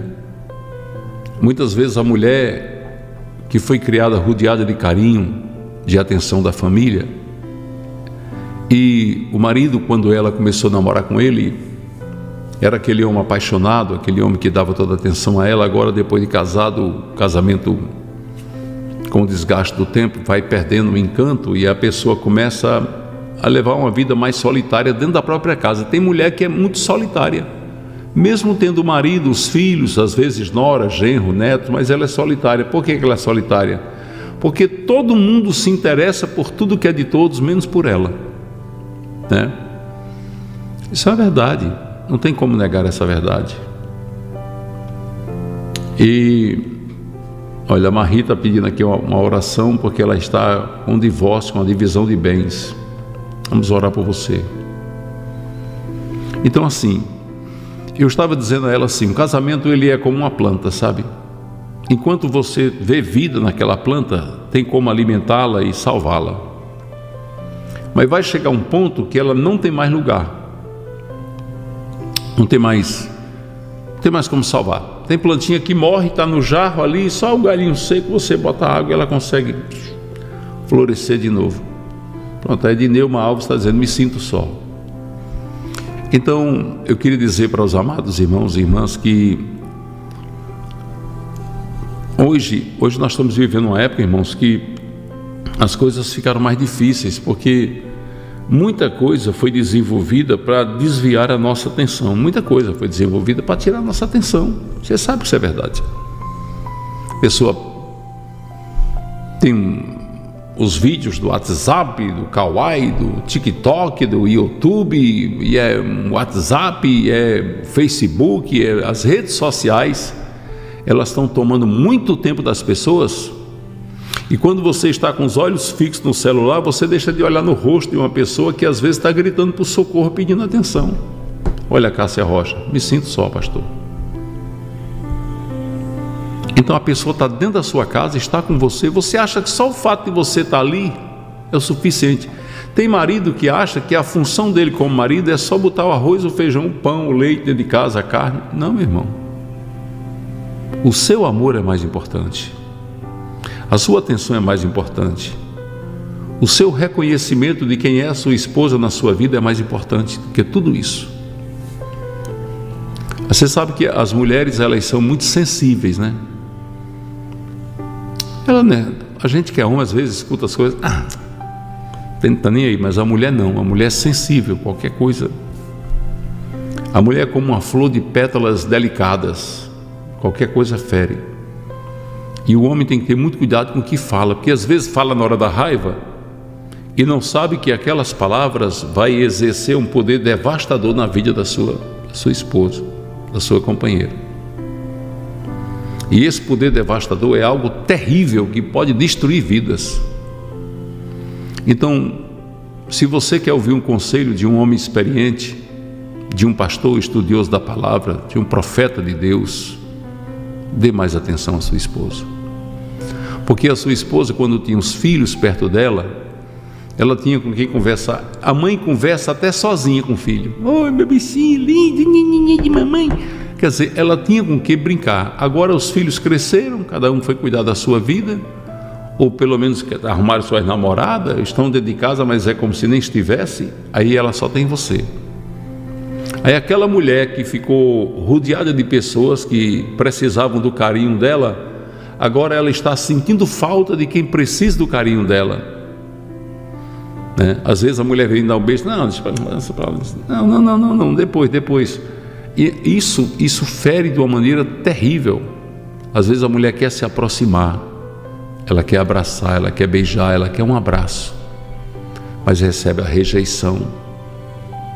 E ela começa a colocar no seu coração e na sua cabeça como se o tempo dela tivesse passado. E ela começa a se sentir a pior pessoa da terra, como se a mulher ela nasceu para ser serva, ser útil, servir. E quando ela sente que não serve mais, os seus, os seus carinho, a sua atenção não está mais sendo necessária, ela fica muito triste. Você sabia que nos asilos, nos abrigos de idosos, os velhinhos mais tristes são as mulheres? Outro dia eu chorei aqui porque eu vi um, uma reportagem no abrigo de velhos. Dia das mães, chegaram para uma mãezinha que estava lá e disseram: O que a senhora mais queria receber hoje? Ela encheu os olhinhos de lágrimas e disse: O abraço dos meus filhos. Ah, aquilo me cortou o coração. Então a gente tem que aprender, irmãos, a dar atenção às pessoas que nós amamos. Atenção a todos, mas a atenção a quem nós amamos, ela tem que ser principal. A mulher trabalha muito, se desgasta muito e, na maioria das vezes, ela envelhece mais rápido. Às vezes ela deixa de cuidar dela para cuidar dos outros. Ela não cuida do seu cabelo, das suas unhas, da sua pele. Ela cuida do esposo. Às vezes vai num, num mercado, numa lojinha, no lugar de comprar um hidratante para a pele dela, ela compra um desodorante para o marido. No lugar de comprar uma calcinha para ela, ela compra uma cueca para o marido, para um filho. Ela começa a fazer as coisas para os outros e esquece dela. E com esse esse abandono em si mesmo, ela começa a ficar muito só. E de repente ela fica dizendo: todo o meu amor que eu lancei sobre a vida dessas pessoas que eu amo não valeu a pena, porque eles não sabem quem eu sou. Eles não compreendem o meu amor. E eu vi essa irmã muito desiludida. E ela dizendo para mim que tinha orado e tinha dito a Deus: Deus me leve logo. Eu já fiz o que eu tinha que fazer aqui. Minha tarefa já terminou, já criei meus filhos. Meu esposo já não se importa comigo, então me leve logo, me tire daqui logo, me dê descanso. E eu disse a ela que ia comentar sobre isso aqui no, no culto lá para dizer para as mulheres que e para os homens que a melhor fase da vida de um casal é a fase que eu estou vivendo hoje. Eu vou fazer 63 anos em julho. A minha esposa, a pastora Jossa Neto, ela é mais jovem do que eu, cinco anos. E nós estamos vivendo uma fase maravilhosa. Só dormimos juntinho, tomamos café juntos, andamos juntos. Eu sou a companhia dela e ela é minha companhia, e juntos fazemos a obra de Deus. Hoje já nos abraçamos várias vezes, já nos beijamos, né? já conversamos, tomamos o café da manhã conversando, falando sobre o alto de Páscoa, sobre as bênçãos de Deus. Então, assim, a gente começa a ver que o nosso amor ele é forte porque ele tem alimento, tem esse carinho, tem essa reciprocidade. Eu amanheci um dia, ela foi no banheiro tomar banho, eu levei o xaropezinho, que ela está com catarrinho no peito, toma amor, toma o seu xaropezinho para não esquecer. Ontem à noite, antes dela dormir, toma amor, seu xaropezinho. Eu cuido dela, ela cuida de mim. Eu queria dizer para você, meu amado irmão, você que está aqui, cuide da sua esposa. Cuide, meu irmão. Mesmo que você não seja crente, mas cuide da sua esposa. Porque, irmão, Preste atenção. O pior arrependimento é o arrependimento irreparável. É quando você não cuida e quando você queria cuidar já não dá mais porque a pessoa já não está mais aqui, já partiu para a glória. Aí você queria fazer, mas não dá mais. Então cuide da sua esposa. Dê a ela o amor que ela precisa. Sabe por quê? Porque o tempo passa rápido demais. Cuide dela. Quando você vê ela tossir o peitinho cheio de catarro, compra um xaropezinho, leve ela no médico. Final de mês, amor, está aqui um dinheirinho para você, para você comprar o que você quiser, está aqui, ó. Você vai juntar mais dinheiro para quê? Um homem na minha idade. Eu vou lá juntar dinheiro, rapaz. Eu quero juntar é, coisas boas para levar para o céu. Quero armazenar meu tesouro lá no céu. Quero lá juntar dinheiro aqui. Não vou levar nada. Eu quero levar para Deus coisas boas. E uma dessas coisas boas que eu quero levar e quero que você leve também é o meu tratamento humano, carinhoso com a minha companheira que Deus me deu, minha esposa. Com os meus filhos, com meus netos, com meus irmãos, minhas ovelhinhas.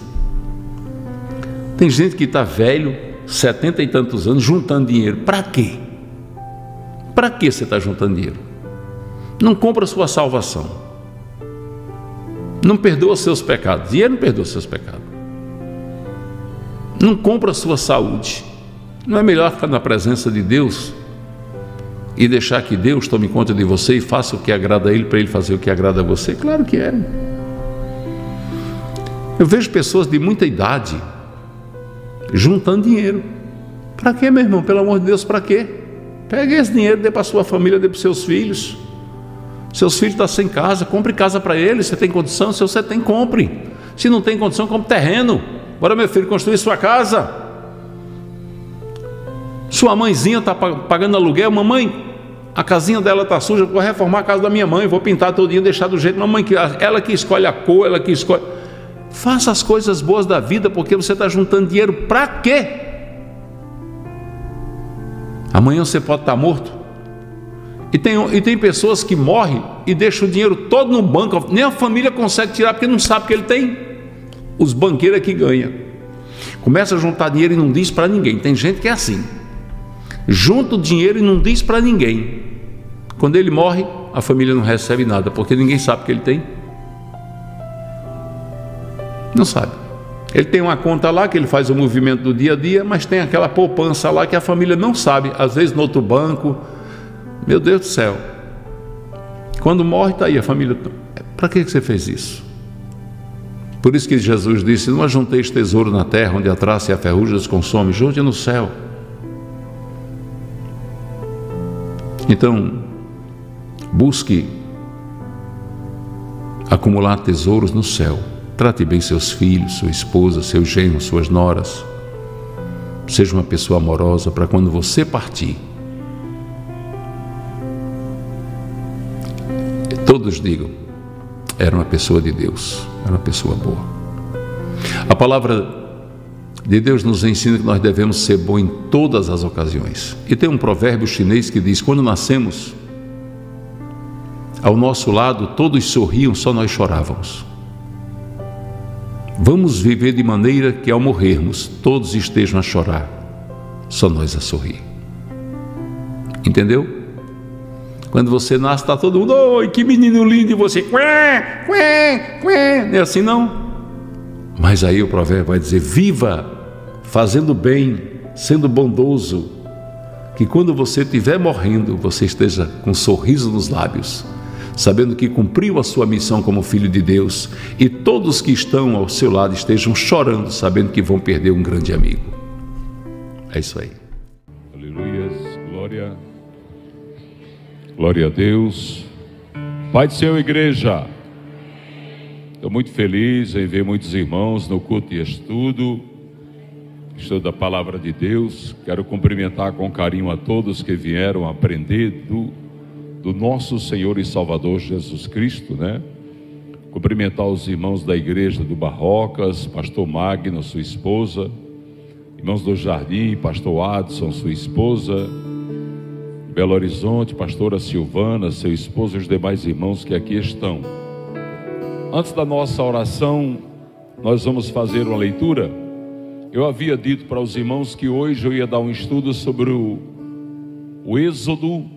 Êxodo é passagem falando sobre a saída do povo de Deus do Egito para a terra prometida, mas vai ficar para a próxima quinta, porque hoje direcionado por Deus, pelo Espírito Santo, eu vou falar sobre princípio de honra. Uma palavra muito forte, irmãos. Princípio de honra, você vai aprender coisas importantes para a sua vida, para o seu caminhar com Deus. E já na abertura aqui, nós vamos fazer uma leitura em Gênesis, no capítulo 4. Abra sua Bíblia. Eu quero que o pastor Ellison reserve pelo menos uma hora aí, pastor Ellison, para esse estudo nós vamos aprender muito de Deus hoje. Hoje à tarde eu não saí para canto nenhum. Vamos ficar de pé em reverência à palavra. Hoje à tarde eu fiquei em casa para estudar a palavra, respondi apenas algumas pessoas e me dediquei por algumas horas ao estudo do princípio de honra. Gênesis capítulo 4, a partir do seu versículo 1. A palavra do Senhor vai nos dizer assim: e conheceu Adão a Eva, sua mulher, e ela concebeu e teve a Caim. Caim foi o que, irmãos? O primogênito, o primeiro filho, que para Deus significa muito. Teve a Caim e disse: Alcancei do Senhor um varão. E teve mais a seu irmão Abel Abel foi pastor de ovelhas e Caim foi lavrador da terra. E aconteceu ao cabo de dias, aconteceu ao cabo de dias. Não esqueça isso que depois eu vou dar uma explicação. Aconteceu que ao cabo de dias, Caim trouxe do fruto da terra uma oferta ao Senhor. Ele trouxe o que, irmãos? A palavra está dizendo uma oferta. E Abel também trouxe dos primogênitos das suas ovelhas e da sua gordura, e atentou o Senhor para Abel e para a sua oferta. Mas para Caim e para a sua oferta não atentou. Irou-se Caim fortemente e descaiu-lhes o semblante. Vamos orar para depois eu fazer uma explicação dessa passagem bíblica Maravilhoso Pai, Santo Deus, humildemente nós estamos aqui, Pai, para aprender a tua palavra. Eu peço, Deus, uma palavra revelada pelo teu Santo Espírito. E peço, Deus, que como espada cortante de dois gumes, esta palavra entre no coração dos teus filhos e filhas. Que possa, Deus, nos ferir isso mesmo, Deus, nos ferir onde precisa ser ferido. Deus, a tua igreja está aqui reunida para aprender, Deus, aquilo que agrada ao teu coração. Então, nos ensina, Deus, através da tua palavra, a honrar o teu nome e aqueles que fazem a tua obra. É o que pedimos em nome de Jesus. Amém. Pode sentar, igreja. Amados, Nessa passagem bíblica, já é quase o início do nosso estudo, a gente vê a palavra dizendo que Caim ao cabo de alguns dias. Quantos dias? Ninguém sabe se uma semana, se duas. Trouxe uma oferta de frutos. Ele já desrespeitou o fator primícias. Porque Deus abençoou o povo de Israel e estabeleceu para este povo que do primeiro da primeira coisa, da primeira colheita era para Deus. Os homens do campo naquela época, em todas as épocas de Israel, até nos dias atuais lá em Israel, eles ainda praticam isso. Você vai contratar 20 funcionários para ajudar a fazer a sua colheita. Não, eu vou deixar para levar esses 20 amanhã. Porque hoje é as primícias, eu vou levar só 10. Está errado. A quantidade de funcionários que você contratar para colher os frutos da sua terra tem que ser a mesma que vai colher para Deus as primícias. Ele escolhe o primeiro dia e traz tudo para o templo. Tudo. Aquele, aquele primeiro dia é a primeira vaca nascida da vaca, a bezerrinha, o bezerrinho, é para Deus. Da ovelha é para Deus, da cabra é para Deus. Só que aqui Abel honrou a Deus. A palavra é clara, trazendo as suas primícias.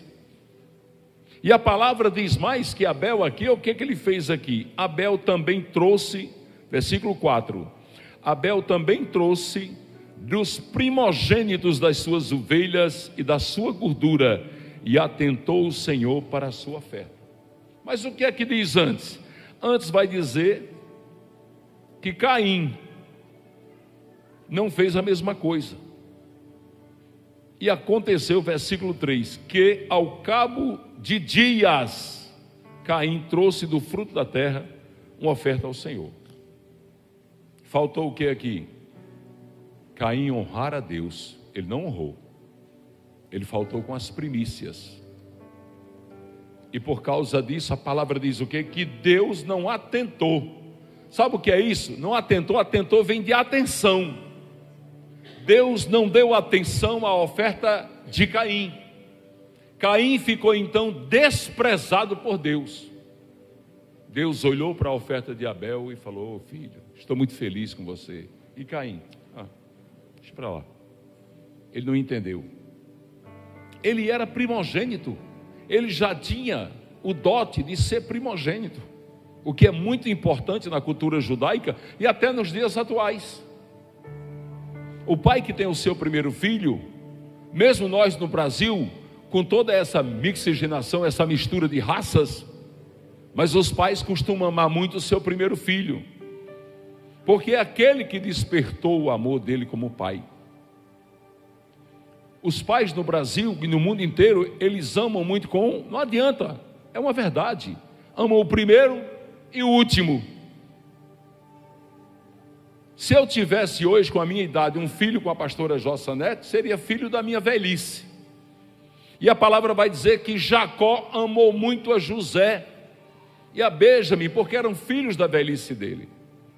Só que aqui, Caim faltou com respeito a Deus. Honra é respeito. E nós precisamos ensinar isso à igreja, porque esse princípio de honra é um princípio de bênçãos para a sua vida, meu irmão. Deus vai honrar você quando você honra a Deus. Olha aqui como Deus desprezou Caim. Olha como Deus deixou de lá.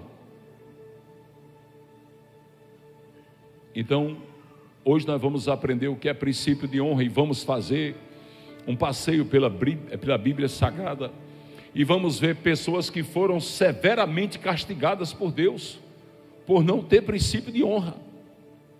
E vocês vão compreender no estudo de hoje o que realmente é princípio de honra. Quem é que gosta de ser desonrado?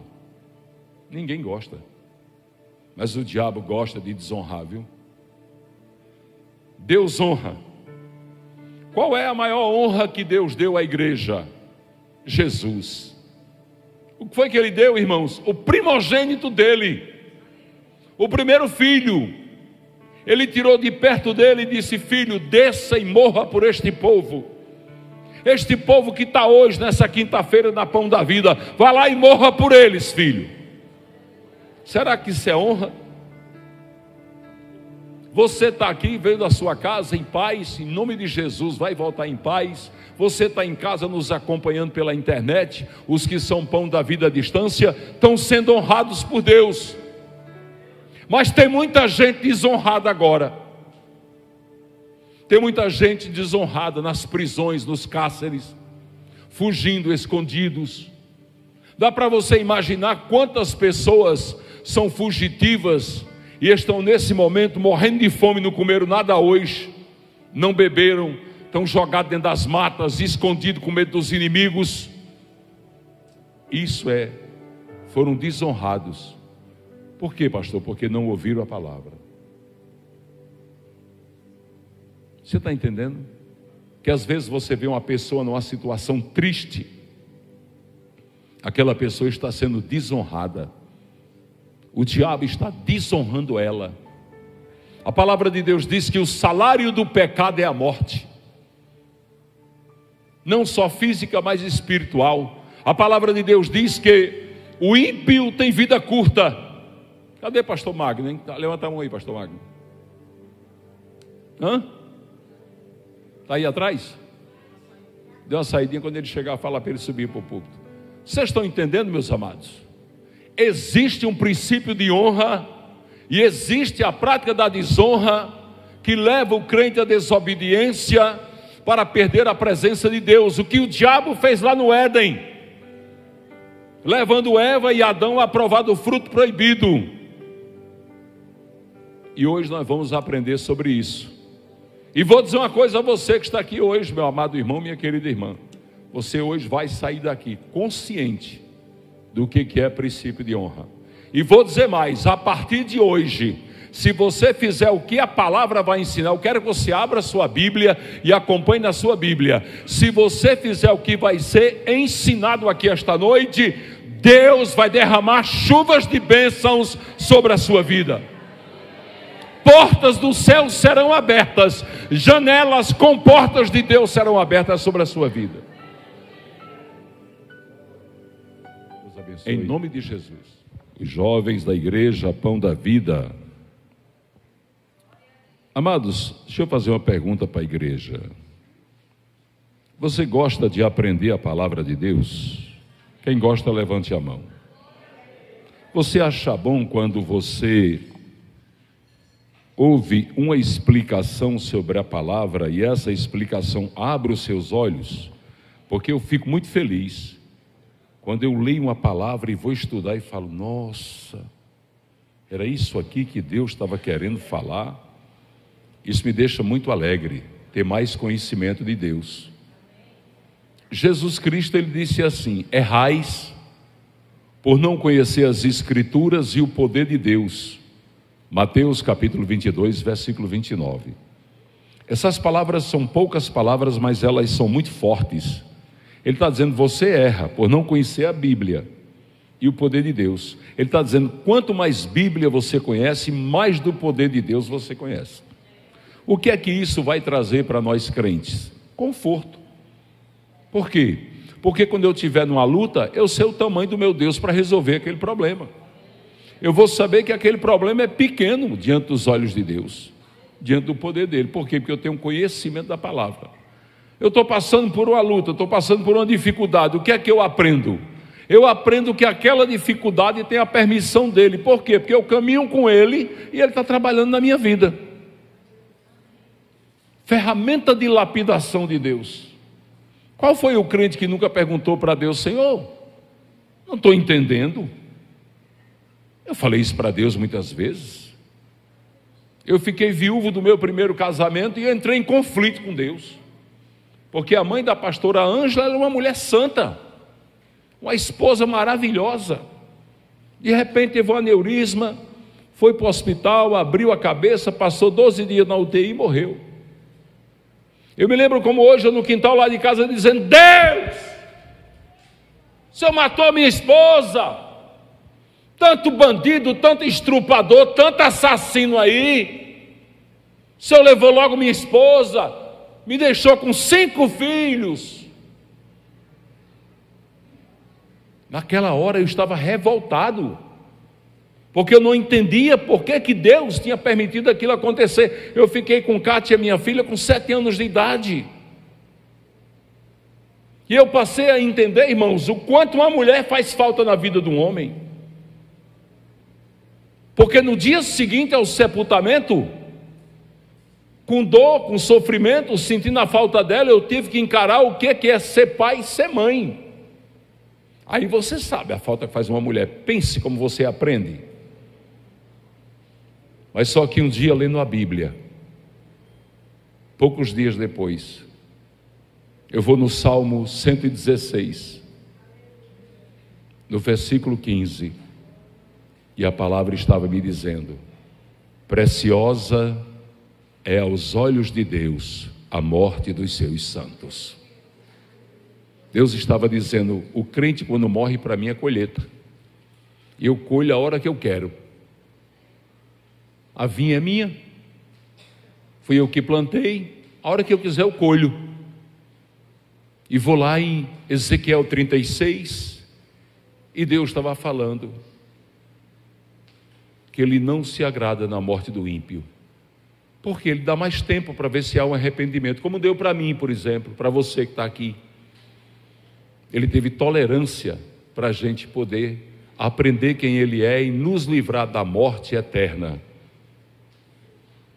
Vamos aqui falar um pouquinho sobre nós sabemos, como crentes que somos, que nós somos a casa espiritual de Deus. E nós sabemos que nós temos que nos policiar muito. Então você vai abrir sua Bíblia em 1 Pedro, capítulo 2, lá pertinho de Apocalipse. Nós vamos ler os versículos 15, 16 e 17 da primeira carta de Pedro, capítulo 2, versículos 15 16 e 17. Procure igreja. 1 Pedro está lá depois do livro de Tiago, capítulo 2, versículos 15, 16 e 17.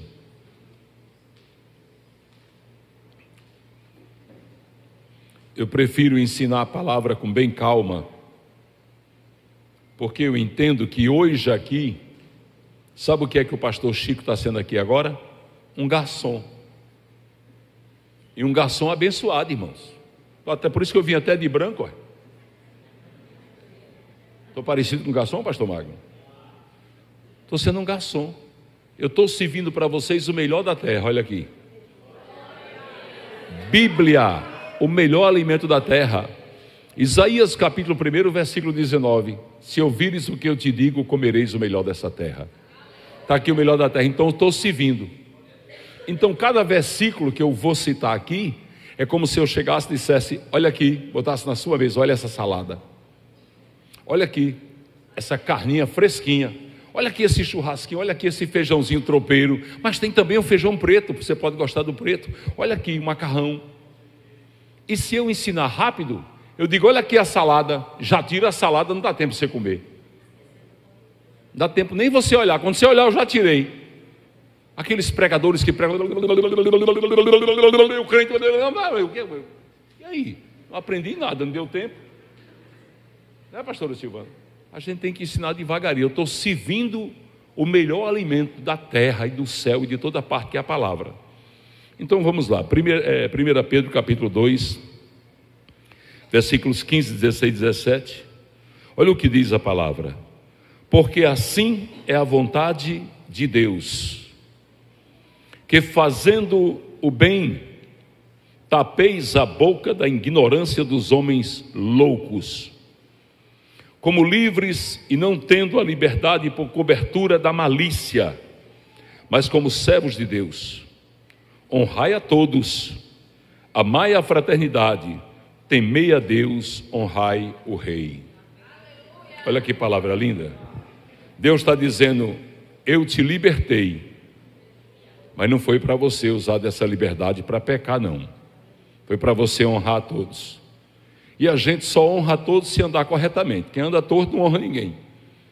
Né? Eu já vi expressões tipo: aquele crente é mais desmantelado que a carreira de calango. Porque o calango anda, ninguém sabe que negócio é aquele. Ele não está honrando a Deus. Ele está desonrando a Deus porque a palavra manda que a gente ande pelas veredas da justiça por amor do santo nome do Senhor. Isso é desonra. Às vezes esse princípio de honra, ele pode ser entendido como um princípio que você deve honrar somente a Deus e não o seu pastor. Crente que não honra pastor, não é crente. Eu vou já mostrar o que foi que Deus fez com quem desonrou o pastor. A boca é quente para crente desobediente, para crente falar mal do pastor. Tem crente que acha defeito no pastor, ele olha, logo o pastor está aqui em cima do púlpito, ele é, o, ele é o mais visível da igreja. Então todo mundo está aí olhando para mim.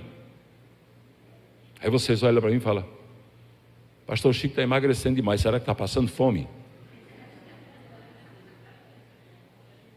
Aí, Pastor Magno, com essas calcinhas apertadinhas deles, esse negócio não está certo, não.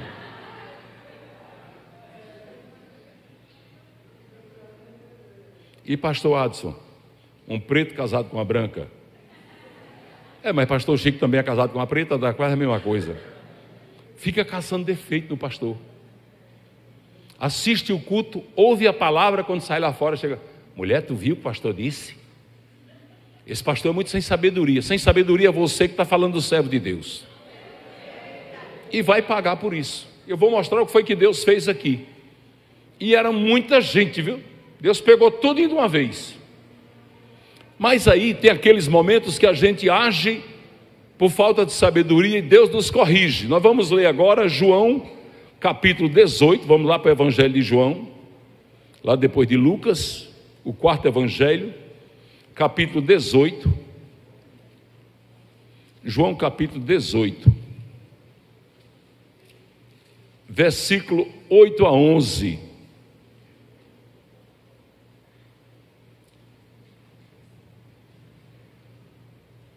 Olha o que diz a palavra.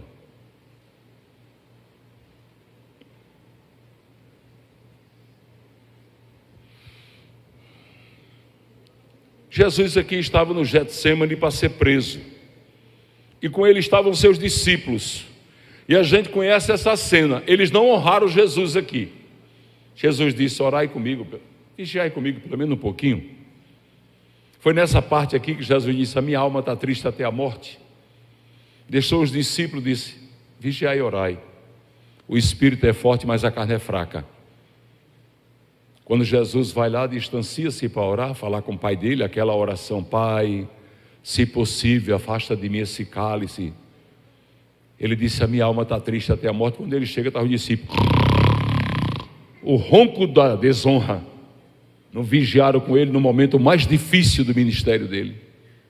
Ele disse o quê? Vocês não puderam vigiar comigo nem um pouquinho. Eu sei me abandonaram quando eu mais precisei. Né? E naquele instante ali, chega o pessoal para aprender Jesus. Aí nós vamos ler aqui, a partir do 8, a palavra de Deus vai dizer: Jesus respondeu: Já vos disse que sou eu.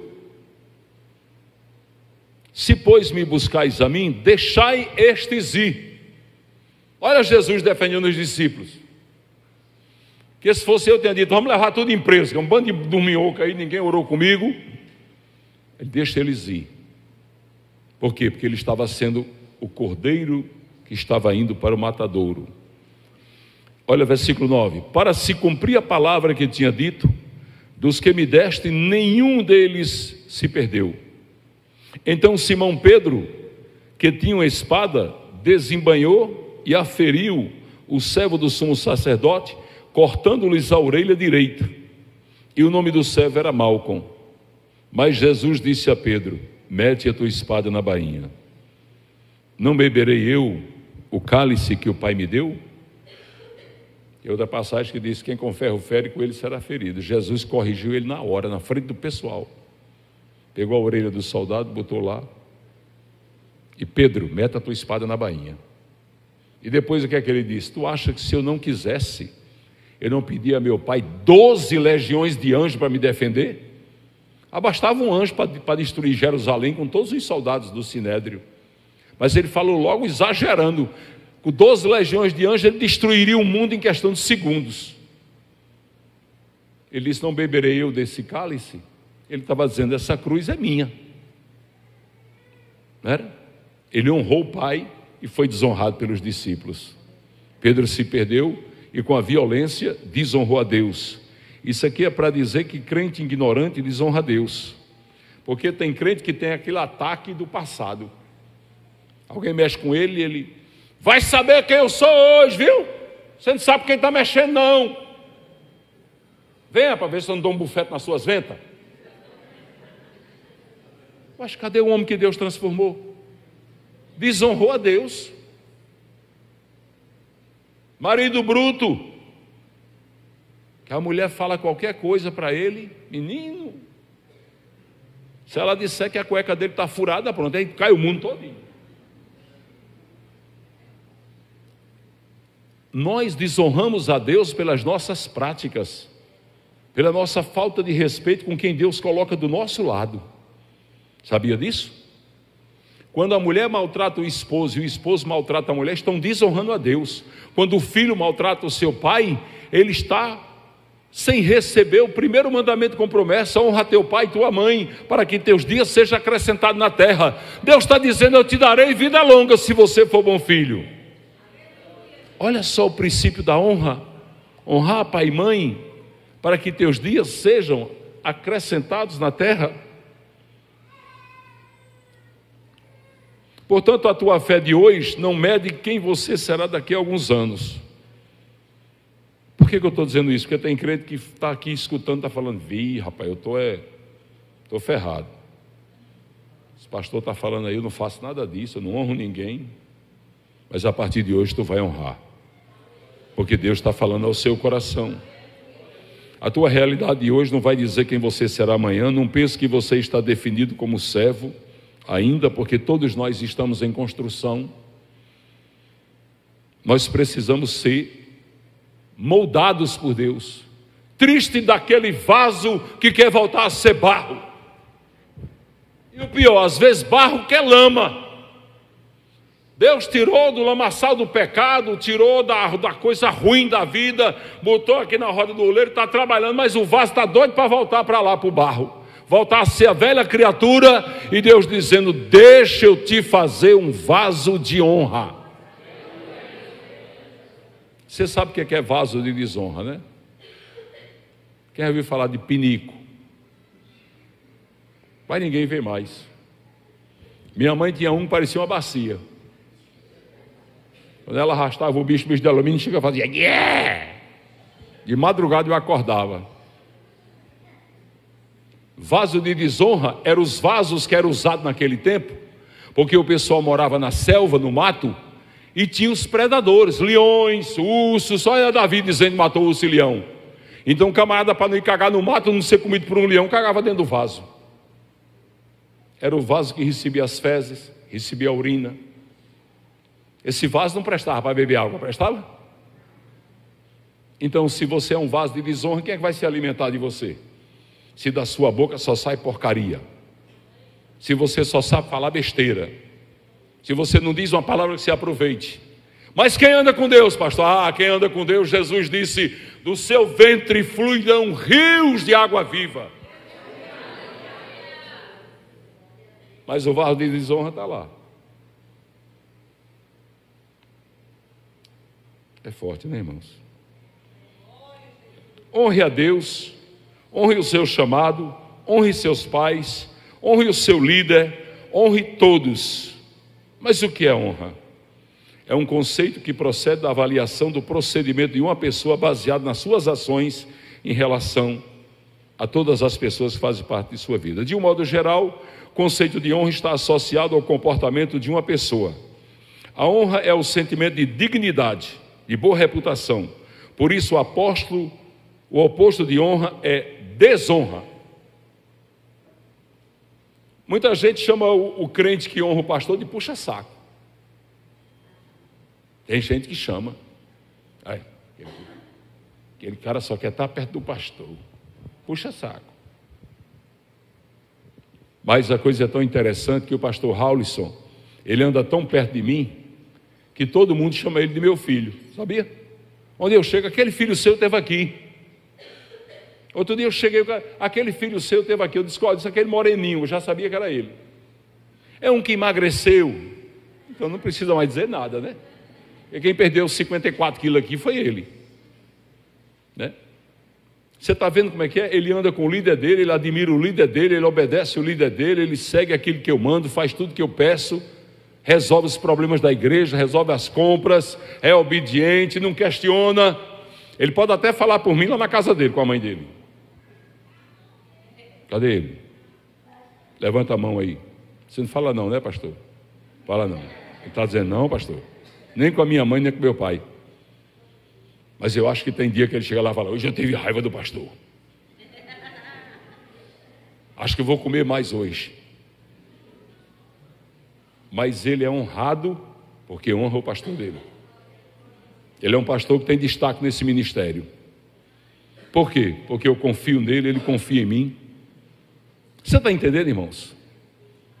Então, o carinho que eu tenho por ele é o carinho que Deus tem por você, por mim, por todos que obedecem a ele, por todos que fazem a vontade dele. Deus ama quem ama ele. Jesus disse assim: quem comigo não ajunta, espalha, e quem não é por mim é contra mim. Hã? Foi que Deus fez com Lúcifer, mais conhecido como Satanás, botou para fora. E os que com ele andavam, botou para fora. Vamos passar para um princípio aqui Abra sua Bíblia em Números. Números, capítulo 16. É forte essa palavra, meu Deus. Números, capítulo 16. Eu quero ler com você vários versículos para você entender isso aqui. Números capítulo 16. Essa, essa pregação sobre o princípio de honra é uma pregação que deveria ter quatro horas, porque é muita coisa para se falar. A Bíblia fala muito sobre o princípio de honra. O que é que a palavra de Deus fala? Que honrar é obedecer. Aí o que é que a palavra fala? Que Jesus Cristo foi obediente até a morte e morte de cruz. Por que, que a Bíblia diz morte de cruz? Porque a morte de cruz era mais humilhante que existia. Né? Você está num canto, a pessoa fala alto com você, você diz, não fale alto comigo, não. O cara levanta o dedo, você baixa o dedo, rapaz. Olha aí. Você não gosta nem que fale alto com você. O homem, às vezes, a mulher, sem querer, fala alguma coisa para ele, fala, é amor, fala direito comigo, eu não sou menino, não. Eu vi um bocado de homem rindo aqui, parece que vocês passam por isso também, né? Sou menino, não, você me trata como homem, eu sou seu marido. Aí você engrossa a voz e diz: E seu amor. Fazer uma moralzinha, né? Agora imagine Jesus, o Filho de Deus, carregando a cruz. A gente só vê a imagem da cruz, mas a gente não vê a imagem dele. A Bíblia narra que ele lá debaixo do alpendre de Anás, eles arrancavam a barba dele que minava sangue dos poros dele. A Bíblia fala que a angústia dele foi tão grande que saía sangue dos seus poros capilares. A Bíblia diz que ele foi na fortaleza Antônia e que Pôncio Pilatos mandou dar uma surra nele, mas uma surra. Foi peia, meu irmão. Com um chicote chamado flagron, azorrague romano. Tiras de couro com pedaços de metais e de osso de carneiro que arrancavam os pedaços das carnes de Jesus. E depois de tudo aquilo, botaram a cruz nas costas dele, leva. E depois crucificado, e depois levanta. Imagine o processo doloroso que ele passou. E o maior dor de Jesus Cristo não foi as chicotadas, não foi a cruz nos ombros, não foi ser pregado nela e ser pendurado, foi a vergonha que ele passou por mim e por você. Nas ruas da cidade que Deus chama de Cidade Santa, carregando aquela cruz, olhando para todo mundo. A maior dor de Jesus foi caminhar ali, e a Bíblia não diz que ele viu Lázaro a quem ressuscitou. A Bíblia não diz que ele viu a viúva de Naim, seu filho, que ele ressuscitou. A Bíblia não diz que ele viu Jairo e sua filha, que ele ressuscitou. A Bíblia só diz que Madalena, Maria, João estavam ao pé da cruz. E os outros discípulos ele não viu. Olha a dor, a dor do abandono. Essa foi a maior dor. E a maior dor de todas foi quando ele na cruz olhou para o céu e seu pai estava de costa.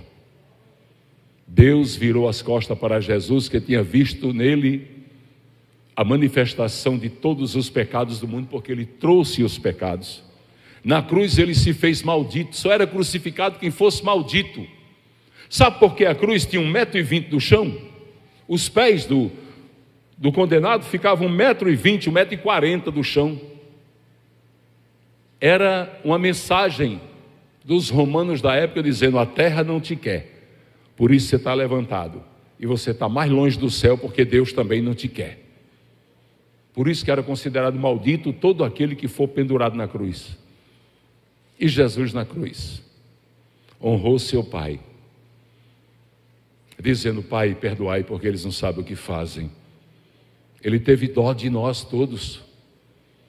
E a maior dor dele foi quando ele olhou para o céu e viu seu pai de costas, porque Deus precisava das costas. Primeiro, porque estava contemplando o pecado, e depois, porque se ele não dá as costas para quem Deus está olhando do jeito que ele estava, ele não morria nunca. E Jesus disse: Elohim, Labab, Sabak, Tambi, que em aramaico quer dizer: Deus meu, Deus meu, por que me desamparastes? Toda essa dor ele passou para que você estivesse aqui hoje nessa igreja com ar refrigerado, nesse clima de 22 graus gostoso, você tivesse aqui sentado em cadeiras confortáveis, enquanto ele estava na cruz por amor a você, a mim, a todos nós. Mas aí vamos lá para o deserto. Deus tira o povo do Egito e leva para o deserto. Processo de Deus. Quando chega no deserto, era Moisés, o homem usado por Deus. Deus manda Moisés com um cajadinho andando devagarzinho, 80 anos.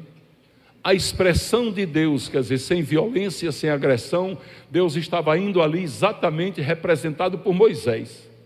Mas pessoas se levantaram contra Moisés. Moisés era o pastor. Aí aqui a palavra, em Números 16, a partir do versículo 1 vai dizer que Corá, filho de Isá, filho de Coate, filho de Levi, tomou consigo a Datã e Abirão, filhos de Eliabe, e Aon, filho de Pelete, e filhos de Ruben, levantaram-se perante Moisés com 250 homens dos filhos de Israel, maiorais da congregação, eles eram importantes na congregação, eram maiorais na congregação chamados ao ajuntamento varões de nome. A Bíblia está dizendo, eles eram importantes, Deus já honrava eles, eles eram maiorais, fazia parte do conselho e eram pessoas importantes, e se congregaram contra, contra quem? E contra quem?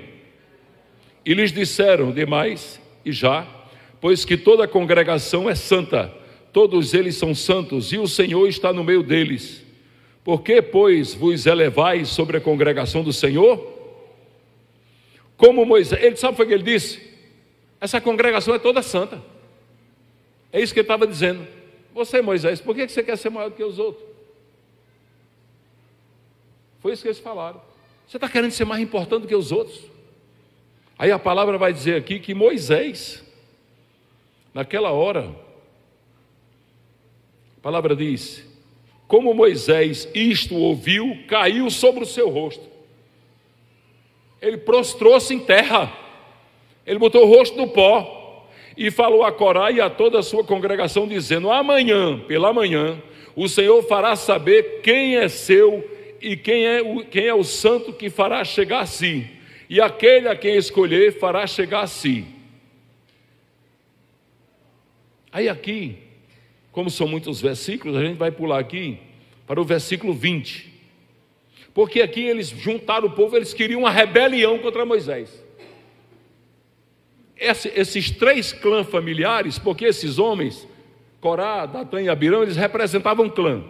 Corã, Corá era dono de uma família, representava uma tribo. Abirão outra e Datã também. Então estavam se juntando para se rebelar contra Moisés, porque queriam ser igual a Moisés. E achavam que Moisés não tinha todo aquele privilégio, porque eles achavam que só Moisés queria ser santo, mas ele diz: todos nós somos santos. Aí aqui a palavra vai dizer no versículo 20: E falou o Senhor a Moisés, aqui era Deus falando a Moisés, e falou o Senhor a Moisés e a Arão, dizendo: Apartai-vos do meio desta congregação, e os consumirei como no momento. Deus disse assim: afasta deles aí, vou matar tudinho agora. Vai ser bem ligeirinho. Eu estou enfrentando você, Moisés. Vou resolver agora. Afaste-se deles. Olha só. Versículo 22. Mas eles se prostraram sobre os seus rostos e disseram: Ó Deus, Deus dos espíritos de toda carne, pecará um só homem e dignar-te-ás tu tanto contra toda essa congregação? E falou o Senhor a Moisés, dizendo: Era Moisés clamando. Deus disse que ia matar, e Deus, Moisés, Senhor, essas são só algumas pessoas. Nós estamos aqui, 3 milhões de pessoas, o senhor está se irritando só com esses. Moisés estava clamando. Moisés, eu acho que. Eu, tem hora que eu penso que eu pareço com ele, que eu gosto muito de orar porque ele não gosta de mim, sabe? É bom. E aí? E falou o Senhor a Moisés, dizendo: Fala a toda a congregação, dizendo: Levai-vos, levantai-vos do redor da habitação de Corá, Datã e Abirão. Então Moisés levantou-se e foi a Datã, Abirão, e após eles foram os anciões de Israel. E falou à congregação, dizendo: Desviai-vos, peço-vos das tendas destes ímpios homens, e não toqueis nada do que é seu, para que porventura não pereçais todos com seus pecados. Levantaram-se, pois, do redor da habitação de Corá, Datã e Abirão, e Datã e Abirão saíram e se puseram à porta das suas tendas, juntamente com as suas mulheres, seus filhos, suas crianças. Então disse Moisés: Nisto conhecereis que o Senhor me enviou a fazer todos estes feitos que de meu coração não procedem. E eles morreram como morrem todos os homens, e foram visitados como se visita todos os homens. Então o Senhor me não enviou, mas o Senhor cria alguma coisa nova, e a terra abriu a sua boca e os traga com tudo que é seu, e vivos desceram ao sepulcro, então conhecereis que estes homens é, irritaram a Deus. Foram destruídos por desonrarem o homem de Deus. Vocês viram aqui? Moisés clamou pela vida deles e Deus não atendeu, não. Hã? Deus falou para Samuel: Por que você clama a mim, Samuel? Eu já rejeitei Saul, rapaz. Ele tinha desonrado a Deus. Quem pecou mais, Saul ou Davi? Davi. Só que Davi honrava a Deus. A questão está no princípio da honra. Está em se vir a Deus sabendo quem Deus é. Tem gente que fala assim: o cara lá de cima. Hoje eu falei com o cara lá de cima. Cuidado, irmão. Cuidado, porque você pode estar falando de uma maneira que Deus não te escuta. Deus exige reverência, reverência, honra. Hã? Quando você vê na Bíblia o rei Davi se prostrando diante de Deus para pedir perdão no Salmo 51, sabe como é que ele diz? Senhor, contra ti pequei, somente contra ti. Ele estava dizendo: meu pecado, só quem viu foi o Senhor, porque até os meus auxiliares concordaram com o meu pecado. Senhor, o povo de Israel, até nos dias atuais, eles não chamam Deus pelo nome. Por quê, pastor? Porque eles não se sentem dignos de chamar Deus pelo nome. Eles chamam Senhor. Yahvé, eles não chamam. El Shaddai, eles não chamam. Elohim, eles não chamam porque eles têm medo de chamar e ser castigados. Eles não se acham dignos. Sabe aquele que é pazinho que eles usam? Aquela tapioca. Ele parece uma tapioca na cabeça. Aquilo ali é para ele dizer, para ele, ele carrega aquilo na cabeça 24 horas, só tira para dormir. E eles usam aquilo para dizer que acima dele tem um Deus, aquilo ali representa a cobertura de Deus na vida deles. Aí você chega lá em Israel, tem lugar que você só entra com aquele negócio na cabeça. E eu cheguei lá, peguei um para me olhar, porque eu digo, rapaz, esses caras, o que é que eles passam? Uma cola para colar isso na cabeça? Porque é só uma tapioquinha, né? um, negócio bem fininho. Eu digo, como é que... Eu vi eles andando, correndo na rua, digo, que estresse não voa não na cabeça desse povo. Aí quando eu peguei uma, vi um, um negocinho de baixo. Tem um negocinho de baixo, tipo aqueles. Como é que chama aquilo, amor? Bota, a mulher bota no cabelo?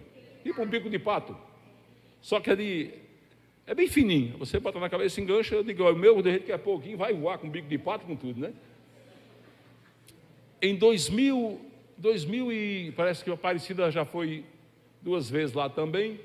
Teve uma hora que ela foi para o Muro das Lamentações. Quando ela chegou no Muro das Lamentações, os judeus ortodoxos, os tradicionais, cuspindo nela. Ela olhou assim e disse: Esses caras estão cuspindo em mim. Aí a mulher disse: Você tem que colocar o quepar. Hoje não tem mais isso lá. Acabaram com isso. Eu fui lá sem quepar. Graciano, filho da pastora Ângela, foi o que ele fez? Lá é cheio de rabi, perto do muro da. Tem umas mesinhas assim com a, com a Torá, com a Bíblia deles, que é os primeiros cinco livros da Bíblia. E eles têm uma cadeirinha que eles sentam ali para tirar as dúvidas de quem quer saber alguma coisa sobre Deus. Aí o Rabi levantou, Graciano, pá na cadeira do Rabi. Logo de quem? De um Rabi, meu irmão. Rabi quer dizer mestre.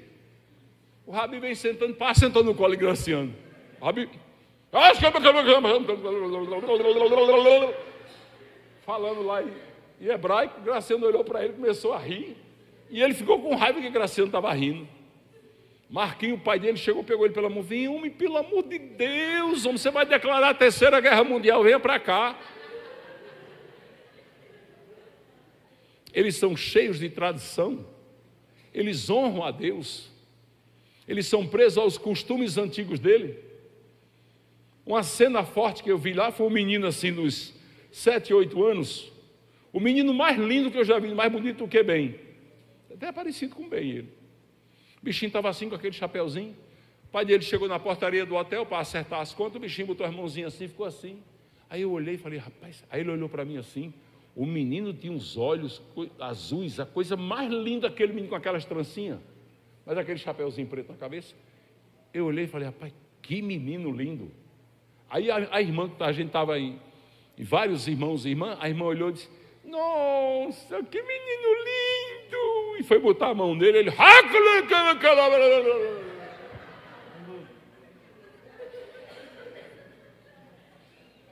Olhou para o nosso guia lá de Israel falou: Foi que ele disse? Ela disse: Ele disse que você não toque nele, não, que você é impura. Se você tocar nele, ele volta lá para o banheiro vai tomar banho. Ela falou: Vixe, é mesmo? É. Lá eles têm o tanque da purificação. Como é que é, pastor? Lá no chão. Desce assim uns 15 metros, é fundo. Vai rodando. Vai rodando, quando chega no centro lá tem um tanque de água. Eles descem tudo aquilo ali, com só com aquela roupa branca, toma banho, se veste, sobe trocar de roupa para eles, foram purificados, só por ter subido aquelas escadas. Chama tanque da purificação. Mas isso é só para os, os que não são messiânicos. Messiânico é aquele que não é cristão. O, messiânico é o que é cristão, que acredita em Jesus. E os outros, os tradicionais, eles acreditam em Jesus, mas não como filho de Deus. Acreditam em Jesus apenas como um profeta. Mas ele, naqueles costumes dele, honram demais a Deus. E eles são muito seletivos. Uma das coisas que eu estranhei em Israel foi andar nas ruas de Israel. Irmãos, eles não andam devagar. Eu não vi nenhum judeu andando assim, ó. Nenhum. Eles andam assim, ó. Pode acreditar. Eu digo, vai, mas esse povo, povo é doido, só na carreira. Você olha para eles, está achando que ele olha para você?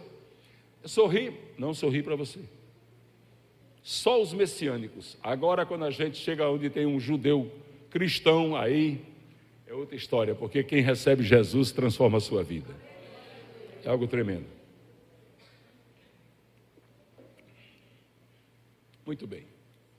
Está aí o princípio de honra. Nós temos mais dez minutinhos. A honra tem a ver com gentileza, com reconhecimento. E nós sabemos que a gratidão não tem prazo de validade. Por isso precisamos sempre ser grato a Deus por tudo que Ele tem feito por nós. O Salmo 116, 2 diz: Que darei ao Senhor por todos os benefícios para comigo? Nós devemos honrar a Deus. Agora vamos entrar numa parte muito importante que é sobre dízimos. Honrar a Deus com seus dízimos e com as suas ofertas. As pessoas usam muito Malaquias capítulo 3. Nós queremos usar Malaquias 3, abra sua Bíblia e Mateus capítulo 23, porque tem muita gente na internet pregando contra o dízimo, muita, muita gente. E vou dizer a vocês, você não grosseiro, mas verdadeiro. Você verdadeiro. Olha, quando você vê uma pessoa pregando contra o dízimo, se afaste dela igual Moisés se afastou de Corá, Birão e Datã. Ela está sendo usada pelo diabo, o Satanás. Porque como é que a igreja trabalha sem dízimo e sem oferta? Como? Você está sentado em cadeiras compradas com os dízimos. Você está recebendo um azinho gelado comprado com dízimo. Você está ouvindo um som comprado com dízimo. Você está sendo iluminado por essas 126 lâmpadas compradas com dinheiro de dízimo. Tudo aqui é com dinheiro de dízimo. Hoje, muita gente recebeu leite da fazenda do pai, dinheiro de dízimo. Gente recebeu cesta básica, dinheiro de dízimo. As igrejas Pão da Vida, nós temos aqui vários pastores que mantêm as igrejas dinheiro de dízimo. Já pensou se tirasse o dinheiro da Pão da Vida? Fechava tudo. Então, essas pessoas que falam contra o dízimo, elas estão a serviço de Satanás para destruir a igreja de Jesus. E Jesus disse que as portas do inferno não prevaleceriam contra a igreja dele. Muitos vieram aqui no ônibus e vieram na van, dois carros da igreja. O pastor Chico veio numa caminhonete para cá, da igreja. Tudo combustível compro com ofertas e dízimos. Aqui nós temos o pastor Magno, a pastora Silvana, o pastor Adson, pastor Newton, esses pastores, eles recebem ajuda para fazer suas obras. A igreja que a pastora Silvana está lá é um prédio da igreja. Foi comprado com dízimos, com ofertas. A igreja que o pastor Magno está lá é prédio da igreja a igreja, duas casas pastorais, comprado com dízimo e oferta. O pastor Adson está na igreja dos Jardins, mas sua esposa, uma igreja linda, a mais bonita congregação da Pão da Vida, construída com dinheiro de dízimo e ofertas. Estão morando numa casa alugada lá perto, nós vamos comprar uma casa lá com dinheiro de dízimo e oferta. Tudo dinheiro de dízimo e oferta. Nós pregamos o evangelho para o mundo inteiro Vidas do mundo inteiro recebem essa palavra. A internet é dia de dízimo e oferta. Sabe quantas contas de internet a Pão da Vida tem? Oito. Oito contas de internet. Quem paga? O povo de Deus. Tocado pelo Espírito Santo. Então a pessoa que fala contra dízimo está. Quando eu olho, eu digo assim: aqui é um filho do diabo. Eu nem, eu nem presto atenção no que ele está falando. Que é um filho de Satanás ele está pregando para você ser amaldiçoado, porque dízimo é bênção, crente dizimista é abençoado.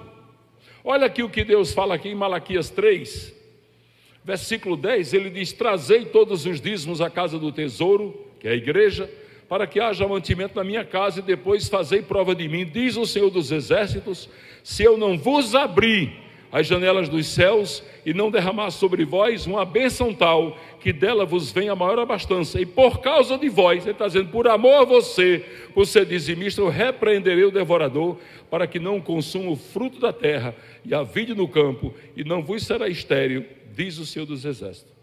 Você sabe qual é o único momento que Deus fala, faça a prova de mim? É esse momento aqui. Não existe outro lugar. Ele está dizendo, faça para ver se eu não te abençoo. Aí nós vamos para Mateus 23, 23. Nós vamos encontrar Jesus Cristo falando sobre dízimo. E falando de uma forma tão clara que só os burros não entendem, só os imbecis não entendem essa palavra, que é tão clara, é tão explicativa, que só não entende quem não quer. Em Mateus 23, versículo 23, Jesus diz assim: Ai de vós, escribas, fariseus, hipócritas, pois que dais os dízimos da hortelã, do endro e do cominho, e desprezais o mais importante da lei, o juízo, a misericórdia e a fé. Deveis, porém, fazer estas coisas, que é pagar os dízimos, e não esquecer de amar o seu irmão. É isso que ele está dizendo. Você tem que ser dizimista, mas tem que ser generoso, tem que ser bondoso, tem que ser amoroso, tem que ser cristão. Irmãos, só colhe quem planta. Só colhe quem planta. Eu tenho um exemplo aqui nessa igreja. Aqui nessa igreja tinha uma pessoa que já faz muito tempo que não vem mais aqui. Ô oh, pastor, ore por mim. Queria tanto comprar um carro para mim fazer a obra. Botei a mão no peito dele, Deus, escuta o desejo do coração do teu filho, dá um carro a teu filho, Deus. Ele quer fazer tua obra. Meu irmão foi ligeiro, viu? Foi ligeiro. Deus deu logo um Honda Civic a ele, seminovo, carrão, que eu olhei e falei, Jesus, eu quero um desse também. Eu era para ter botado no meu peito, orado por mim. A igreja estava aqui lotada. Quando eu dizia que a graça de Deus, ele já saía. Não esperava nem a, nem a bênção apostólica ir embora. Quando foi um dia, eu falei, fulano, você não disse a mim que era para fazer a obra? Ah, pois perto da sua casa tem duas irmãzinhas que vêm a pé. Eu queria só que você desse uma carona nela de volta. Nunca deu. Aí perdeu o carro ligeiro demais. Mas perdeu mesmo o carro. Quem tomou o carro dele foi os traficantes. Ele voltou para as drogas, os traficantes tomaram o carro dele. Hoje ele não tem mais nada, até a loja dele foi fechada. Sabe por quê? Porque a palavra de Deus diz que ele vai abençoar quem abençoa a obra dele compromisso dele é com quem abençoa. Sabe o que é que acontece? Não estou criticando a oferta pequena, não, porque a oferta da viúva foi a mais importante. Mas eu estou criticando o crente que vem para a igreja, tem condição de dar mais. Pega a Bíblia, para o culto, vou adorar, vou adorar. Ah, hoje eu vou.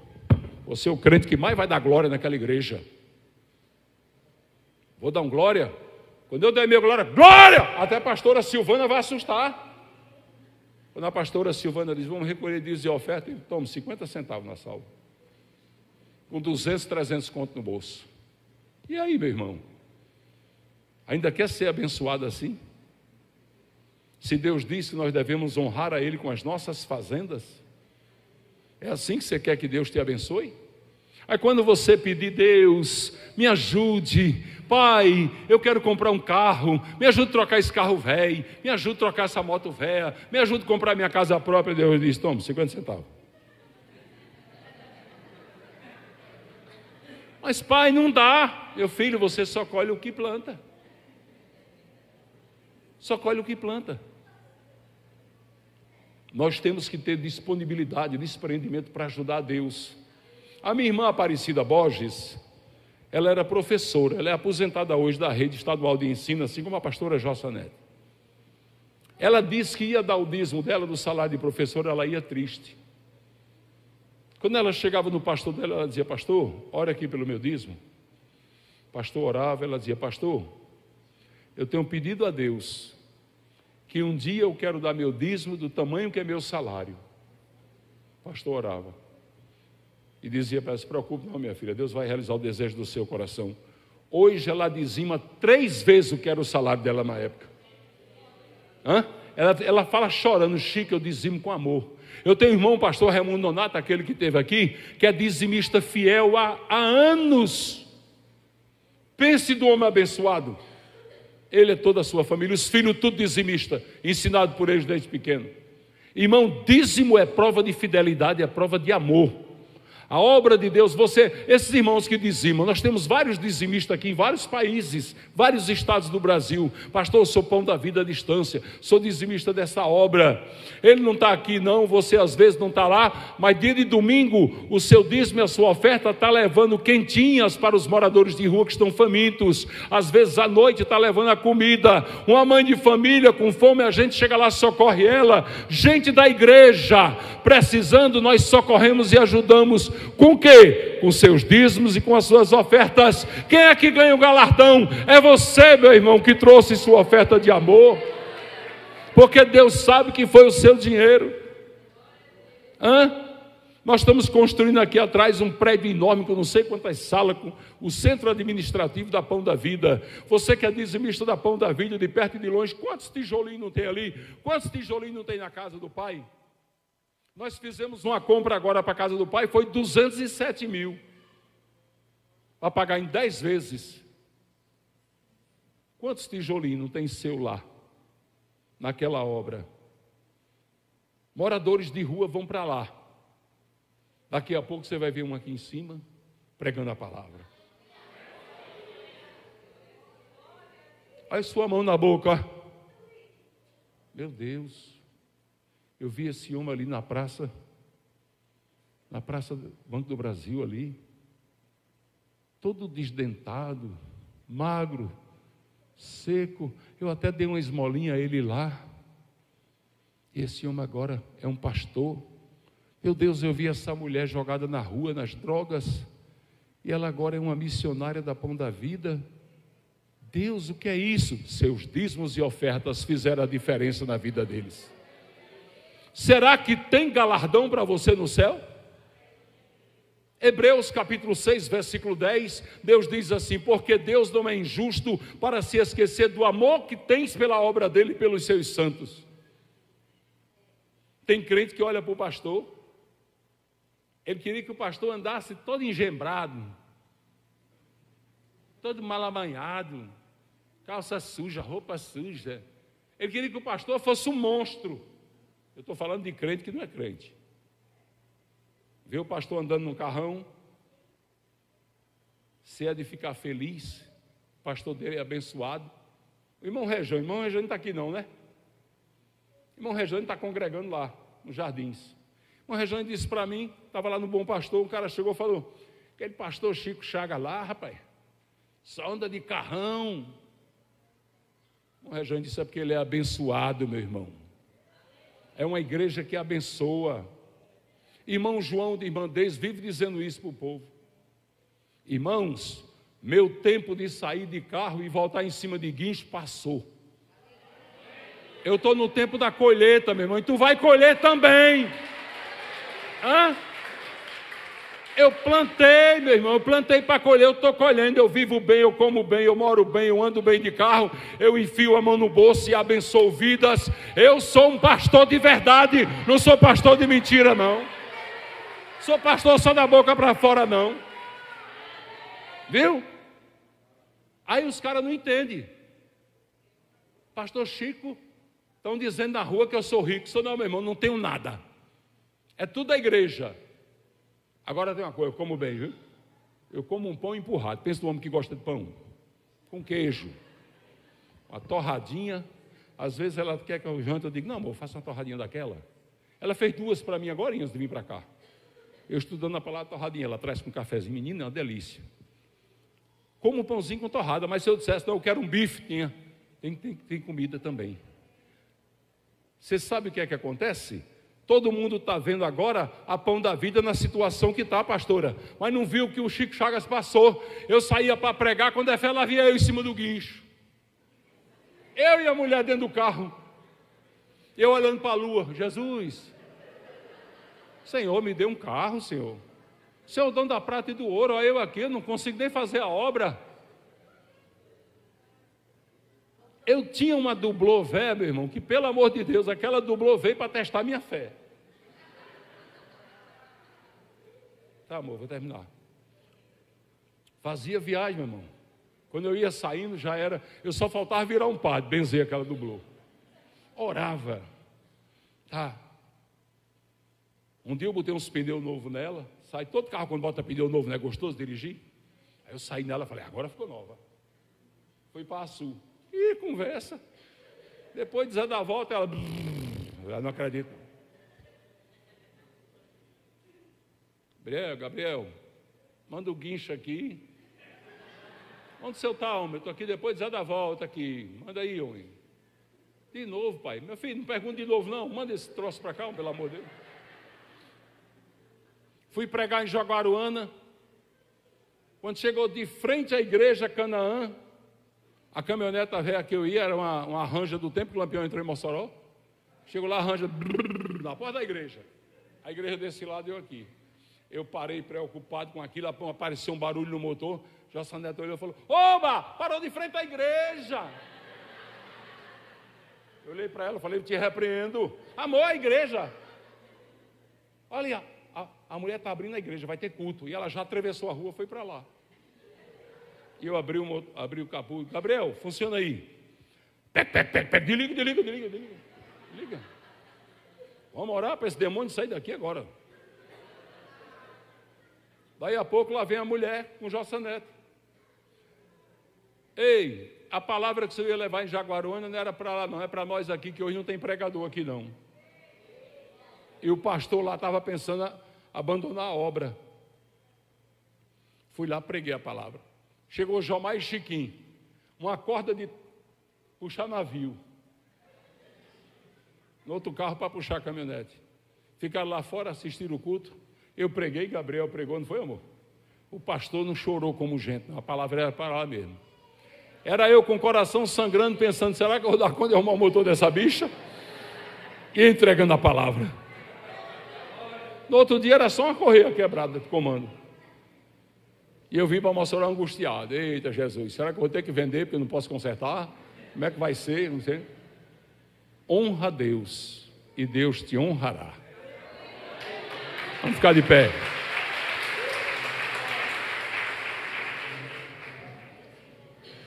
É amor. Amor. Irmãos, olha assim para quem está do seu lado e fala assim: honra a Deus. E Deus te honrará. Deus te honrará. Amém. Pai Santo, Deus amado. Senhor, nós agradecemos por este culto abençoado.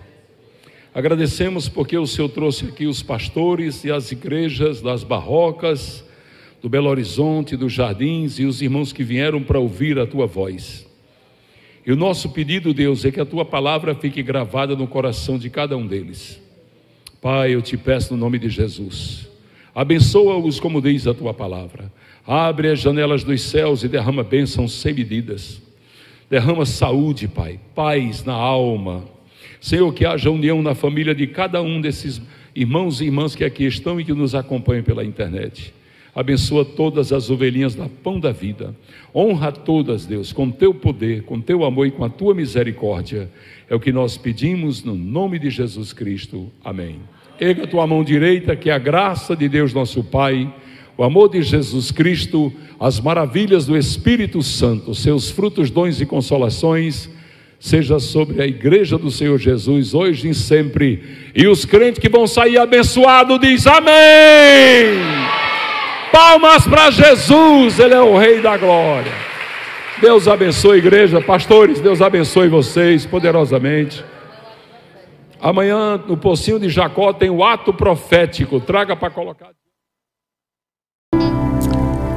Nessa viagem que nós fizemos, eu vivi muitas emoções fortes. E uma das emoções foi ver o pastor Narciso, aquele que toca harpa. Ele não conhecia as cataratas de Foz do Iguaçu. Quando nós paramos na primeira parada, já demos de cara assim com as 20 cataratas. Quedas d'água maravilhosas, parecendo véu de noivas. E aquele homem se derramou em pranto, choro. Começou a chorar. E quando eu disse a ele, o Salmo 19 diz que os céus e a terra proclamam a grande glória de Deus. Aí ele chorou mais ainda. Meus amados irmãos, nessa viagem a gente pôde meditar na palavra de Deus e percorrer os versículos do Salmo 139, quando o salmista diz: Para onde eu fugirei da tua face? Onde, Deus, eu me esconderei do Senhor? Onde eu for ali, o Senhor está. Nós podemos ver a presença de Deus em tudo não tem nada nesse mundo que você olhe para não ver a presença de Deus. Tudo, tudo. Mas quando você chega ali, e eu disse: Olha, quando eu me lembro das vezes que eu liguei um motorzinho para encher uma caixa d'água, talvez você faça isso hoje, hoje eu ainda faço isso aqui. Tem um motorzinho que é colocado numa caixa para jogar água para cima. uma mangueirinha, e Deus faz jorrar bilhões de litros d'água por segundos. Diga aí. Enquanto o ponteiro do relógio faz, já jorrou bilhões. A abundância de Deus nas nossas vidas, tudo que Ele faz é perfeito, é grandioso. E você andando ali, você vê a presença de Deus na natureza e vê a presença de Deus nos feitos do homem, que construiu uma passarela dentro d'água para as pessoas caminharem e ir mais perto das cataratas. Aí você vê um elevador que leva esse povo para lá. Degraus, milhares de degraus para as pessoas caminharem entre aquelas cachoeiras. A beleza de Deus de uma forma tremenda. Nós estamos falando de natureza, mas olhe para dentro de você. Olhe para dentro de você imagine o quanto Deus já mudou você. O quanto Deus já transformou. O quanto Deus já nos aperfeiçoou. É bem verdade que às vezes é através dos sofrimentos e através das lutas, mas Ele nos aperfeiçoa a cada dia. É por isso que eu digo que o crente ele recebe as lutas que vêm de Deus, mas ele tem que receber ciente de que aquilo que está acontecendo em sua vida é para o seu bem. Tudo coopera para o bem dos que amam a Deus. O trabalhar de Deus é tremendo. É lindo. Eu vi tantos milagres, tantas coisas maravilhosas. Várias mães me procuraram para contar milagres que Deus fez. Eu vi pessoas que receberam a oração no domingo lá na igreja de São Paulo e já no culto de segunda-feira já estava contando os testemunhos do que Deus tinha feito. Do domingo para a segunda, um irmão que é obreiro da nossa igreja de São Paulo estava preocupado com a assinatura ou não de um contrato, pois ele tem um abrigo de velhos, de idosos. Eu orei por ele e disse: Meu irmão, Deus vai te dar a vitória. Na segunda-feira ele chegou, já assinei o contrato, pastor. Deus já fez. A Bíblia diz que Deus ele é o Deus do já. É o Deus que tem pressa. Ele apressa-se em socorrer os seus filhos. E essa palavra diz: Bendigo o Senhor a minha alma e não esqueça de nenhuma das suas bênçãos. Nós não podemos esquecer das bênçãos de Deus, daquilo que Deus faz em nossas vidas. Né? Eu passei agora nove dias viajando. Conheci inúmeras pessoas pessoalmente que eu só conhecia aqui da live. E outras que eu nem sabia que existia, mas que houve uma grande amizade entre nós, como por exemplo o irmão Neto, a irmã Jeane, lá de Pato Branco, Paraná. Uma irmã Dalva, seu esposo, sua filha, e tantos outros depois eu vou mostrando as fotos aqui. Uma senhora que veio me encontrar parecendo minha mãe. Eu falei, Deus do céu, eu conheci o Júnior, um garoto numa cadeira de rodas, que tem paralisia cerebral e física. E quando ele me viu, ele gritava de alegria. Eu falei, Deus, como o Senhor é maravilhoso, como o Senhor proporciona momentos eu quero nessa mensagem dizer assim: agradeça a Deus pelos momentos que Ele te faz viver. Porque muitas vezes, irmãos, nós estamos muito focados nas coisas ruins que o mundo traz. Mas no meio dessas coisas, comece a pensar naquilo que Deus faz, nas maravilhas que Deus realiza. Nunca foque só naquilo que está tirando a sua paz, sabe, que está roubando o seu sono, Foque naquilo que Deus faz, nas maravilhas. Eu conversei uma vez com uma pessoa dizendo que estava à beira do suicídio. E em poucas palavras, eu falei para aquela pessoa: Você, como é que está a sua vida com seu esposo? Está bem. Com seu filho? Eu tenho um filho. E como é que está? Está bem. Então é a sua vida com Deus que não vai bem. Aí a sua vida com o Pai, o nosso Pai, aquele que mais nos ama, não pode mal. Não pode mal porque Ele é um Deus que a hora que eu buscar Ele, onde quer que eu esteja, Ele vai estar disponível. Muitas pessoas estão bem na vida financeira, estão bem na vida sentimental, matrimonial, estão bem em tudo, mas não estão bem com Deus. Porque não conversam com Ele, porque não desabafam com Ele, porque não entregam os problemas a Ele e ficam sofrendo sem necessidade. É um sofrimento que não precisa sofrer. Apenas entregue e descanse. A palavra diz que nós devemos lançar sobre Ele toda a ansiedade. Quando você estiver assim perturbado, aquele coração angustiado, entra no teu quarto, fecha a tua porta, ora e diz para Jesus: Senhor, entrego tudo nas tuas mãos. E quando entregar a Ele, descansa. Pastor, não é fácil. É se você se desprender. Tudo aquilo que você se desprender é fácil. Se desprenda dos problemas, foque no solucion, naquele que é o solucionador dos problemas, naquele que resolve os problemas. E ele vai resolver.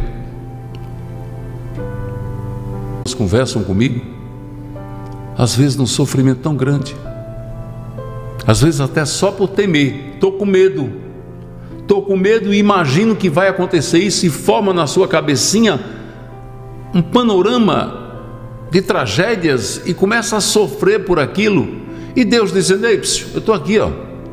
olhe para mim, eu estou aqui. Eu sou maior do que tudo isso, eu resolvo tudo isso. Venha para mim. Vinde a mim, vós que estáis cansado, sobrecarregado, eu vos aliviarei. Deus está chamando você para entregar nas mãos dele os problemas que você pode estar enfrentando, pode ser o que for, ele vai resolver.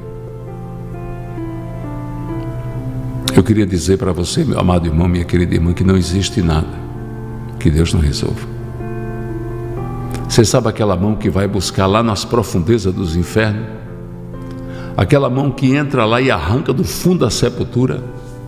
Aquela mão poderosa que vai lá e tira você do abismo e coloca você perto dele e diz: Fica aqui, fica aqui. Aqui perto de mim você está seguro. É a mão de Deus. Bendigo a minha alma ao Senhor. Não esqueça das suas bênçãos. Deus tem bênção para você. Eu fiz um ato profético na igreja de São Paulo. Pastora, levantou todo mundo, não ficou ninguém sentado. Eu levantei lá em casa. Levantou? Estava com meu esposo quando o pastor disse um ato profético, todo mundo com a mão nas paredes da igreja. Eu disse, eu tô lá não, Jesus, mas eu tô aqui, eu coloco a mão aqui nas paredes aqui em casa. Eu vi que as pessoas elas têm fé. É fé, é. A fé que agrada a Deus, a fé que move montanhas, a fé que realiza milagres. Amém? Às vezes você pensa, eu orando sozinho, vai ser a mesma coisa? É. A sua oração é escutada, o véu do tempo foi rasgado. Quando você faz um ato profético, mesmo que esteja só, está valendo. Deus está escutando, Deus vai realizar. Amém? Recebe essa palavra no seu coração. Pastor Anjo. Glória a Deus. E a gente contemplando aqui, né? As maravilhas do Senhor e vivendo os milagres, agradecendo a Deus pelas suas bênçãos, pelo seu mover, porque o Deus que estava operando lá estava operando aqui também, como está aí, presente na sua vida. Ele é grande, ele é poderoso, ele é fiel o Deus que faz jorrar águas, como é o próprio Deus que faz também cessar. Esse é o nosso Deus. Dele vem todas as coisas e por isso nós glorificamos a Ele, porque nós sabemos que Deus sabe trabalhar. Deus sabe agir. Quando nós declaramos isso é porque a gente reconhece, como salmista, que todas as nossas vitórias vêm do Senhor. Talvez você esteja naquele dia dizendo: Deus, mas eu já me esforcei demais. Eu já busquei tudo. É aqueles momentos, pastor e irmãos, que a gente, sabe, olha para tudo, quer perceber algo em tudo, quer buscar recursos, quer buscar nas pessoas, quando o nosso olhar tem que estar para o alto, porque é de lá que vai vir o nosso socorro. Quero te dizer em nome de Jesus que Ele é aquele que vai chegar com providência na sua situação. O Deus do impossível. Aleluia. Enquanto os pastores estavam ali vivendo as bênçãos e o que Deus já havia preparado para aqueles lugares, né, em que os levou. Nós estávamos aqui de longe, intercedendo e recebendo respostas de oração. Milagres que a gente pedia a Deus por um tempo e hoje a gente testemunha das respostas do Senhor sobre aquela oração. Gente, coisa que você fica assim, Deus, isso aconteceu? A gente fica maravilhado como Zacarias. Se você orava por isso, se você ora por isso, você ora a Deus por isso, é porque realmente você sabe que Ele pode fazer o que é impossível. E quando esse impossível acontece, você fica, uau, porque realmente é incrível. Os feitos do Senhor são maravilhosos e é por isso que nós anunciamos os feitos do nosso Deus sobre a nossa vida, sobre a sua vida. Acredite. Talvez hoje você ore por coisas que você sabe que Deus pode fazer, mas você ainda assim vai ficar impactado quando elas acontecerem. Porque esse é o nosso Deus que nos surpreende. Ei, irmão, milagre sobre milagre, bênção sobre bênção, vitória sobre vitória. Deus tem operado na vida Aleluia. do seu povo.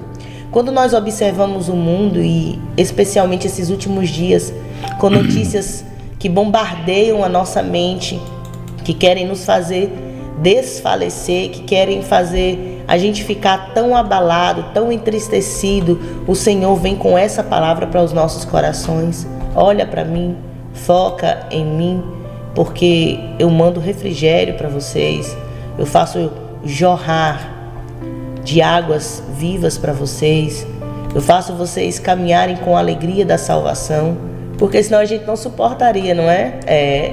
E Deus é conosco. Você está nessa luta aí? Você está aí porque é Deus com você, senão você não suportaria. É. Aquela palavra que vem ao nosso coração que você diz: Deus, obrigado, era só isso que eu precisava. Talvez hoje você só precise disso de ouvir Deus dizer que eu estou com você. Eu quero te dizer que quando você estiver assim, pensando nos problemas e tem coisas, certas circunstâncias que realmente elas tomam o nosso pensamento e elas querem tomar também a nossa fé. Com elas querem levar a nossa fé. A gente fica aprisionado naquilo ali porque a gente não para de pensar a gente não para de buscar, a gente fica tão ansioso sobre ela. Deixa eu te falar uma coisa. Quando você estiver assim, fala com Deus. Quando estiver acontecendo isso, abre a Bíblia. Você vai ver a calma que vem ao teu coração. Porque somente o Senhor pode chegar nesses momentos. Eu quero te dizer que você, mulher, que ainda tem orado, vendo milagres acontecerem, vendo famílias sendo restauradas, vendo amigas testemunhando que agora o seu esposo está na presença de Deus, acredite, o seu testemunho também será contado. Em nome de Jesus. Você, mãezinha, que tanto tem chorado pelos seus filhos, pedindo Deus, e aí, Senhor? É muita rebeldia. Outras que oram e choram, Deus, onde está o meu filho? Outras que oram e choram, Senhor, quando que ele vai se levantar? Meu pai, quando que terá uma transformação na vida desse menino, dessa menina? Acredite, você ainda vai ver a glória de Deus manifesta na vida dos seus filhos. Acredite. Você que só bate nas portas vendo portas fechadas, é porta fechada, é porta fechada. Acredite. Você ainda vai entrar na porta que Deus preparou para você, porque enquanto a porta está fechada, Deus está suprindo, Deus está movendo. Acredite você que está no deserto. Não tem faltado nada, né? Você diz, eu estou no deserto, mas não tem faltado nada. Acredite, Aleluia. você ainda vai pisar na terra da bênção que o Senhor tem preparado para você. Acredite, porque esse é o nosso Deus. Nós não estamos falando de um Deus distante, mas de um Deus de perto. Que olha, que contempla a gente, que a sua palavra diz que os seus ouvidos estão atentos ao nosso clamor e a sua mão estendida para nos ajudar, para nos socorrer, para nos salvar. Se alegre com cada testemunho que você ouve dos seus amados irmãos. Se alegre por cada bênção que alguém recebe. E antes de falar, Deus chegou dessa pessoa, por que, que não chegou a mim? Se alegre por essa bênção, porque você também vai contar o seu testemunho. Deus está olhando para você e Deus não só olha para a gente. A sua palavra diz que Ele trabalha, em favor daqueles que nele esperam. E a gente tem esperado, tem se alegrado, tem declarado que nós sabemos no Deus que nós temos crido. Deus te abençoe em Cristo Jesus neste dia e se alegre. Você vai contar a sua bênção. Eita glória, as promessas de Deus não falham. Vamos trazer a Maglês Cristina cantando promessas. O Senhor vai fazer. Pega assim, diga. Eu pego para mim. Eu sei que Ele vai fazer, porque Ele é fiel.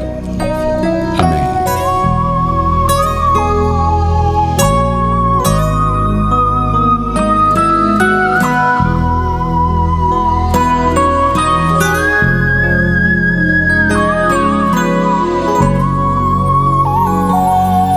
O inimigo até que tentou destruir os teus sonhos,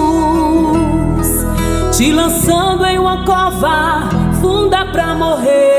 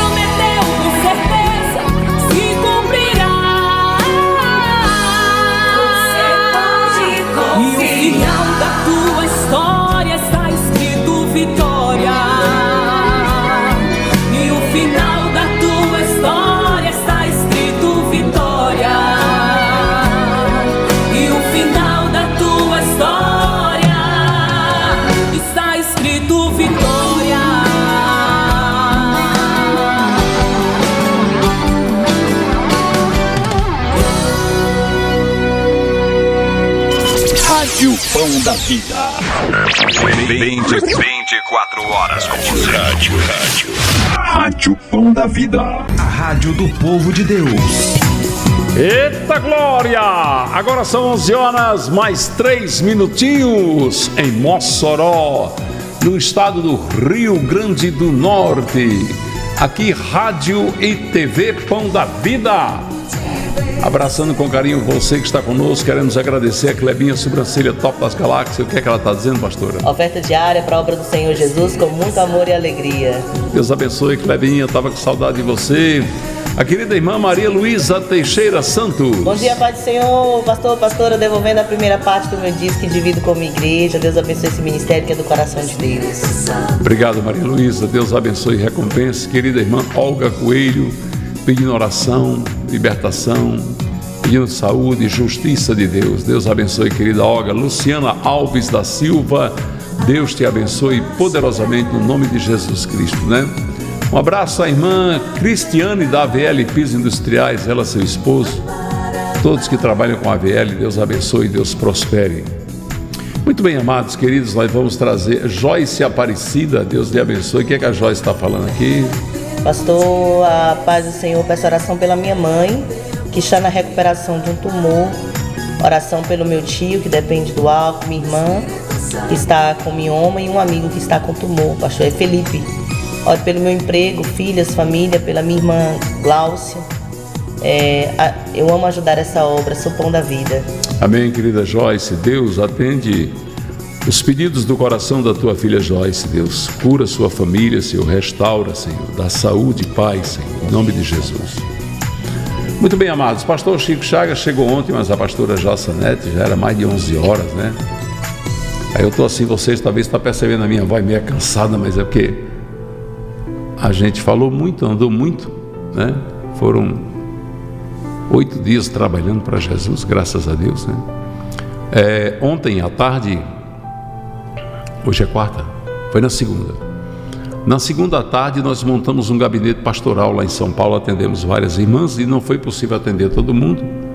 Então foi uma, uma obreira da igreja lá em São Paulo, anotou o nome e telefone de todos para mim começar a ligar a partir de hoje para a gente conversar. Eu fiquei muito feliz com o pastor Henrique Jorge, com a pastora Aparecida, com a igreja. A igreja estava lotada, irmãos. Teve pessoas que veio e não conseguiram entrar, né? Muita gente na igreja, muita, muita gente na igreja. Glória a Deus por isso, né? Nós ficamos até um pouco tristes porque muitos vieram e não conseguiram entrar. E aí o pastor ficou à disposição, tirou foto, orou por todo mundo, né? Tanto na, no domingo como na segunda. Muitas pessoas trazendo pertences dos seus entes queridos, fotografias, exames. Nós oramos ali por tantas pessoas, tivemos a alegria de ter Aninha e o Gessé estavam conosco, completando 31 anos de casados. Foi momentos de muita alegria, né? E nós tivemos também 13 almas para Jesus, né? Pessoas se renderam aos pés de Jesus, chorando, emocionadas em estarem aceitando o Senhor Jesus como Salvador. A nossa igreja em São Paulo capital cresce a cada dia, né? Eu louvo a Deus por isso. Você visite nossa igreja em São Paulo capital, Rua Doutor Zuquim, 550, bairro Santana, né? Uma benção, a Manu Valcácio e o Adriano nos acompanhou, o pastor Narciso, né? A Aninha cantou também lá, foi uma benção, né? Eu fiquei muito feliz, muito alegre. E feliz também em reencontrar a Sônia Inácio. Temos até uma foto aí nas cataratas de Foz do Iguaçu, né? Encontrar os irmãos que foram vários casais. Depois eu vou, eu vou mostrar as fotos. Hoje não dá porque eu cheguei e não deu tempo de selecionar tudo. Mas eu tenho muita coisa para mostrar e ganhei presente demais. Tivemos que arrumar outra mala e viemos sobrecarregados, viemos até com medo de ter problema na estrada, porque usamos até uma mala que Adriano tinha, mas a Manu, para trazer presentes. Muitas ovelhinhas. Ganhamos muitas ovelhinhas lá, depois eu vou mostrar a vocês. Aqui a pastora está com tudo aí embalado, agora que ela está desfazendo as malas, mas amanhã eu vou mostrar para vocês, se Deus quiser, em nome de Jesus, as ovelhinhas, os presentes que nós ganhamos. Né? Muitos irmãos deram presentes, mandaram presente para a pastora Ângela, para o pastor Vou a Gabriel. minha caneca já aqui, ó. Obrigada, Vilma Kátia. Eu Já estreiei. Ah, já está aí com a caneca. Pois é, e amanhã, a Coisa partir de amanhã, eu vou mostrar para vocês, né? Isso é uma coisa que nos dá. A Ana Lúcia da Alarme disse: Olha, o céu se abriu naquele lugar. Ela estava lá, Ana Lúcia da Alarme, Deus abençoe, né? Foi um culto muito abençoado, um culto maravilhoso. Em nome de Jesus. Amém? E se eu perguntar aqui, quem é que se preocupava muito com a opinião dos outros, é só que vai aparecer a gente dizendo que se preocupava. Você quer viver para o mundo. Quando eu digo você, eu estou dizendo os que vivem assim. Não. Não viva não, porque você não, não tem quem agrada o mundo. Viva para Deus. E deixe Deus trabalhar na sua vida. Não se preocupe. Tem muita gente dentro das igrejas. Irmãs que vão para a igreja, vestem aquela roupinha, aí chega na igreja, está ali. Aí ela fica olhando assim, ó. De cantinho de olho. Aí quando tem um irmão olhando para ela, ela já pensa, está olhando para o meu vestido, está olhando para a minha sandália, está me achando feia, eu não fiz chapinha no cabelo, eu não sei o que, eu isso, eu aquilo. Vera Santos está aqui com a gente. Vera, Deus abençoe, querida. Fica preocupada com tudo. Quer vestir roupas para agradar o mundo. Não vai a salão porque se é crente não pode ir a salão. Quem disse isso? Pode ir sim, arrumar seus cabelos, ficar bonita, ir para a igreja linda, maravilhosa, para se arrumando para o seu homem, se você tiver homem, e para Jesus, que é seu noivo. Hã? A Vera Santos disse: é verdade, pastor, o importante é o que Deus pensa de mim. Exatamente. Exatamente. Eu fui muito criticado, ainda hoje eu sou. Muito criticado. Tem gente dizendo coisas, porque o Ministério Pão da Vida é um ministério diferente. Sabe o que foi que eu encontrei agora em Foz do Iguaçu, em São Paulo? Irmãs dizendo para mim, pastor, depois que a gente é pão, de, pão da vida, é difícil, é de outra igreja. Porque a gente não aceita mais ser enganado, pastor. A gente não suporta mais ser enganado. Fica difícil, porque a gente conheceu a verdade. É verdade. Né? Muitas igrejas trabalhando com mentira, com engano, com tudo quanto. Só Jesus na causa. Muito bem, vamos orar. Pega o seu azeite, vamos consagrar a Deus e vamos viver para Deus.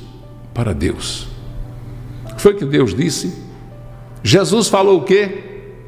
Para Samuel lá na casa de Jessé, quando foi ungir Davi. Olha aí, a Marliette Alexandre disse: Eu estou melhorando agora, depois do Ministério Pão da Vida. Amém. Glória a Deus por isso. Né? Fernanda Silva botou: Eu não vou para o salão porque eu não tenho dinheiro, mas vai ter, em nome de Jesus, viu? Eu profetizo na sua vida portas abertas, bênçãos de Deus para você arrumar os cabelos e ficar bonita para Jesus. Não é verdade? Jesus disse para ele: Olha, Samuel, Samuel tinha escolhido Eliabe, que era bonitão. Samuel, você vê a aparência, eu vejo o coração. Eita glória! Você está escolhendo o soldado valoroso do exército de Davi. Eu estou escolhendo o pastorzinho de ovelha que está lá de trás do rebanho. Eu escolho o improvável. Eu escolho o fraco para confundir o forte. Eita glória, eu escolho aquele que não é nada para confundir o que acha que é tudo. É.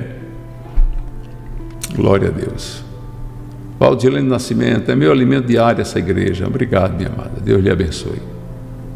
Viva para Deus. Vamos orar. Cadê o azeite? Foi tanto testemunho de cura, irmãos. Eu fiquei muito feliz que eu encontrei lá em São Paulo, lá em Foz do Iguaçu, a irmã Dalva. A irmã Dalva, ela, ela me deixou muito alegre, porque ela me contou o testemunho da filhinha dela, levou a filhinha dela para me ver. A filhinha dela tinha problemas de esquizofrenia, e ela disse: Pastor, minha filha sofria tanto e o Senhor orava e a gente recebia aquela oração. O Senhor fez uma oração de cura por ela. E eles são um casal de pastores, tanto ela como o esposo são pastores. E naquele dia que o Senhor orou, pastor, nós recebemos a cura dela. E Deus curou ela. Oh, glória a Deus, né? E ela foi lá dar o testemunho, mostrar a vocês aqui, é bem rapidinho, é só dois minutos. Ela foi lá dar o testemunho para a glória de Deus. A glória e o louvor é dele. É ele que faz essas coisas maravilhosas. Eu tive tantos testemunhos de cura, coisas maravilhosas. Escute aí, só para aumentar a sua fé. Porque nós vamos orar agora pela cura, isso aqui é para aumentar a sua fé. Coração grato a Jesus Cristo por esse encontro maravilhoso. A irmã Dalva, o irmão Ernesto, a irmã Dioneide, né? E para glorificar o nome do Senhor Jesus, nós queremos falar da cura que o Senhor operou na vida da Dioneide, né? Dioneide tinha um problema de esquizofrenia e foi curada ao ponto, né? de Mandar o médico tirar os medicamentos dela. medicação. Eita, Deus grande. Glória, Glória a Deus. Aí ela chegou a pesar 98 quilos, um, me- eh, tirou a medicação, hoje ela está pesando 53, aí o, emagreceu rápido, a vesícula não aguentou, aí tivemos que operar a vesícula, por isso que nós não estamos aqui, né? Mas para honra e glória do Senhor, viemos dar o testemunho pessoal. Glória a honra e glória do Senhor Jesus. Por isso nós temos propósito com a casa do Pai. Enquanto vida nós. Amém, Jesus. Inclusive, ela é uma das mantenedoras da obra, ajuda a obra com seus dízimos, suas ofertas. E ela pesa, perdeu quantos quilos? 45 quilos. Olha que, que Me deu bênção. outra pessoa. É, Que maravilha. verdade. Glória ao santo nome Glória de Jesus. Cristo, né? Glória a Que Deus Deus. continue abençoando e eu quero aproveitar para fazer uma oração pela sua família. amém, Jesus. Quero orar dizendo, Santo Deus e Eterno Pai. Nós estamos diante aqui do Teu milagre. Da Tua mão poderosa, Senhor, teu coração cheio de misericórdia, que operou na vida da minha Senhor. E a fé da Tua filha Dálvida e do Teu filho Ernesto por atendidos, Pai. Nós queremos pedir que o Senhor derrame toda sorte de bênção do céu sobre a vida desta família. Que o Senhor possa realizar os sonhos, dar saúde à sua Ernesto, irmã Dálvida, sua filha, toda a sua casa. Dando a teus filhos a prosperidade, abençoando eles, meu Pai, em todas as áreas de suas vidas, Pai. Guarda teus filhos debaixo da tua santa, maravilhosa proteção. Abençoa esta família, porque é uma família, Senhor, que te ama não despreza a tua palavra e nem o teu nome. Por isso pedimos a tua bênção, para eles, Pai, e para a irmã Aninha, que também está aqui representando a Atalaia Tu. Muito obrigado. Agradecemos em nome de Jesus Cristo. Amém, Jesus. Amém. Amém. Aí ela disse, agora eu quero ir lá.